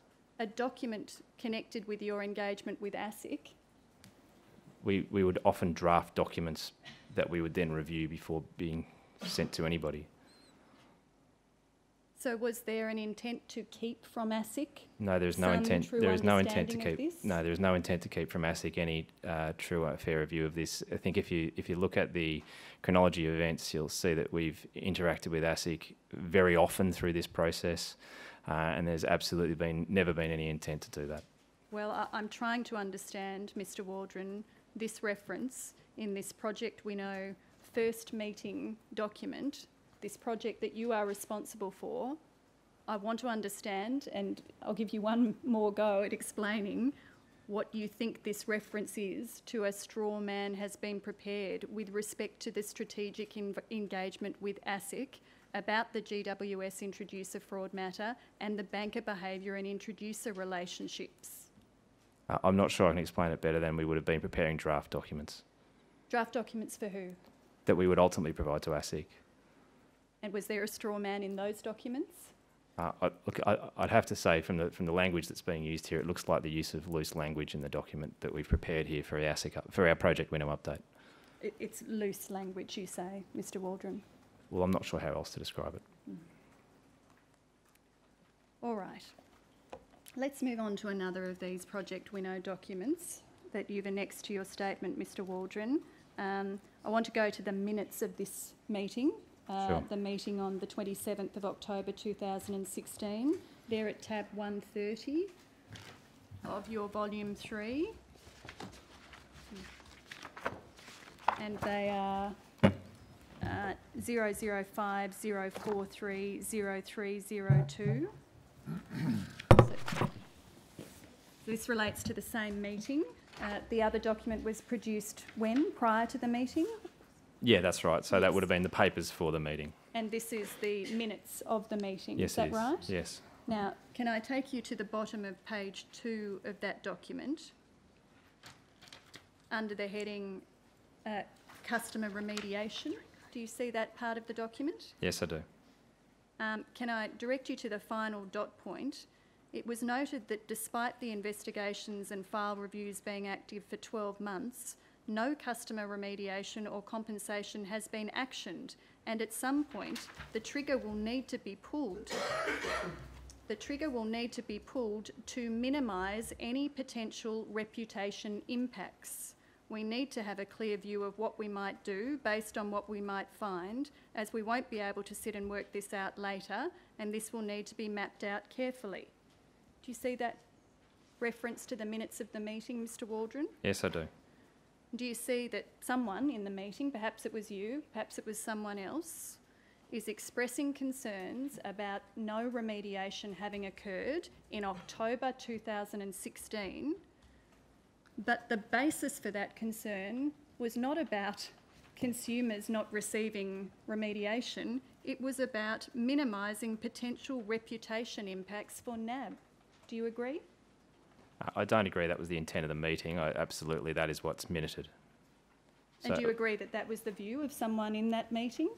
Uh, I presume the minutes are a fair, fair view of the meeting, but certainly uh, we were absolutely taking the view from a customer perspective. And I think what you read here is some impatience with this taking so long.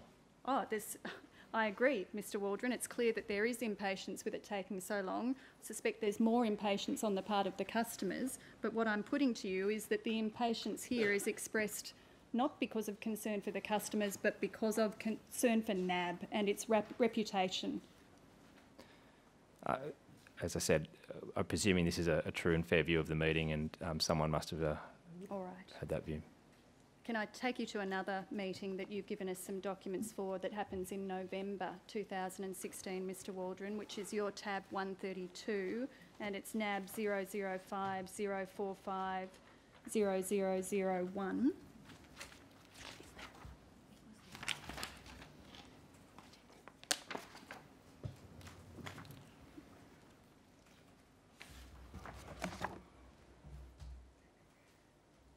Uh, now, can I direct you to page three of this document, Mr Waldron? There's a reference, I think, to you here in this document. There's a reference to AW. Do we interpret that to be you? Yes, that's me. Yes, so again, in the customer response part of the document, we see a reference, the second last dot point. AW noted that it has taken a long time to take to get to full remediation of customers, and he is not keen to restrict time further due to resources. Can we look to bring this forward and assess what would be required to do this? JT, another person in the meeting, responded that it is possible to could go harder. There is an optimal level, e.g., wouldn't double due to right resources and consistency. AW confirmed that he is comfortable to approve and get going. Now, this is you expressing frustration, I want to put to you, Mr Waldron, at the time it's taking to get remediation to customers. Uh, this is certainly me expressing a desire to do a lot quicker, yes. And am I right in understanding this to mean uh, that there seem to be resource constraints in getting the remediation program up and running? One of the things about the resources that are required for this is they've got to have specialist credit knowledge and have a, a high degree of experience um, that was there. Um, my uh, words here and frustration here are around we, we, sh- we should be able to look, continue to look for more people uh, to assist in that process, which is an action that was taken out of the meeting. Well, you were frustrated, weren't you, Mr Waldron, that NAB had not made a decision to resource this project so that remediation could be made in a timely and fair fashion? Uh, I, I and again, going from memory, I was uh, actually more frustrated that people thought they had to wait for a steering committee to do it. Right. Yep. So it's a year later and customers haven't been told anything yet about any problems with their loans, have they? No, they haven't. And when Project Winnow started in October 2016, what was the target date that was set for completion of remediation to customers? Uh, from memory, I, I don't know from memory. Sorry, I would need to go to documents, which Do you know what the current date is? uh, we expect that it will take us through to uh, uh, November of this year to complete the full process.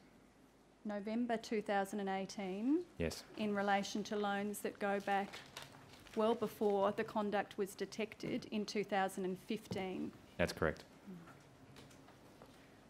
Over the course of your work with Project Winnow, you've expressed concerns not just about the speed of remediation, you've also expressed concerns about the speed at which NAB was trying to get to the root of what caused these problems, haven't you? Uh, yes, I have. Right, Can I show you another um, Project Winnow document? I'll come back to that. Uh, excuse me, it's um, uh, Volume 3, Tab 148, uh, 005 043 0335. Now, th- this is a much more recent meeting. Yes, it is. So I, I don't want, to be fair to you, I'm taking you out of order now. We were That's fine. dealing with meetings in October and November 2016, and this is a meeting from the 31st of October 2017. Do you see that? Yes. Um, now, at this point, the steering committee's been meeting regularly for over a year. Yeah, yes, for 12 months, yep. Yes. And can I take you to item three in this document, which is on the second page, under the heading Root Cause Action Plans? Do you see there, the agenda of the meeting was adjusted to focus on the next steps for the root cause work. AW reminded the steering committee that Winnow has now been running for 12 months, with four out of seven streams completed. It has also been two years since the GWS and Beacon events. The key question for us as an organisation is how do we stop these types of events from happening again? The root cause work is critical for us to get right and is our chance to stop it with an improved control environment.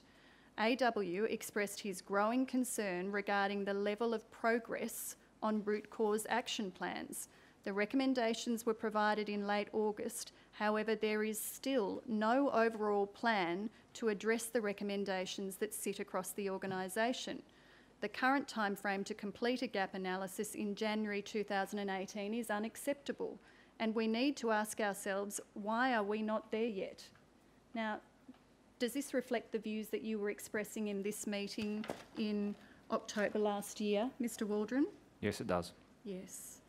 Um, so you were frustrated throughout your work on the steering committee um, with the lack of speed to deal with customer remediation, but you were also frustrated about the lack of speed to deal with what had caused these problems in the first place.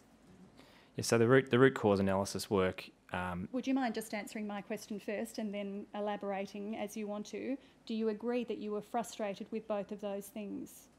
uh, yes, I was. Yes. Carry on. So the root cause analysis work, uh, to me, was uh, and, and remains incredibly critical to ensuring that you can stop this type of activity occurring. Um, but also, we had gone far more broad uh, than our first remit around root cause analysis. One of the things that, as you have a look at this, is you start to realise that it's part of an, um, my words again, end-to-end process Yes. uh, that we have there, and much of the root cause work needed to go beyond just the work uh, around introducer, uh, and it needed to go to um, uh, ultimately end-to-end process uh, work that needed to be done there. Um, that is a large process in a large bank, um, but I was still stressing uh, my frustration that um, we, uh, how could we uh, um, make sure that we could accelerate this work that was there. Well, you hadn't made much progress, had you? By October 2017, you had some recommendations, but none Uh, of them had been actioned. No, that's not. Uh, that we had actually actioned a number of changes uh, prior to that, and there were changes that were being dropped through.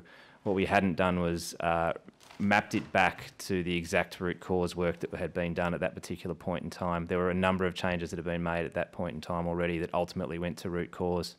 Uh, and they fell from the, right from the beginning, from the KPMG reports, etc., that we were making changes right from that particular point. So I, I don't think it's fair to say that we hadn't made change at that point. So, what are you referring to, or what is this document referring to then in the line? The recommendations were provided in late August. However, there is still no overall plan to address the recommendations that sit across the organisation. Yeah. So what what had happened is because of the, as I talked about it being end to end, um, some of the um, accountability for change sits in multiple teams that were there, and that we hadn't. Uh, there weren't specific owners and specific people accountable for some of those actions, uh, and that uh, we I wanted to ensure that they became people accountable very quickly for that, and that we moved to implementation of those that were there. So it wasn't every action that was outstanding so on. There were specific pieces that hadn't been uh, implemented and others that we were still waiting on funding for. So which were the actions that didn't have a person accountable for them? Uh, again, I don't have them all in front of me. There were there were uh, a number that had uh, accountable owners, and there were a number that d- that didn't. I don't have it in front of me, and I couldn't give you any exact uh, account of that. Did they all fall within the overall home lending uh, segment of the bank? Um, again, hard hard to answer that specifically. So, and if I may answer by example, um, there were changes that needed to be made at the front of the process. So, within the initial consultation with customers, so what we would call, for example, NAB retail, um, they deal with much more than home loans uh, with a customer. So, it's um, yes, it's through the end-to-end process, but changes needed to be made uh, right throughout the organisation. Project Winnow also had responsibility for responsible lending issues uh, arising from the conduct of these bankers and introducers, didn't it? Yes, and that was particularly important for the root cause work that we were looking at there to ensure that um, we didn't look at this as just a project looking at failures between introducer and banker. You looked at it end to end uh, fails that may occur or had occurred uh, across responsible lending. Can I take you to a document annexed to your statement in volume three at tab one twenty-nine?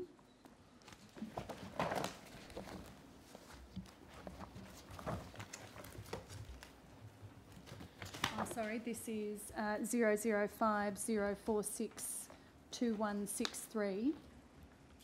This is a document that you deal with in paragraph one sixty of your statement, Mr Waldron. This is a, another memo this time to a Consumer Banking and Wealth Risk Management Committee. Do you see that? Yes, I do. And it's a Again, memo. where in the organisation are we talking here? Are we talking high-level executive or mid-level or what? Uh, so this is um, the risk forum for the consumer banking and wealth leadership team. We'd had a restructure in terms of bringing our consumer bank, what we had called personal banking and wealth teams together, uh, and to a new division called consumer banking and wealth. Um, this is um, essentially coming to um, my level in the organisation, executive general managers. So this is a memo to that committee about responsible lending, risk oversight, current insights and next steps. Have you seen this document before? You must have. It's annexed to your statement. Yes, I have. Yes. Um, can I ask you to look at page two? There's a heading implications and outstanding questions on current oversight activities, and then a subheading customer response. Can I take you down to the paragraph that starts as part of the customer response? Do you see that? Yes. As part of the customer response, a series of files were randomly selected. This is for Project Winnow, is this Yes. right? Yes. And the same review methodology applied. That's the methodology dealt with in the paragraphs above. Is that right? Yes, I presume so. Yes. Appendix 4 outlines the file review results across two cohorts, the control group and GWS. The results to date indicate that responsible lending concerns are not pervasive and arise where there are control deficiencies and inappropriate banker behaviour. But when the concerns arise, they are extremely important and need to be dealt with appropriately and expeditiously. We then see on the next page under the heading Further Questions and Strategies. A question arises as to the nature and adequacy of controls, monitoring, and assurance activities in a systemic and comprehensive manner across our current mortgage portfolio. That's a very important question, is it not, Mr Waldron? Yes, it is. The nature and adequacy of controls, monitoring and assurance activities in a systemic and comprehensive manner across our current mortgage portfolio. Another question arises further down the page under the heading Fundamental Review of End-to-End Mortgage Process.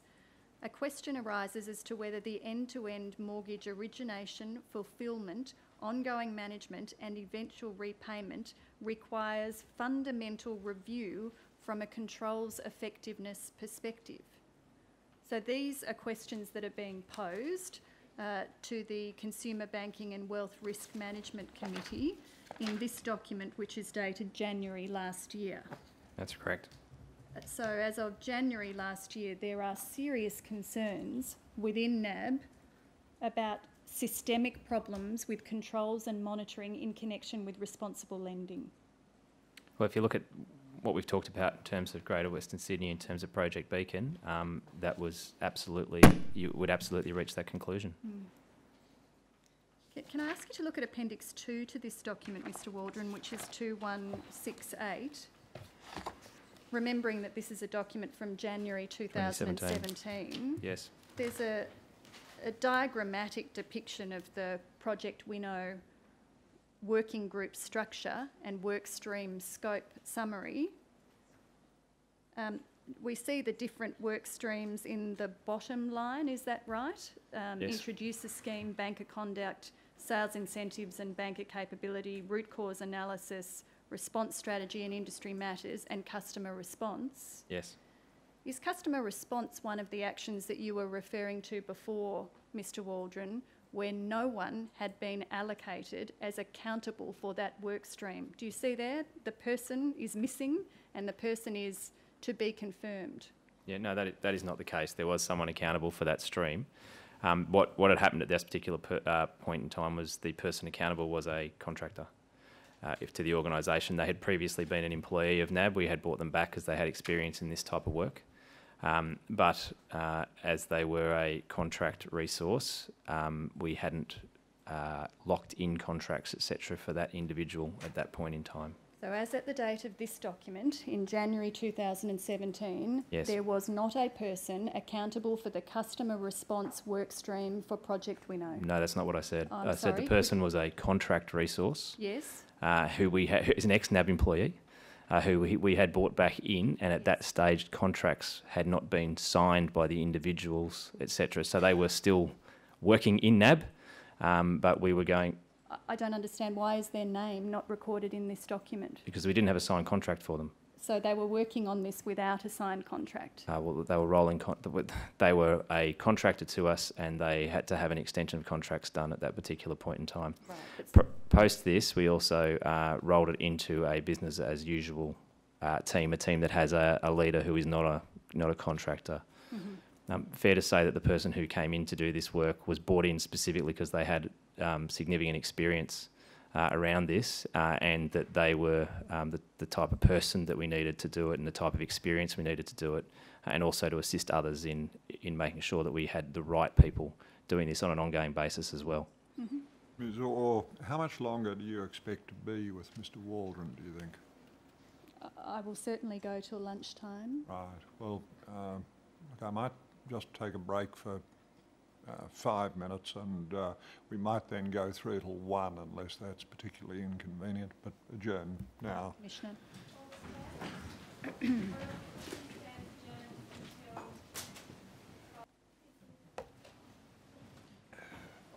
Yes, Ms Orr. Ms Waldron, I just want to take you to this root cause analysis work that you've been speaking about and the results of that root cause analysis. Yes. You deal with this in your statement, um, and you list at 222 of your statement the key findings of the root cause analysis work stream of Project Winnow. Yes. Now, I- I'd like to ask you some questions about some of those findings. Uh, So you've got 222 there in front of you. Yes, I And if do. we could try and pull that up onto the screen as well.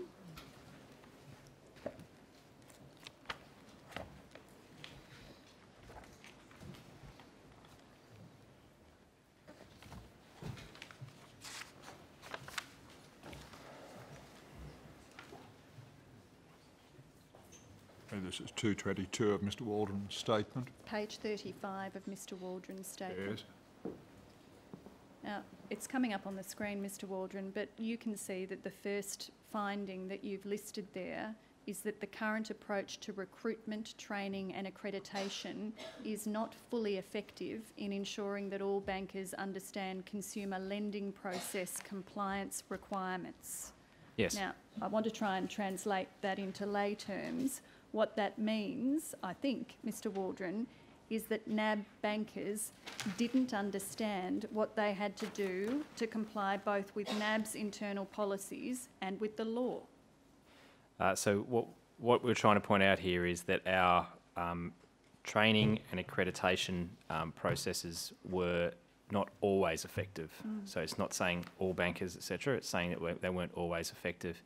And I think it goes to um, the point I was making previously around the root cause going well beyond just the introducer program uh, and that being a part of a process. Um, and what we're attempting to do with this root cause analysis is go way beyond that and get to uh, end-to-end uh, changes that need to be made in the process to ensure um, that we get the right process right through, uh, no matter whether the customers come through this program or not. So again, be- because your recruitment training and accreditation was not fully effective, there were bankers in your organisation who did not understand what they had to do to comply with your policies and to comply with the law. Uh, not fully, yes, that's correct. Yes, not fully, meaning not everyone, but Cor- there were bankers there, in were, that there were incidents of that, yes, Thank that's you. correct. And the second finding that you list here is that the Excuse me. design, operation and management of control across the end-to-end value chain is inadequate to prevent recurring conduct and fraud events because overall control effectiveness is currently reliant on banker behaviour. Controls are not designed to effectively and consistently identify instances of intentional misrepresentation of information, which was a key characteristic of the GWS and Beacon events. Now, again, I want to try and translate that into lay terms. Does that mean that a finding was that NAB's processes were inadequate to detect fraud because bankers were relied on to do the right thing?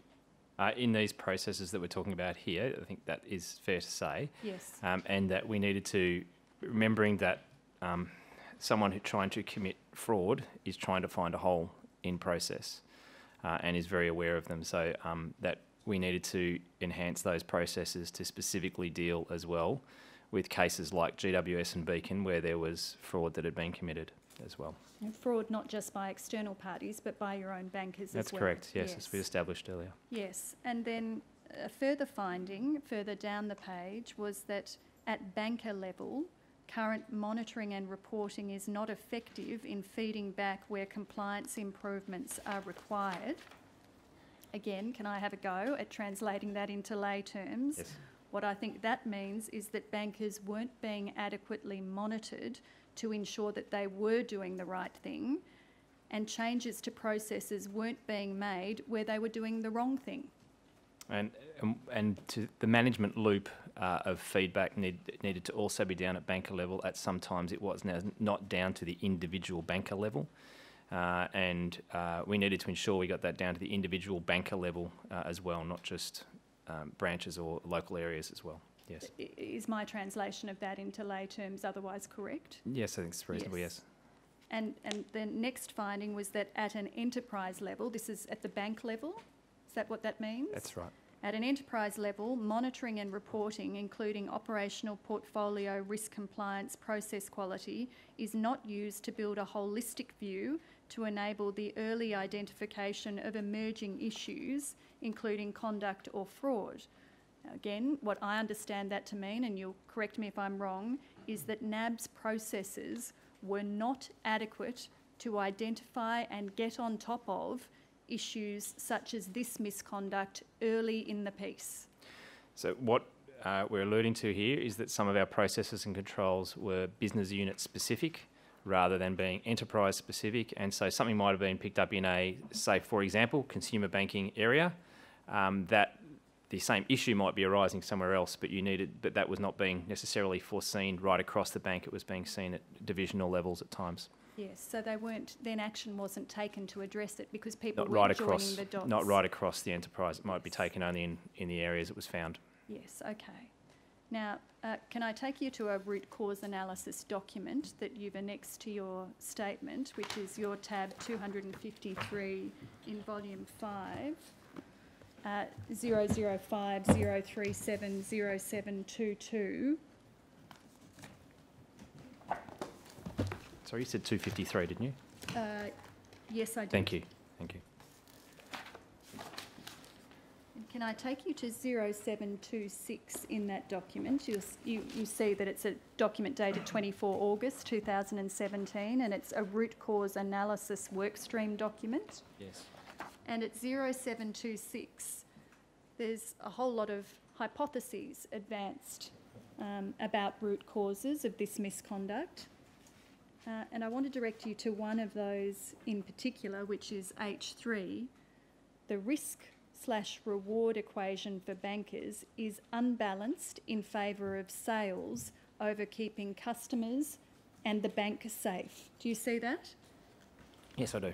And, and did that prove to be a case? Was that one of the findings of the root cause analysis that this risk reward equation for bankers was unbalanced in favour of sales? I think we've established that there were situations where that was the case, um, and that there were bankers who had um, were were uh, using this system and and trying to ensure that the outcome was better for them than the customer. And they were using the system as we've spoken about a number of times in a way that generated greater bonuses income for them, yes. Yes. So can we now just come to look at those systems for the incentives being paid to um, members of NAB? You've referred in your statement to four different types of incentive programs that were in place during 2013 to 2016. Um, and this is at paragraph eight of your statement. You referred to the group short-term incentive plan, the Star Rewards program, the Star Sales Incentives program, and the Broker partnership Sale Incentive program. Now, we've established, I think, that the people involved in this misconduct were on the Star Sales Incentives program. That's correct. Yes. And now, it was reported in the media last year that NAB was moving its branch managers um, to the short-term incentive plan rather than the Star Sales Incentive Program. Is that That's correct. right? Yes. Uh, now, can I just show you a, a document which is um, a report of um, uh, comments made by NAB's Chief Customer Officer in connection with that move. So this is RCD 0021 0001 0168.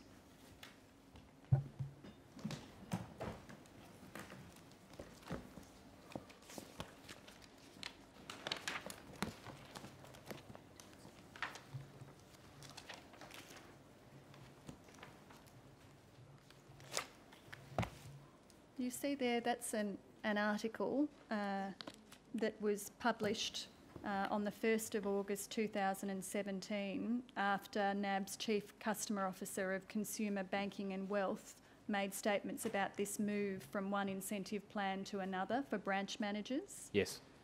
Um, now, uh, in the, we see there NAB's reported as changing the incentives program for its most senior branch and contact centre managers to reward delivery of great customer outcomes, leadership and performance. And we see in the next paragraph that the move will be from the existing incentive plan to NAB, NAB's group short-term incentive plan and that this will take effect from 1 October 2017. In the next paragraph, we see a quote from NAB's Chief Customer Officer of Consumer Banking and Wealth, Andrew Hagger. The change will see greater emphasis placed on customer outcomes, actions and behaviours, not just product sales, for staff incentives. Now, Yes. that, that's accurate. That is the intention of this move across from the Star Sales Incentive Program to the Group Short-Term Incentive Program. That's correct. Okay.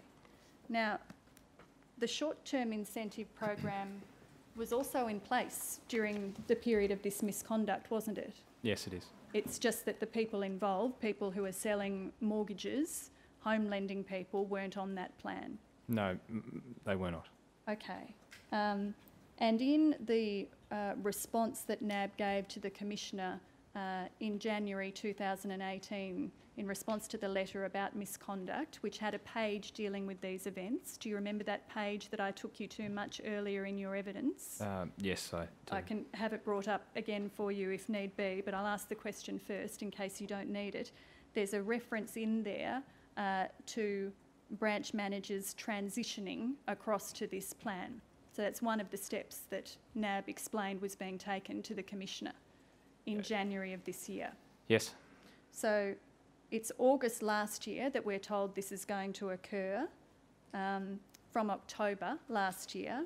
What I want to understand is whether this transition is now complete. Yes, and is. branch managers are all now on the short-term incentive program. yes, they are. So branch managers, our, our call centre team leaders who may be involved in any way in sales, uh, they've already been transitioned uh, to this. And when did that happen? Um, it was effective, excuse me, 1st of October of last Right, year. so we we work off an end of September financial year. So to the extent that the um, response to the Commissioner refers to transitioning, it should be read as a reference to transitioned. The transition has occurred. Uh, yes, it has. Okay. Now, I want to ask you some questions about this short-term incentive plan. Um, It has a variable component to it, is that right? Uh, yes, it does. So it's um, it's i i that's exactly right. So there's a, a people get a, a wage, a base pay, for example, and then um, there's a potential benefit on top of that through Mm. the short-term incentive scheme, usually based as a percentage of their of their income. So it's still a bonus scheme, is that right? That's right. Yes. Right. And the most recent version of the short-term incentive plan that you annexed to your statement was from 2015 and 2016. Uh, ye- yes, I believe so. Through the period of of these investigations. Conduct Yeah. Um, but under a notice to produce, NAB has produced to us the current version of the short-term incentive plan, uh, which I'd like to show you. Sure. That's NAB 005-037-0766.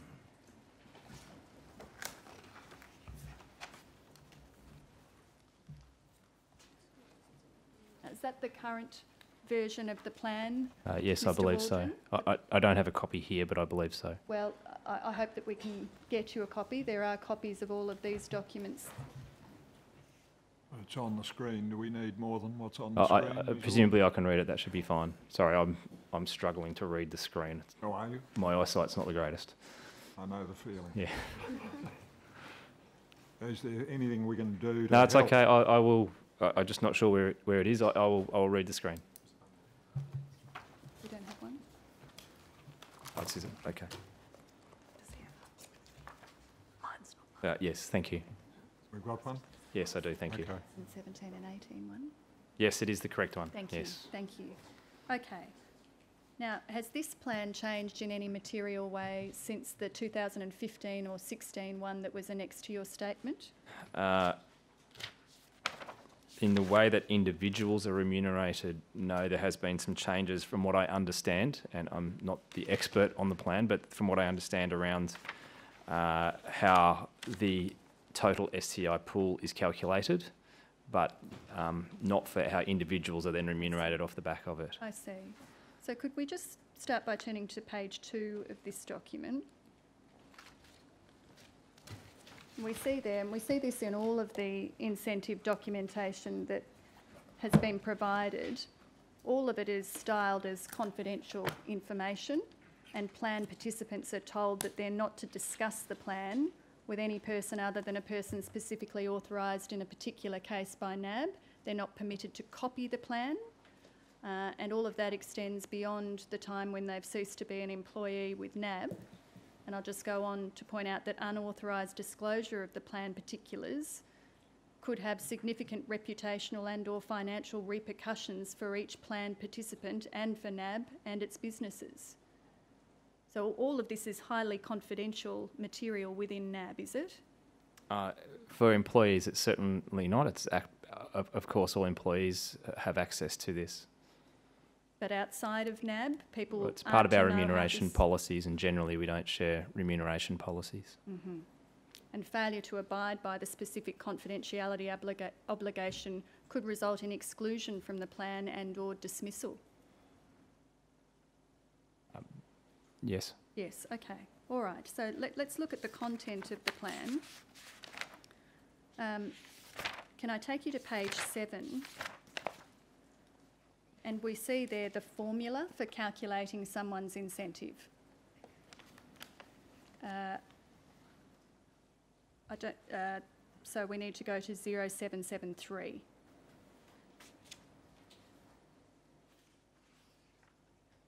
you see 2.7 STI calculation? Yes. So this is how we work out now what bonus a NAB employee is paid under the current plan. We find out what their STI target is. We Yes. multiply it by the eligible number of days. We multiply it by a performance multiple, and we make a conduct gate reduction, if any. Is that right? Uh, yes. And do you broadly understand how this process works? Yes, I do. Yes, and so one of the factors, which we've already discussed, is that you have to pass the conduct gate, Yes, you do. otherwise the amount will be reduced.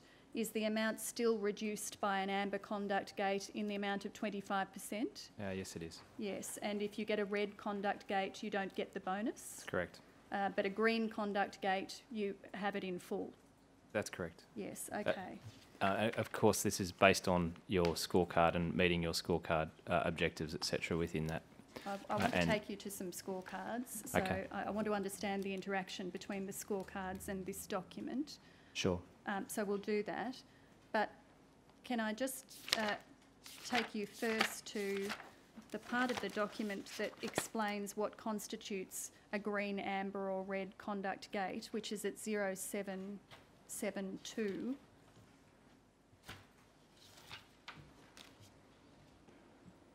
So we see there that a green conduct gate is given if you are adhering to the conduct requirements and no breaches are identified. Is that right?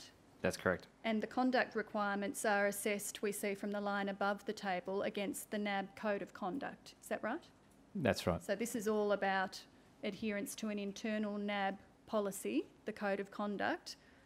Are the breaches breaches of the Code of Conduct or breaches of something else? Uh, no, they're essentially breaches of the code of conduct. The- Right, The, so the code of conduct gives a lot more detail about about these. So the conduct gates are all referable to the Code of Conduct. So if you if you've adhered to it and not breached it, you get a green conduct gate. That's correct. And you're then, we see from the final column, eligible for your bonus. That's right. Second line down, if your conduct requirements are not adhered to or completed, you get an amber conduct gate. And then you're eligible for your bonus, but you have a reduction of 25%. That's right. And a red conduct gate is applied if there is a significant conduct breach or multiple minor breaches or remedial actions are not completed satisfactorily. That's right. And in that case, you're inel- eligible for your bonus. Correct.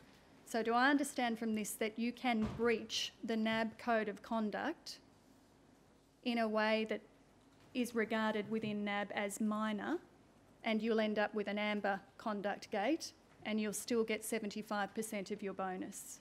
Uh, yes, there are situations where that is the case. And we, we, we've seen many of them in your examination so far, have we not, Mr. Waldron? Uh, yes, we have. Seen many amber conduct gates. hmm Um, and you only lose your bonus where it is a significant conduct breach or multiple minor breaches or remedial actions not completed satisfactorily. That's correct. Okay. Um, there's a deferral component to this Uh, program, is that right? there is, which is different for uh, different people and different percentages of uh, bonus that you have.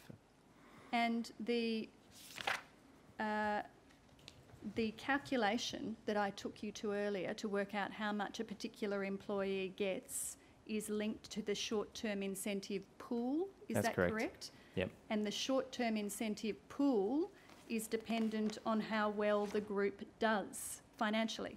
Uh, it's more than financial. Uh, there are a number of measures that are there which are laid out on uh, in the uh, plan description uh, that that is there, and ultimately the board retains final discretion regarding any pool. But it's fair to say, isn't it, that if more sales are generated, the pool will grow and there'll be more available for bonuses for individual bankers? Not necessarily. Why not necessarily? Uh, well, there can be instances where the, the board would not uh, deem that the full amount should be paid. Um, and if you look at the way that it's measured, it's measured on return on equity or return on assets. That's not necessarily a revenue, pure me- revenue measure or a sales measure uh, at all. In fact, in, in, there are instances where you can sell more and have a lower return on assets.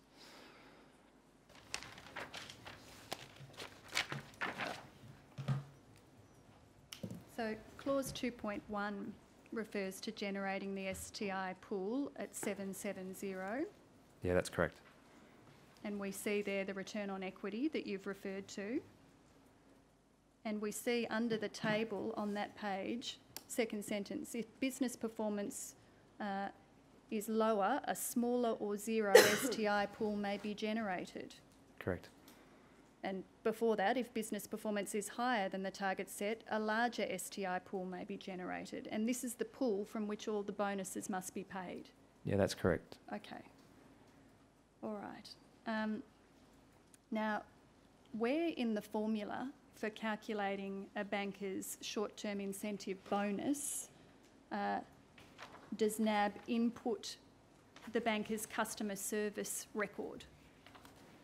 Uh, so that will come into the um, the actual scorecard that a banker would have, um, and if you like, you you are given, um, and it is outlined in here uh, as well uh, on page, sorry, six uh, of the document um, where it talks about your performance plan outcome, and that will be against your scorecard. I see. Uh, and the scorecard is different for different roles within the bank, but um, for the roles that you're talking about, that'll have a customer service component, um, which um, in, is almost everybody in NAB, uh, that you would have um, these outstanding down to not achieved uh, applied. Hmm, so you're referring to 0772 of the document, Uh, yes, I am. and this, yes, this relates to the The- the- performance plan outcome. that's right. The table at the bottom. Yes, now, I, I see no reference in here to scorecards, but what you're telling us is that the way a person is assessed as falling into one of these categories is Yes. done by reference to their scorecard, is yeah. that so right? the, the way that it's described in the document is performance plan, which is in the the um, the Up- sentence above that. A performance plan is a scorecard? Yes. I see, I see. Um, all right, so this goes into the multi- multiplier in the formula, whether you have not achieved your performance plan, uh, performance outcome, or whether you've achieved it in one of the ways listed in this document. That's correct. And, and that is done by reference to your scorecard. Yes. Okay. You, you've annexed some scorecards to your um, witness statement. Could I take you to some of those to try and understand how this works? Tab 25 of volume 1 of your witness statement at 005 061 0024 has a series of scorecards.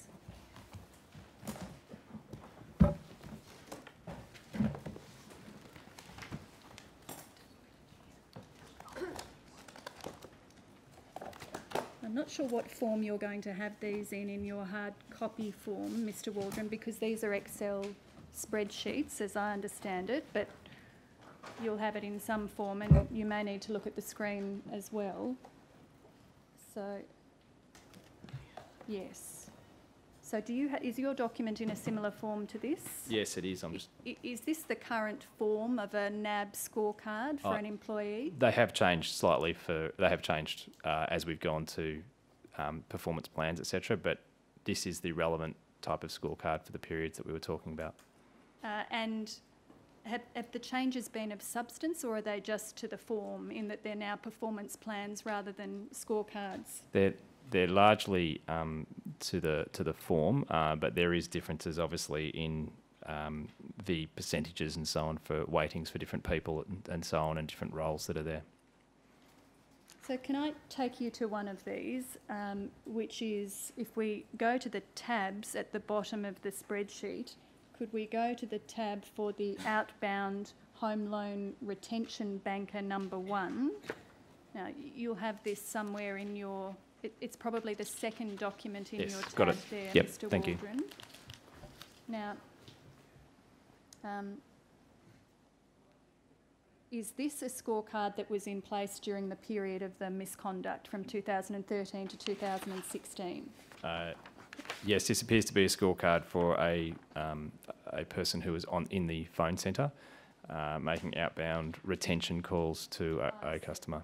So an outbound home loan retention banker is in the call centre? Yes, that's correct. Okay, selling home loans in the call centre? Uh, no, this is uh, typically a customer uh, has notified us that they are um, leaving NAB, they're removing their mortgage and going somewhere else with their mortgage, and this person would be making contact with the customer to try to understand uh, why they were leaving and see if there's anything that we can do to um, uh, keep them with NAB. So can you see that, you would be familiar with this, there's various categories on the left-hand side that attract various weightings in the scorecard? Yes, And the first category is financial or risk management, that's right. and that makes up 30% of the scorecard. For these bankers, yes. Yes, for, for outbound home loan retention bankers. Yes. And if we move across through the columns, can you see that of that 30%, 25% of the weighting goes to home lending drawdowns? Yes, I can. And that there is a target for this sort of employee of $13 million of home lending drawdowns per quarter. That's right. Uh, and even better, if they exceed expectations, they've brought in $15 million of home loan drawdowns per quarter. Yes, Do you see that? yes. So, what I want to put to you is that this scorecard has a significant component which reflects sales. Now, we'll have to understand how this works given the role that you've just identified for this person. But 25%, a quarter of the scorecard for this person, is assessed on the volume of home lending drawdowns connected with that person That's correct. and they have a target to meet of Yes. 13 million per quarter. Now, does that remain the case that these sorts of weightings and targets are in place in NAB scorecards? Uh, they are in place for some roles. Yes. Okay. Well, can I take you to another role to try and understand what these people do? The next tab down is an MRU Banker 2. A Mortgage Retention Banker 2. Now, what does that person do? Uh, very similar role to that above, but they will um, they will be more experienced in their role. I see. So a more senior person doing the same job. Yes, more experienced. And again, we see that 35% of their scorecard is directed to financial or risk management results. And a person in this job has 20% of that directed to home loan footings retained and 15% to home loan drawdowns. So we've got targets again, sales targets, and 35% of their scorecard directed to those sales targets. Yes, that's correct. Now, can I take you to one that I- think might be for someone who's not in a call centre, uh, at tab 29 of your volume, uh, NAB 00506100028. Now,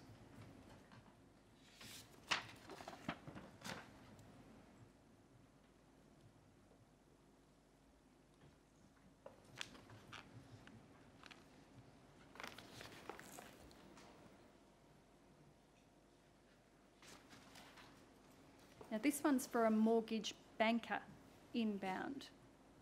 What does this person do? Sorry.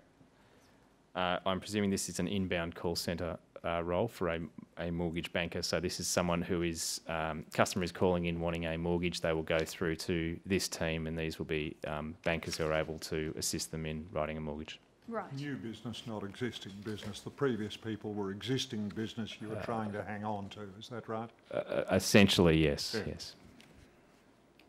So these people have 45% of their scorecard directed to financial matters. And then we see measures moving across three or four columns. There's a list of products there credit cards, Yes. NMP. What is NMP? Uh, it's a mortgage protection product. It's an insurance product. Another insurance product. Uh, I'm sorry, I'm getting a little. Could, could we pan out and have the entirety of that document? Thank you. Um, so these are products that a mortgage banker inbound scorecard assigns targets to, and 45%, nearly half of their scorecard, is directed to assessing their sales of these products. Is that right? That's correct. Thank you. All right, and just, we'll go to one more in there, which is um, the consumer sales banker. What is the job of a consumer sales banker? I'm sorry, where's that tab? Sorry, I just, It's another tab, sorry, it's gone from the screen.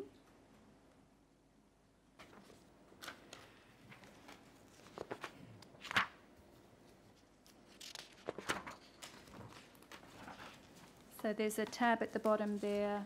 I think it's the next one across, consumer banker.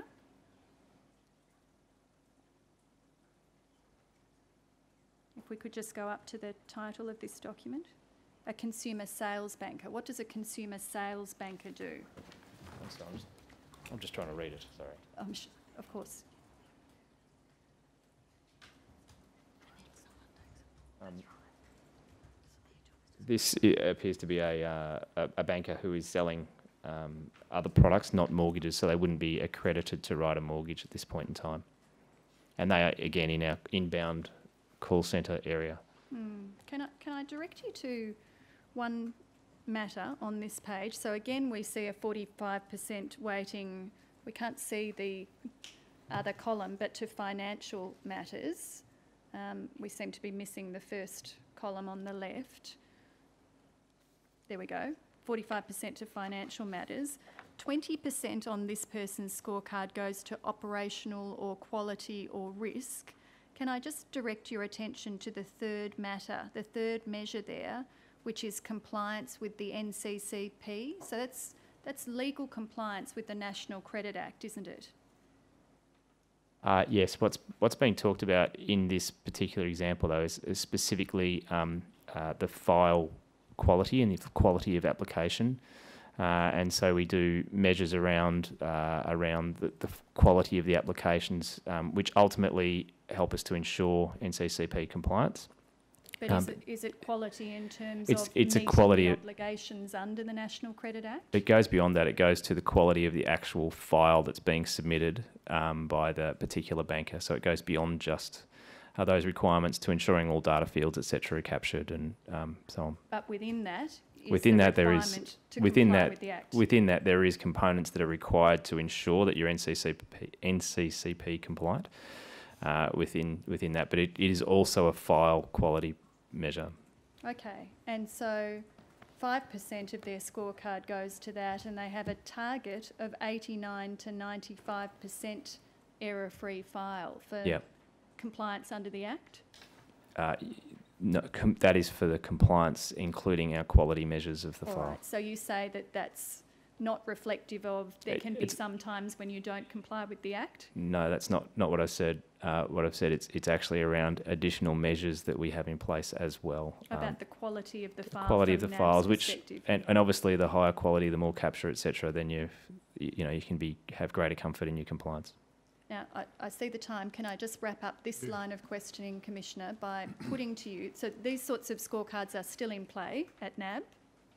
Uh, yes, they are. Uh, at the moment, they are. Um, as you alluded to earlier, there's already been changes through our branch managers and team leaders within our call centres, um, largely off the back of the work that the ABA has done under a six-point plan and recommendations from Stephen Sedgwick, which are under review and will have impacts on these scorecards going forward. But at the moment, the Yes. scorecards still have these categories to them, financial categories? Yes, they do have those categories. non-financial Yes, they do. And do you accept that the financial category is often a significant component of an employee's score under these scorecards? Yes, And that there is within that a very significant component that relates to generating volume of sales of NAB products? yes, there is. Thank you. Yes. Uh, If you could be back here in time to begin at two o'clock, Mr Waldron, thank you very much. Thank you. Adjourn until two.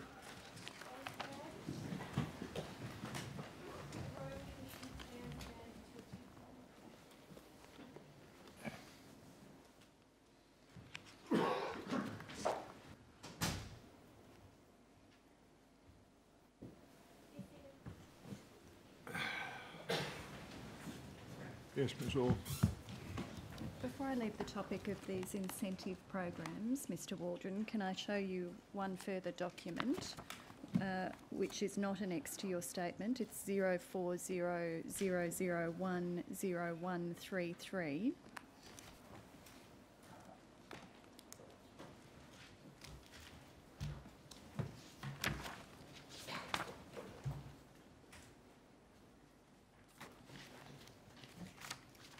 Is a memorandum for the Personal Bank Risk Management Committee. And if we could turn to the fourth page of that document, you'll see that it was prepared in May 2016. Uh, Yes. Sorry, does anyone, could someone direct me to where it is in the tabs?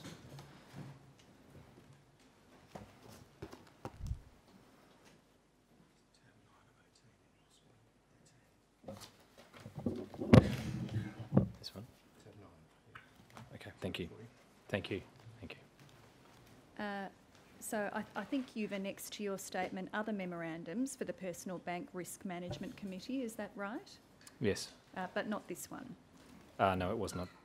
Uh, and this one deals on the first page.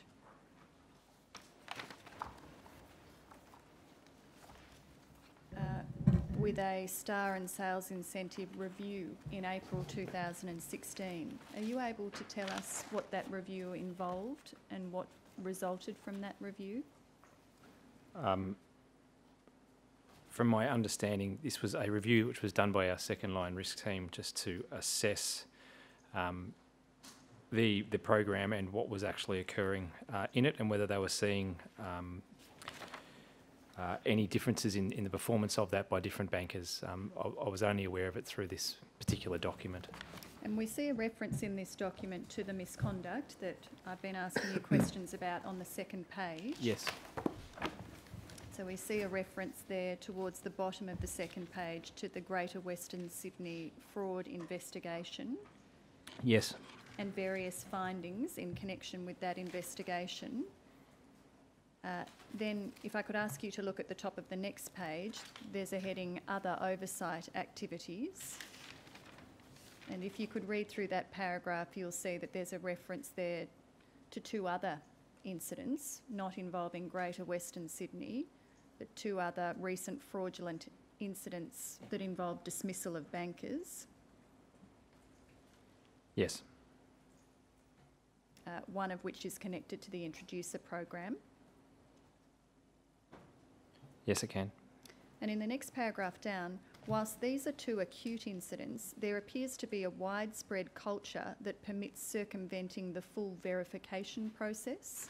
This is supported by the number of policy waivers processed by EST for verifying customer details on a loan application, which make up 82% of all policy waivers from October 2015 to February 2016. This is due in part to bankers not providing verification data required in line with minimum standards, or in some cases being unwilling to request missing data from loan applicants for fear of losing the deal. Do you see that? Yes, I do see that paragraph.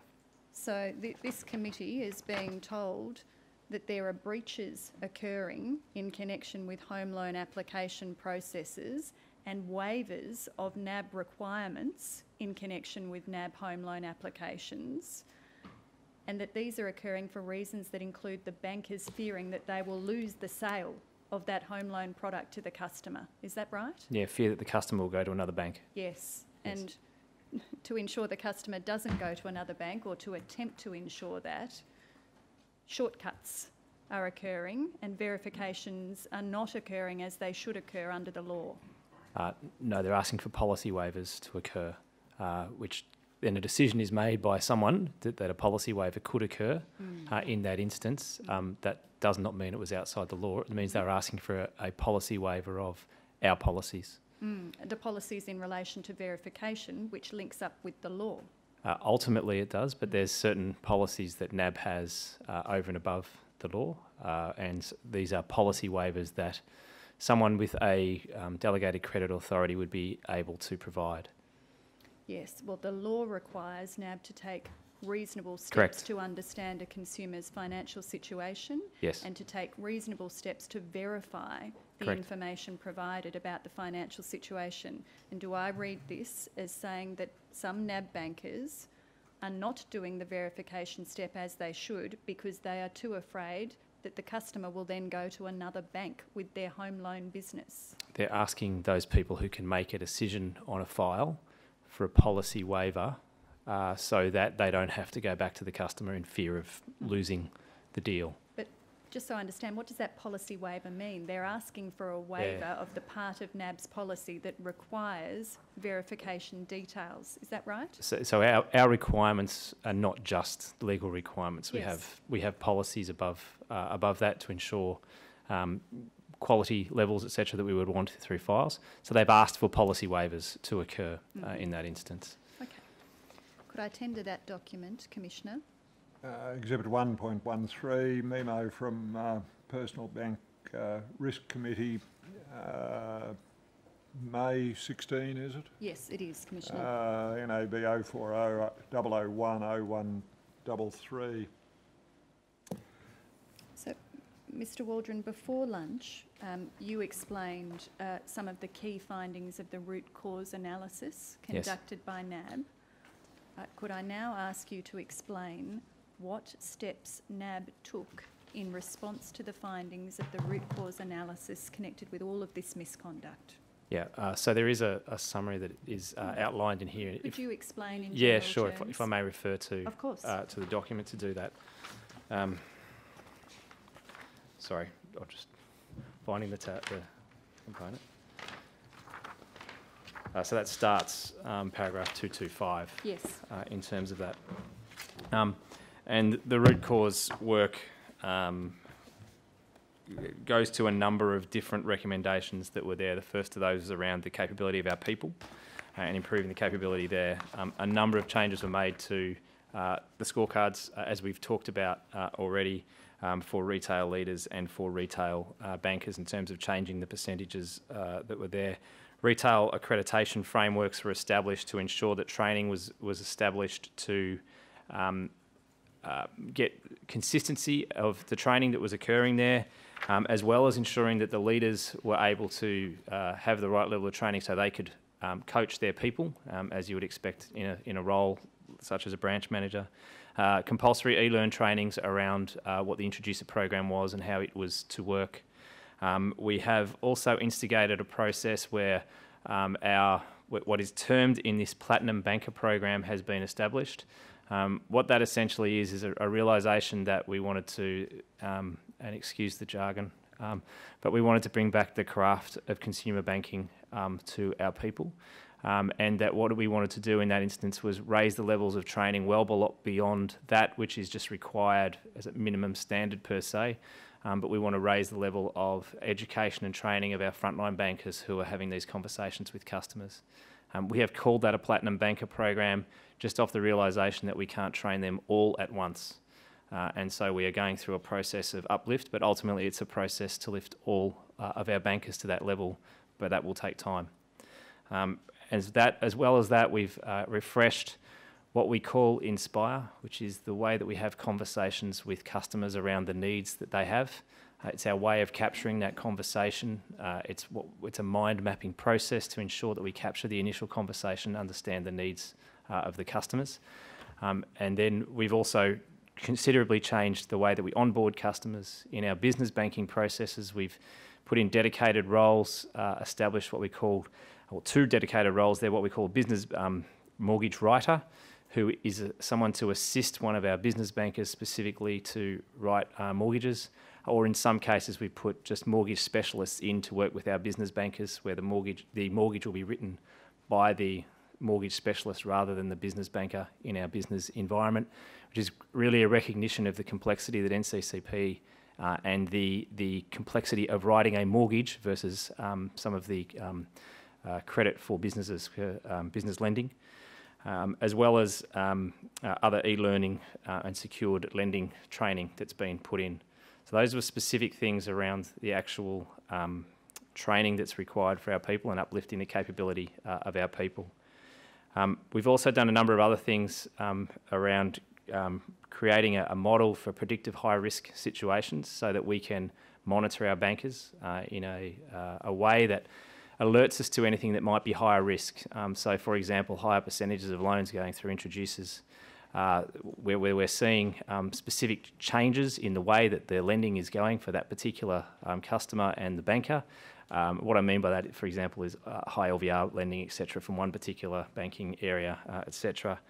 Um, predictive uh, banker model to to do that to allow us to then test um, and go back and, and do that, that loop back for those bankers. So if we're seeing these predictive models, these uh, key risk indicators pop up for us for particular bankers, um, it allows us to then do tests behind the scene to see if there's anything that is occurring uh, within that.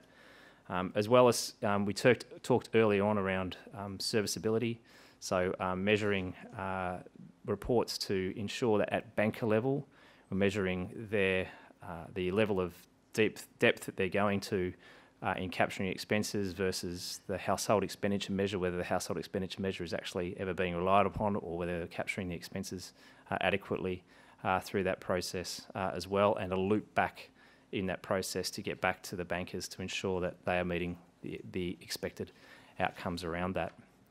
Um, we've also put in significant changes uh, around um, our actual um, assessing and monitoring and reporting um, to ensure that the outcome expectations through strengthening those feedbacks, which I've talked a little bit around already, but I pick up a couple of other points from that. The first is something we, we term, term a triangulation report, which is monitoring the banker, customer, and introducer relationship. Um, we talked earlier on about uh, one case that talked about addresses that were similar for customers. Um, so monitoring that, monitoring bank accounts, etc., to ensure that we see any triangulation, any relationship, and any change the relationship between customer, banker, uh, and introducer. Um, and again, patterns are very, very important to be able to see those. So being able to pull those out and compare those types of reports on a regular basis uh, as being very important uh, as well. As well as some central assurance technologies around the way that we, we look and report back through the bank uh, around what is going on to, to get to the point that you made earlier on around looking at an enterprise level, not just divisional levels, uh, the way that we do that. Um, the other uh, couple of key points that I would pick out uh, amongst these um, in terms of strengthening the control environment, um, we obviously have changed our banker monitoring and reporting uh, that is coming through, as I've touched on uh, already there, and really all of the reporting are on our sales incentive schemes uh, that are there. We've had a fraud technology proof of concept uh, that's been put in place, which is now going through to full implementation, which essentially reviews pay slips.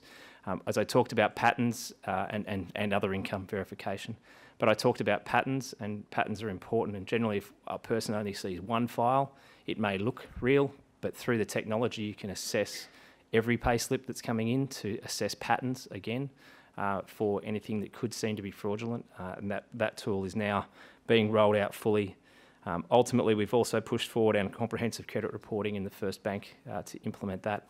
Um, and we're moving through on uh, a number of our other frameworks uh, around those things uh, there.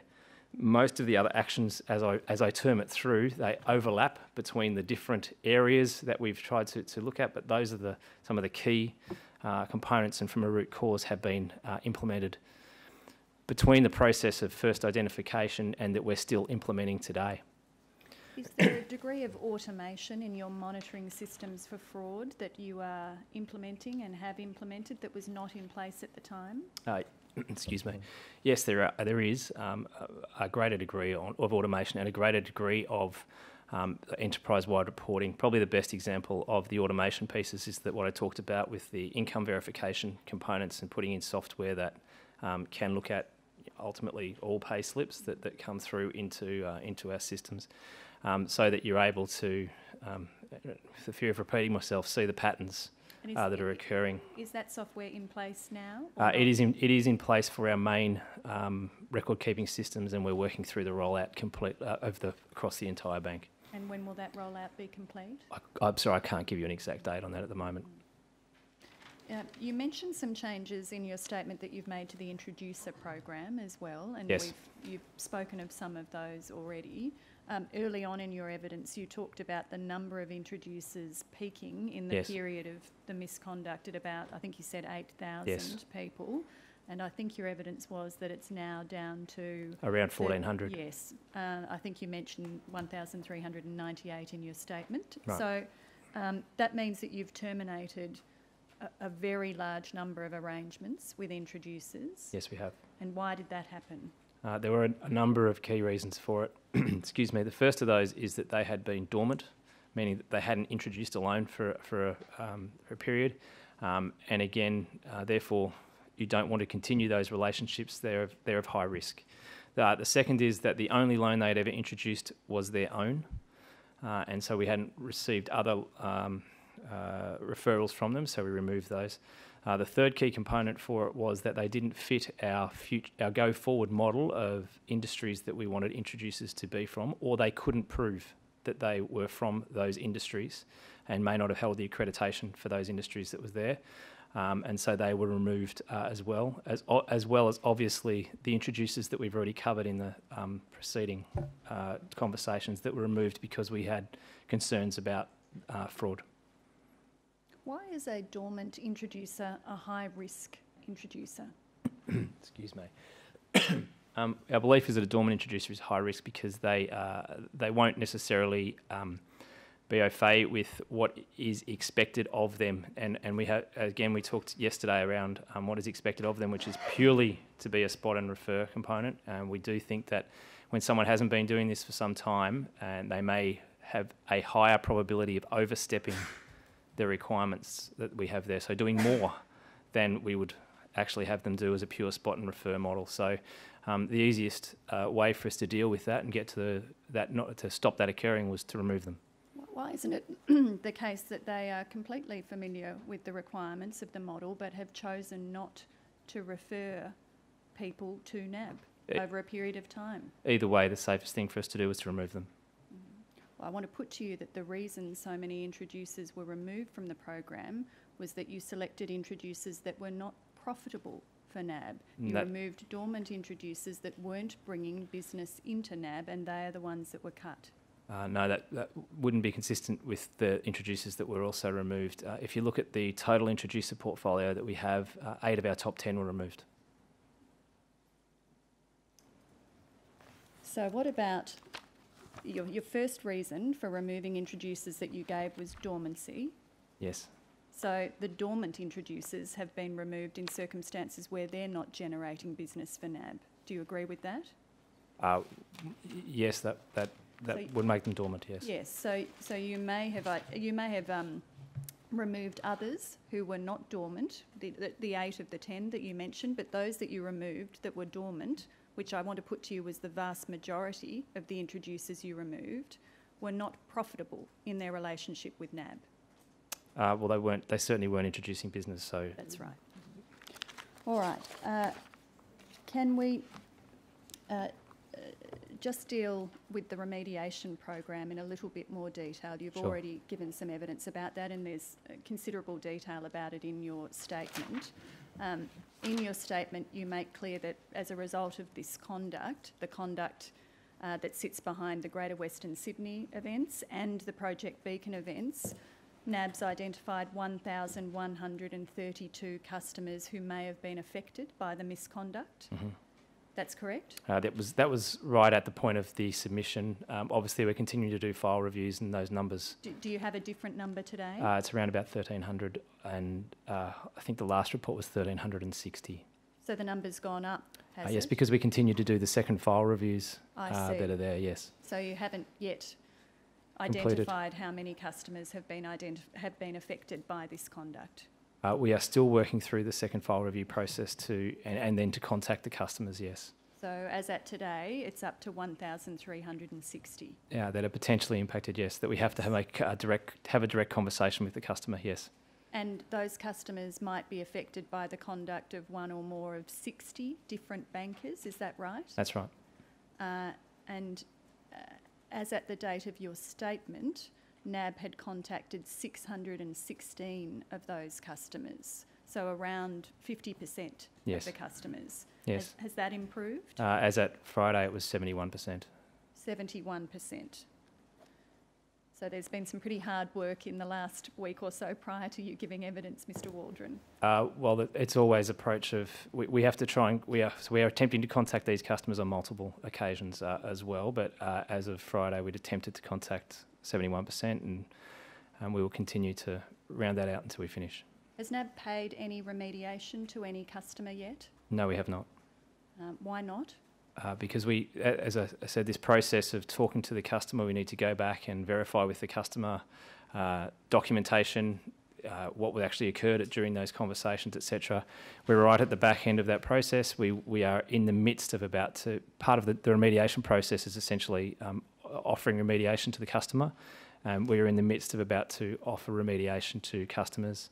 Uh, as at again last Friday, we had identified that there would be uh, about 26 of those that we would be making offers to over the next little while. And as is also in the remediation process, it requires a um, sign off process, both internal and through our external experts, uh, to get to that point. And we are literally uh, about to move into making those offers. So when did NAB start talking to these customers? Um, so, from the process of our remediation, uh, we would have started talking to them or trying to contact them uh, November last year. November last year. But in March, no one yet has received an offer of remediation. No, not yet. And you say some will over the next little while As in next next week or two. Yes. or two. And that will be a fraction of the number of customers that NAB regards as potentially affected by this misconduct. It'll be 26 of them. Uh, that that is where we're at at the moment, uh, but it does require individual conversations, as I've said, with the customers to get to that point. Uh, The work that's been done in the file review process seems to have gone into overdrive since the end of last year. Do you accept that there's been many more files reviewed since December last year than there were in the 18 months prior to December last year? Uh, so I think um, the definition of, of file review is probably important there. So uh, up until uh, about November last year, we'd done uh, a little over 11,000 uh, file reviews to ascertain whether we moved into the remediation process with them. Um, so it certainly has sped up around the second file review process into remediation, but we had done uh, 11,000 reviews to that point. And to get to the point of making that, that um, decision to do those file reviews, um, there was a, a lot of work also done, which would have include, included other file reviews that we haven't counted in there uh, to get to that point. I want to put to you that as at 20th of December last year, for the GWS project, a second review of 229 files had been done and 82 customers had been contacted, so 43%. Yep. And that was over the course of a lengthy period leading up to that date. And that for Project Beacon, uh, there had been no second file reviews done as at the 20th of December 2017. Uh, yes, I, I don't have the data in front of me, but I, that would sounds correct. Well, that, that's a reference to the Winnow Steering Committee meeting number 14 on the 20th of December 2017. Yep. Uh, and then as at the 22nd of February this year, the second review of GWS files uh, was up to 736 with 504 customers contacted, 81%. And for Beacon, 594 files had been reviewed and 111 people had been contacted. So up from 0% to 23% in that couple of month period. Um, does the fact that this Royal Commission was coming and you were providing a statement uh, on these matters have anything to do with the speed with which the file review process has moved over the last couple of months? Uh, we haven't certainly haven't added additional people or anything those to, to do it. We've absolutely kept to our team of experts uh, there to do it. Um, it obviously gives it greater. It's certainly top of mind, um, but it's not exactly. Uh, it's not sped up the process per se. Uh, we haven't added lots more people or anything in the process. Can I just show you one more document in, in closing uh, the, the submissions, I'm sorry, the questions that I'm asking you, Mr Waldron, which is the media release that NAB issued in relation to this misconduct, which is not in your witness statement. It's 0320012591.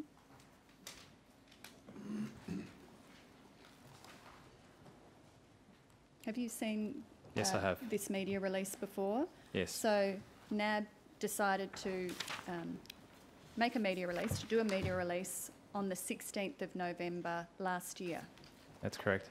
Uh, and the trigger uh, for releasing a media release was that the remediation program had commenced. Is that correct? That's correct. Right. So prior to that point, prior to the point of commencing the remediation, NAB had not spoken publicly about these events at all. No, we had not.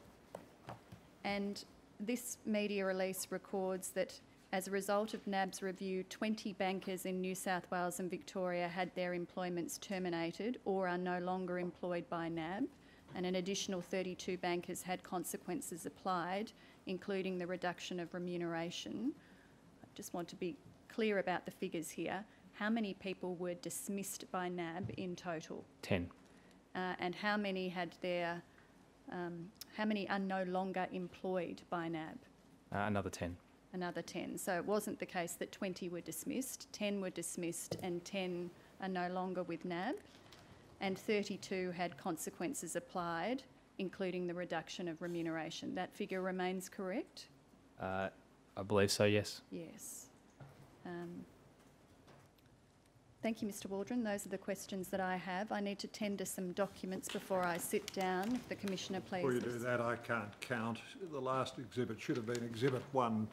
uh, point So Exhibit 1.12 was the uh, uh, memorandum from, uh, uh, memorandum for the Personal Banking uh, Risk Committee of May 2016, which is NAB 040 001 0133.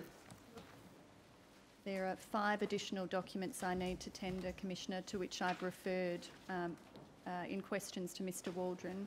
The Yeah. first is page five of the NAB Group response dated 29 January 2008, uh, 2018, RCD 0001 0034 0007. That'll be Exhibit 1.13, page 5 of the NAB Group response of 29 January 18, RCD 001 0034 0007. Uh, the second is an email from Alex Milliss, M-I-L-L-I-S-S, to Fiona Lynch, dated 16 October 2015, NAB 005 074 0550. That will be Exhibit 1.14, having the description you've given it.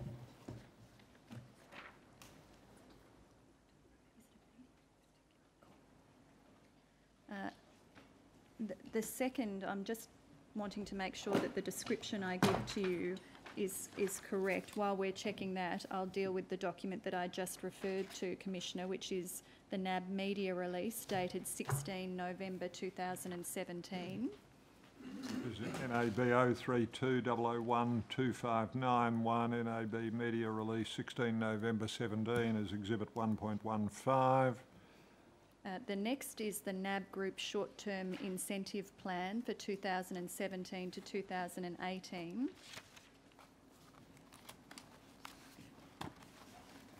Are you tendering the whole plan or only those parts that you referred to? I'm conscious of the fact that the foreword to the document spoke of how sensitive it is. Uh, I did refer to multiple pages in that uh, document, Commissioner. I can identify each of those pages, but I think I probably referred to most of the pages Very in the document. So what's the uh, document number? The document number for that is NAB 005 037 0766. That document will be Exhibit 1.16. And the next document is a, a media article entitled NAB Retail and Call Centre Staff to be Rewarded for Great Customer Outcomes, dated 1 August 2017, RCD 0021 0001 0168. That document will be Exhibit 1.17, having the description you've given. And finally, Commissioner, I tendered the exhibits to Mr Waldron's uh, statement, uh, which you may recall I was in the process of tendering uh, when an application was made about certain of those documents. It'll be Exhibit 1.18, exhibits to Mr Waldron's statement dated, what date? Uh, dated 2 March 2018. Bearing that date, yes. Let's keep them down there. Thank you, Commissioner. Yes. Now, does any party having leave to appear seek leave to cross-examine Mr Waldron? No application, very well. Yes, Ms Harris? Thank you, Commissioner. Mr Waldron, I just want to ask you a couple of questions in re-examination arising out of what my learned friend has dealt with you. Um, do you, do you recall that Ms Orr asked you some questions about the current short-term incentive? Sorry, Ms Harris, you're going to have to move the mics one way or t'other, or you, or both. Maybe Uh, we'll, Make some allowance for my age.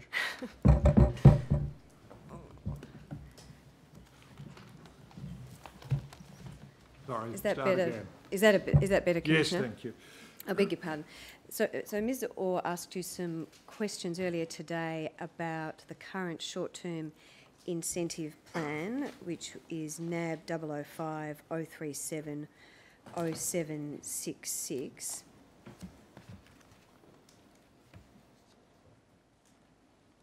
We could have that document brought up.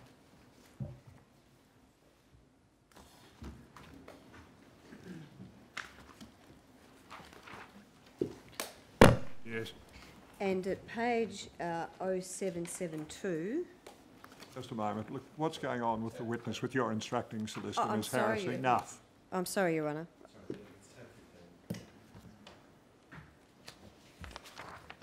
Thank you. If the witness needs help, let him ask for it, I think, Ms I- Harris. Indeed, Commissioner, Yes. I- I I beg your pardon. Um, Mr Waldron, at 0772, do you recall having a look at that table uh, under 2.4? Yes. And that table, uh, sorry, we'll need to scroll down, it's the table under 2.4, please. That table uh, refers to three conduct gates, green, amber and red. Yes. And uh, Ms Orr asked you a question at transcript 151, line 4. If your conduct requirements are not adhered to or completed, you get an amber conduct gate, and you agreed with that proposition. Do you recall that? Uh, yes, I do. What kind of conduct might lead to an employee being given an amber gateway? Can you give the Commissioner some examples? Um, so a couple of examples maybe um, where you have um, training that you must complete on an annual basis, uh, and you have completed that training late. Uh, so you know you have to complete it by a particular date. You don't complete it uh, in time. Uh, that will be considered an amber gate. That that is one example. Um, in the cases that we talked to here, um, there was examples of amber gates being given for people using um, personal email addresses rather than work email addresses for um, for the transmission of documents. Uh, at the particular point in time, there was issues with uh, being able to receive all documents through um, some of our own email ser- um, services uh, because of size of documents and so on that um, potentially had encouraged people not to use work uh, emails, but they uh, they still received amber gates. Thank you. Uh, and those, uh, um, you said in answer to your uh, to Ms. Orr that uh, an amber gateway might be attracted for breaches of the NAB Code of Conduct. Are the things that you have just referred to examples of the breach of the NAB Code of Conduct? Uh, without looking right through the code of conduct, it is my general awareness that those are things that uh, we would apply an amber gate for purely because I've had to do it to members of my own team. I see. Um, can I uh, now take you to another From that subject, Ms Harris? I- I'm, I'm going to a different document, but the same subject, Oh. Commissioner. Go on, go on. Um, you were taken to a different uh, document which referred to uh, these gateways. In fact, a number of documents. Can I take you uh, first to uh, exhibit? Uh, perhaps, perhaps tab 1.126 of your statement, which is uh, NAB 005 074 0526.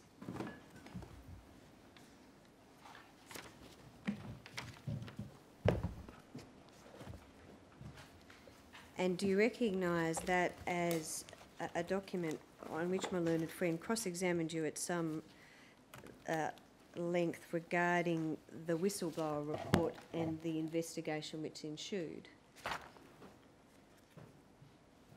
Yes. Uh, can you go to uh, page 0540, please? That was tab 126, was that right? That's right.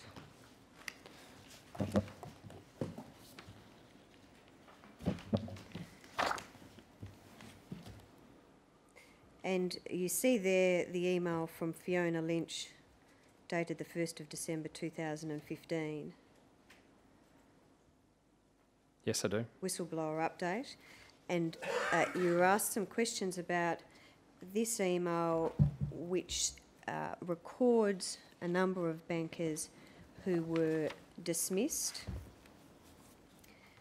and then uh, three other bankers who were not dismissed as a consequence of the investigation. Do you see that? Yes, I do. And then if we bring up exhibit, what I hope is exhibit one point ten, which is NAB zero three two zero zero one zero one two three, perhaps, uh, can you see that, Mr Waldron? Sorry, I'm just finding that number again, 110.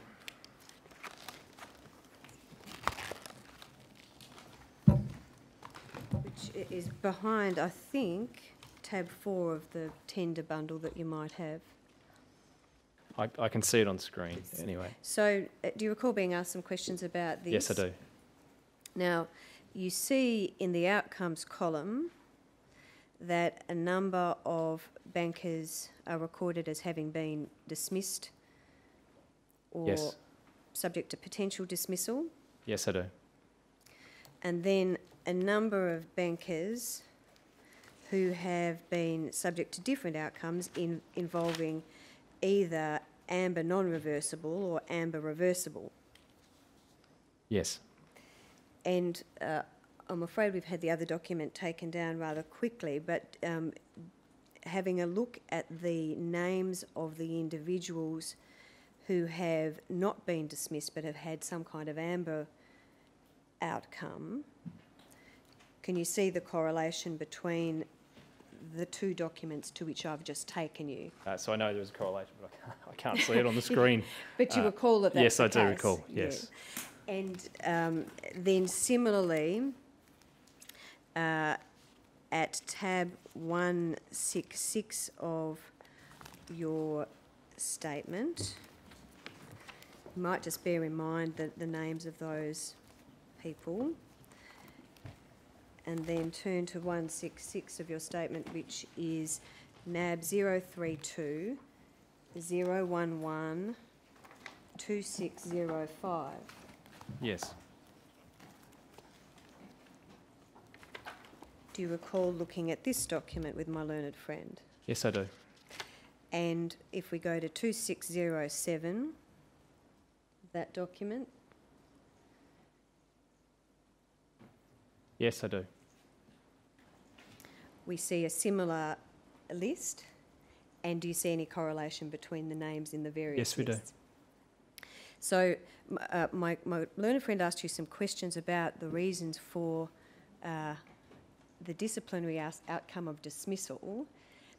What was the reason each of the employees who were not dismissed received the other outcomes that are there recorded? Uh, so in the case of the um, amber uh, non-reversibles, they were, and again, um, to and fro between them, but they were generally uh, for situations where um, there was impacts with um, i i forms not attached, lack of um, adequate assessment, etc. But there, there's no specific issues with the actual lending uh, that we're looking at.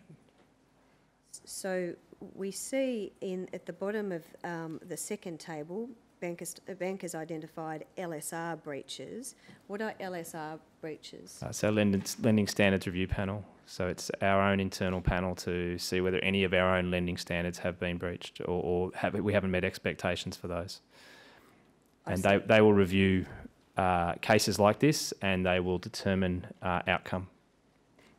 And uh, were any of the bankers who uh, are identified in the second table, were any of those identified as having been engaged in dishonesty?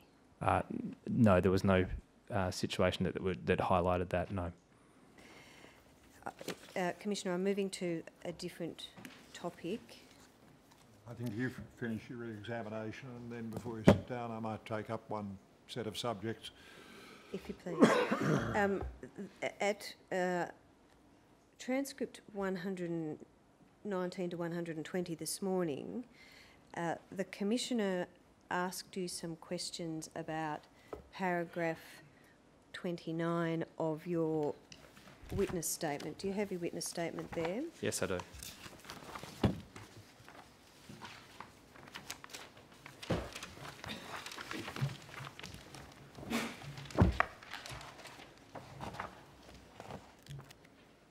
Now, uh, and you see paragraph 29 was the example chronological account that you gave in, in uh, respect of a particular customer who had been the subject of the investigation. Yes.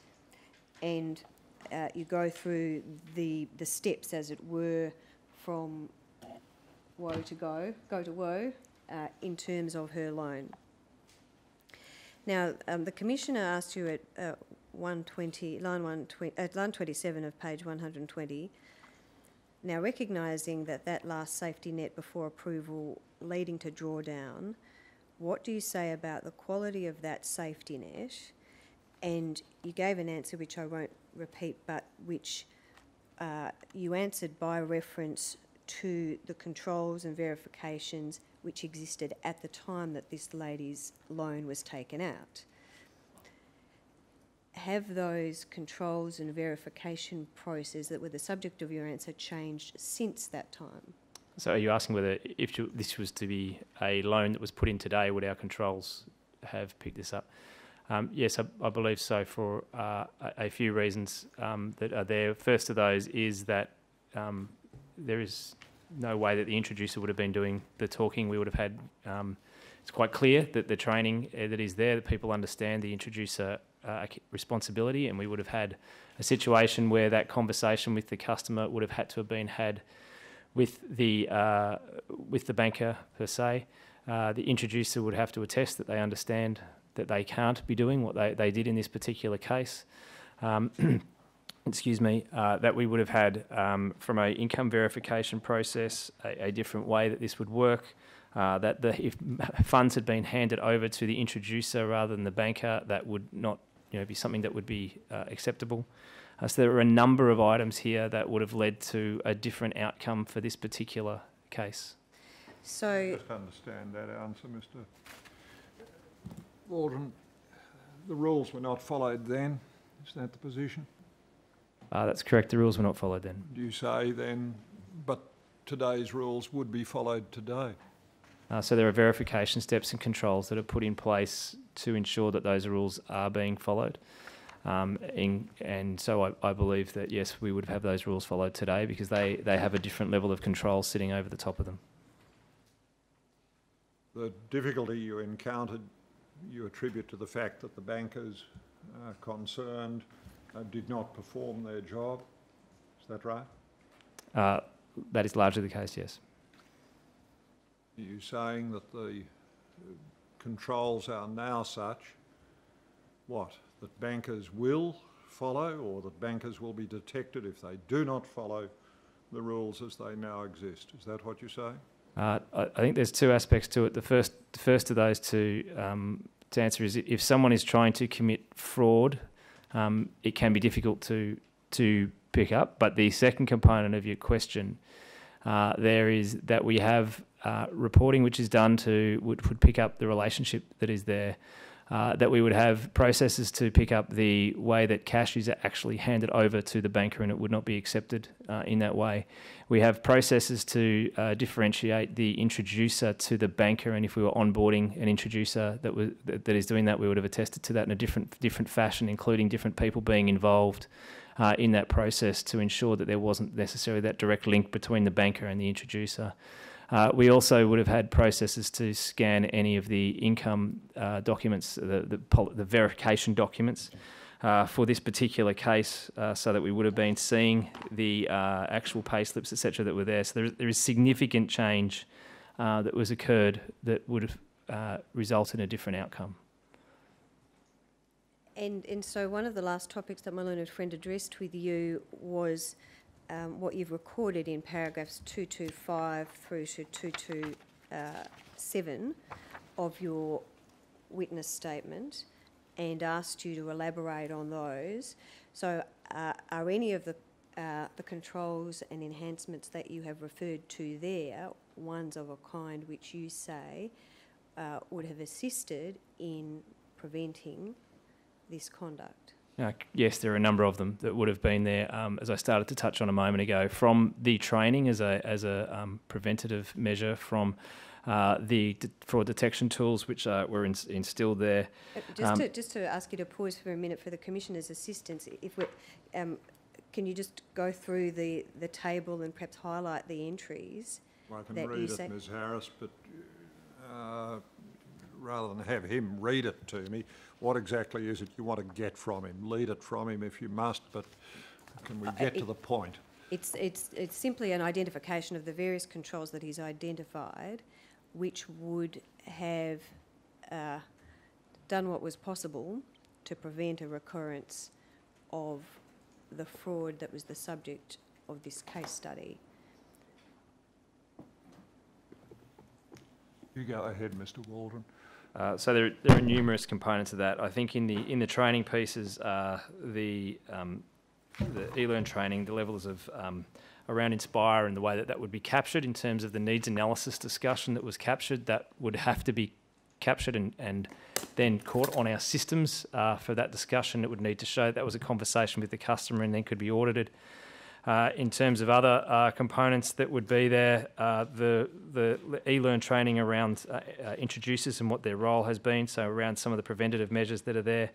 In terms of the then assessing whether there is something going on um, between the introducer, customer, and and so on, our predictive banker conduct model would have picked up this particular banker, as would our retail triangulation reporting pick up this partic- particular banker. Uh, in addition to that, um, excuse me, any uh, uh, income verification documents that were there would have had to go through uh, this tool, which I mentioned previously as well. Um, and I think they're the key ones that I would point to. Thank you. Um, Just one more topic, if you don't mind, Mr Waldron, and circling back um, to some questions that you were asked about the customer who was the subject of the example in paragraph 29 of your witness statement.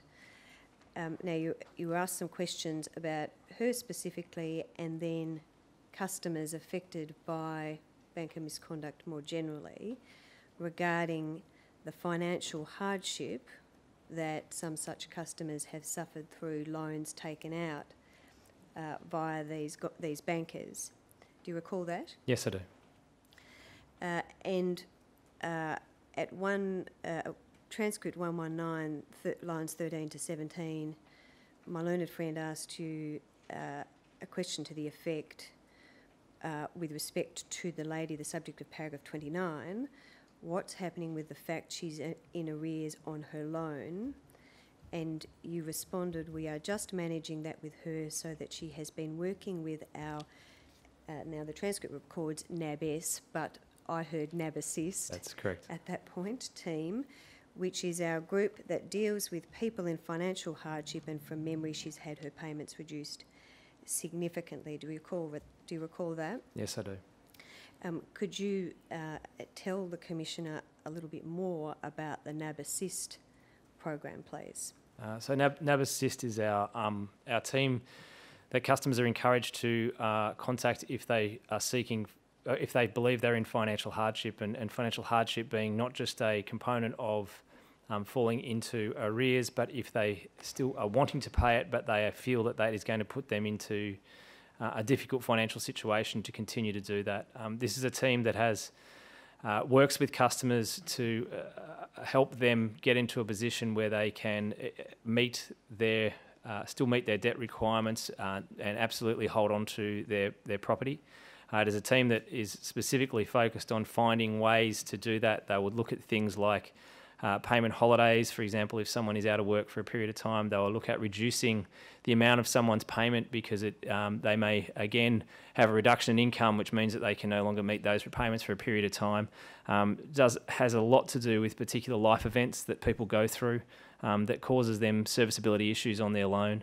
Um, and we'll work with them to try and rectify that situation uh, and ensure that they can stay in their houses.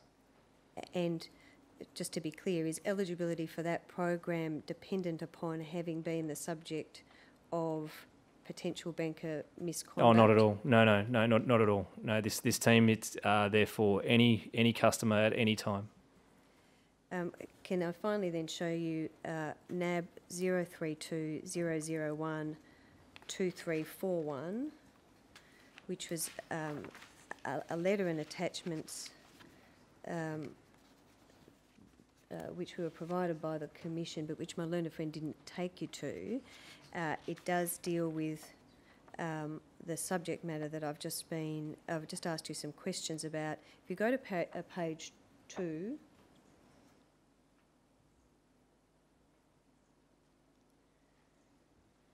just to orient you in the document, Can I just check? Do I have this in one of the? it's, it will be behind tab 12, I believe, of your tender bundle. Thank you. And uh, so you see that this letter was written by you. Yes.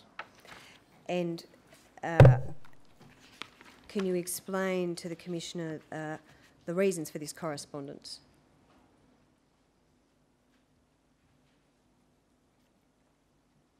Uh, this was uh, post discussions with um, ASIC around uh, the the um, project Winnow, our, our, our remediation program, ensuring that they understood the numbers of customers, uh, etc., that we were going to be um, talking to, and it was around uh, ensuring they understood our process um, and including um, anything around hardship. And when you say including anything around hardship, you were asked by ASIC to answer the particular question that appears towards the bottom of page one, is that correct? Yes, that's correct. And uh, in terms of the remediation program, was the information you provided ASIC set out in Appendix 1? Uh, that's right. Yes. And uh, at Appendix 1, you set out at paragraph C the expected amount or range of t- total remediation likely to be offered to consumers on a best case and worst case scenario. That's correct. And uh, uh, has that estimate, such as it is, and with all whatever caveats might be applied to it, has that estimate changed? Uh, so we, uh, as, as you know, we're still in the process uh, of talking to customers and reviewing with customers uh, the outcomes uh, of that. So we had a range in this letter of between nine and twenty-three million dollars, as in paragraph C of Appendix One. Uh, we haven't um, formally changed uh, that uh, at this point in time, um, but our early indications are that it, it um, is more likely to be at the lower end of those numbers. Thank you. And was your answer to ASIC's second question set out in Appendix 2? Yes, it is. No more questions, Commissioner? Yes, thank you. Um, Just before you sit down though, Ms Harris, uh, Mr Waldron, uh, we've talked a lot about amber gates. Uh, What's the qualification for a red gate? Uh, so a, a red gate would consider to be a significant breach of our code of conduct. Does it include uh, breaches that are dishonest breaches? Yes, it does. So uh, a uh, banker can do something dishonest uh, and lose uh, bonus for that year but remain employed? Uh, it would depend on the actual um, breach that was there. Um, so there, there are some breaches which could be done, um, uh, which would mean that they were breaches that would be not acceptable, that might be done um, accidentally, uh, or not, not with malice or not on, pur- on purpose. Um, that that mean, may mean they retain their employment, um, but there are obviously a level which then they would uh, they would be removed from the organisation as well. I was directing your attention to dishonest breaches. Are there dishonest breaches which can merit a red conduct gateway but not dismissal? Not that I'm aware. We'll go back and read the transcript, Mr Waldron, but I think that those are two different answers. So what's the position? Can you get a red conduct gateway for doing something that is dishonest? Uh, so the, the way that the process would work, uh, if someone was to be removed, they would also receive a red conduct gate. So They're yes, removed, they're removed, aren't they, Mr Waldron? They're just fired. Um, we would, that would be the normal process. Yeah. So my question is, can you remain employed with a red conduct gateway having done something dishonest? Uh, if it's deceitful and, and that you are uh, that you know you are doing that, um, the general answer to that would be no. On a separate topic, we looked at some scorecards uh, at, Yes, we did. in Yep. the course of examination. Do you mind going back and looking at them, please? They are behind tab 29.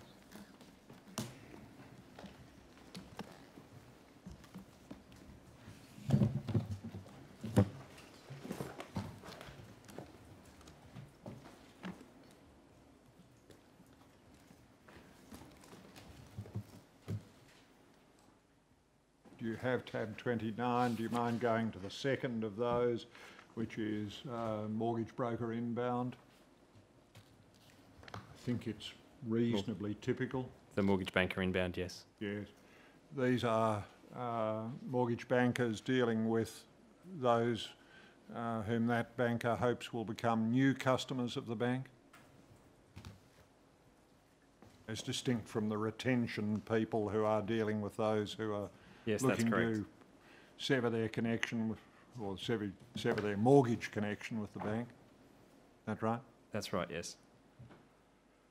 The uh, retention people have as an element, I think, don't they, uh, something about customer service. My question is, do these inbound people have anything about customer service?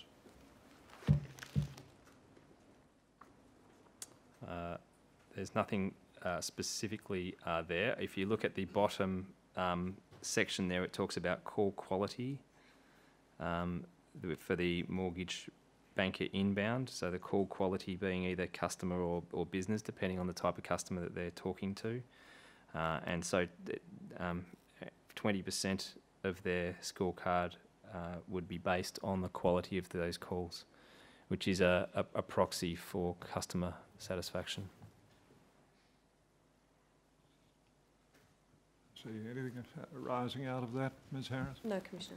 Yes. Thank you very much, Mr Waldron.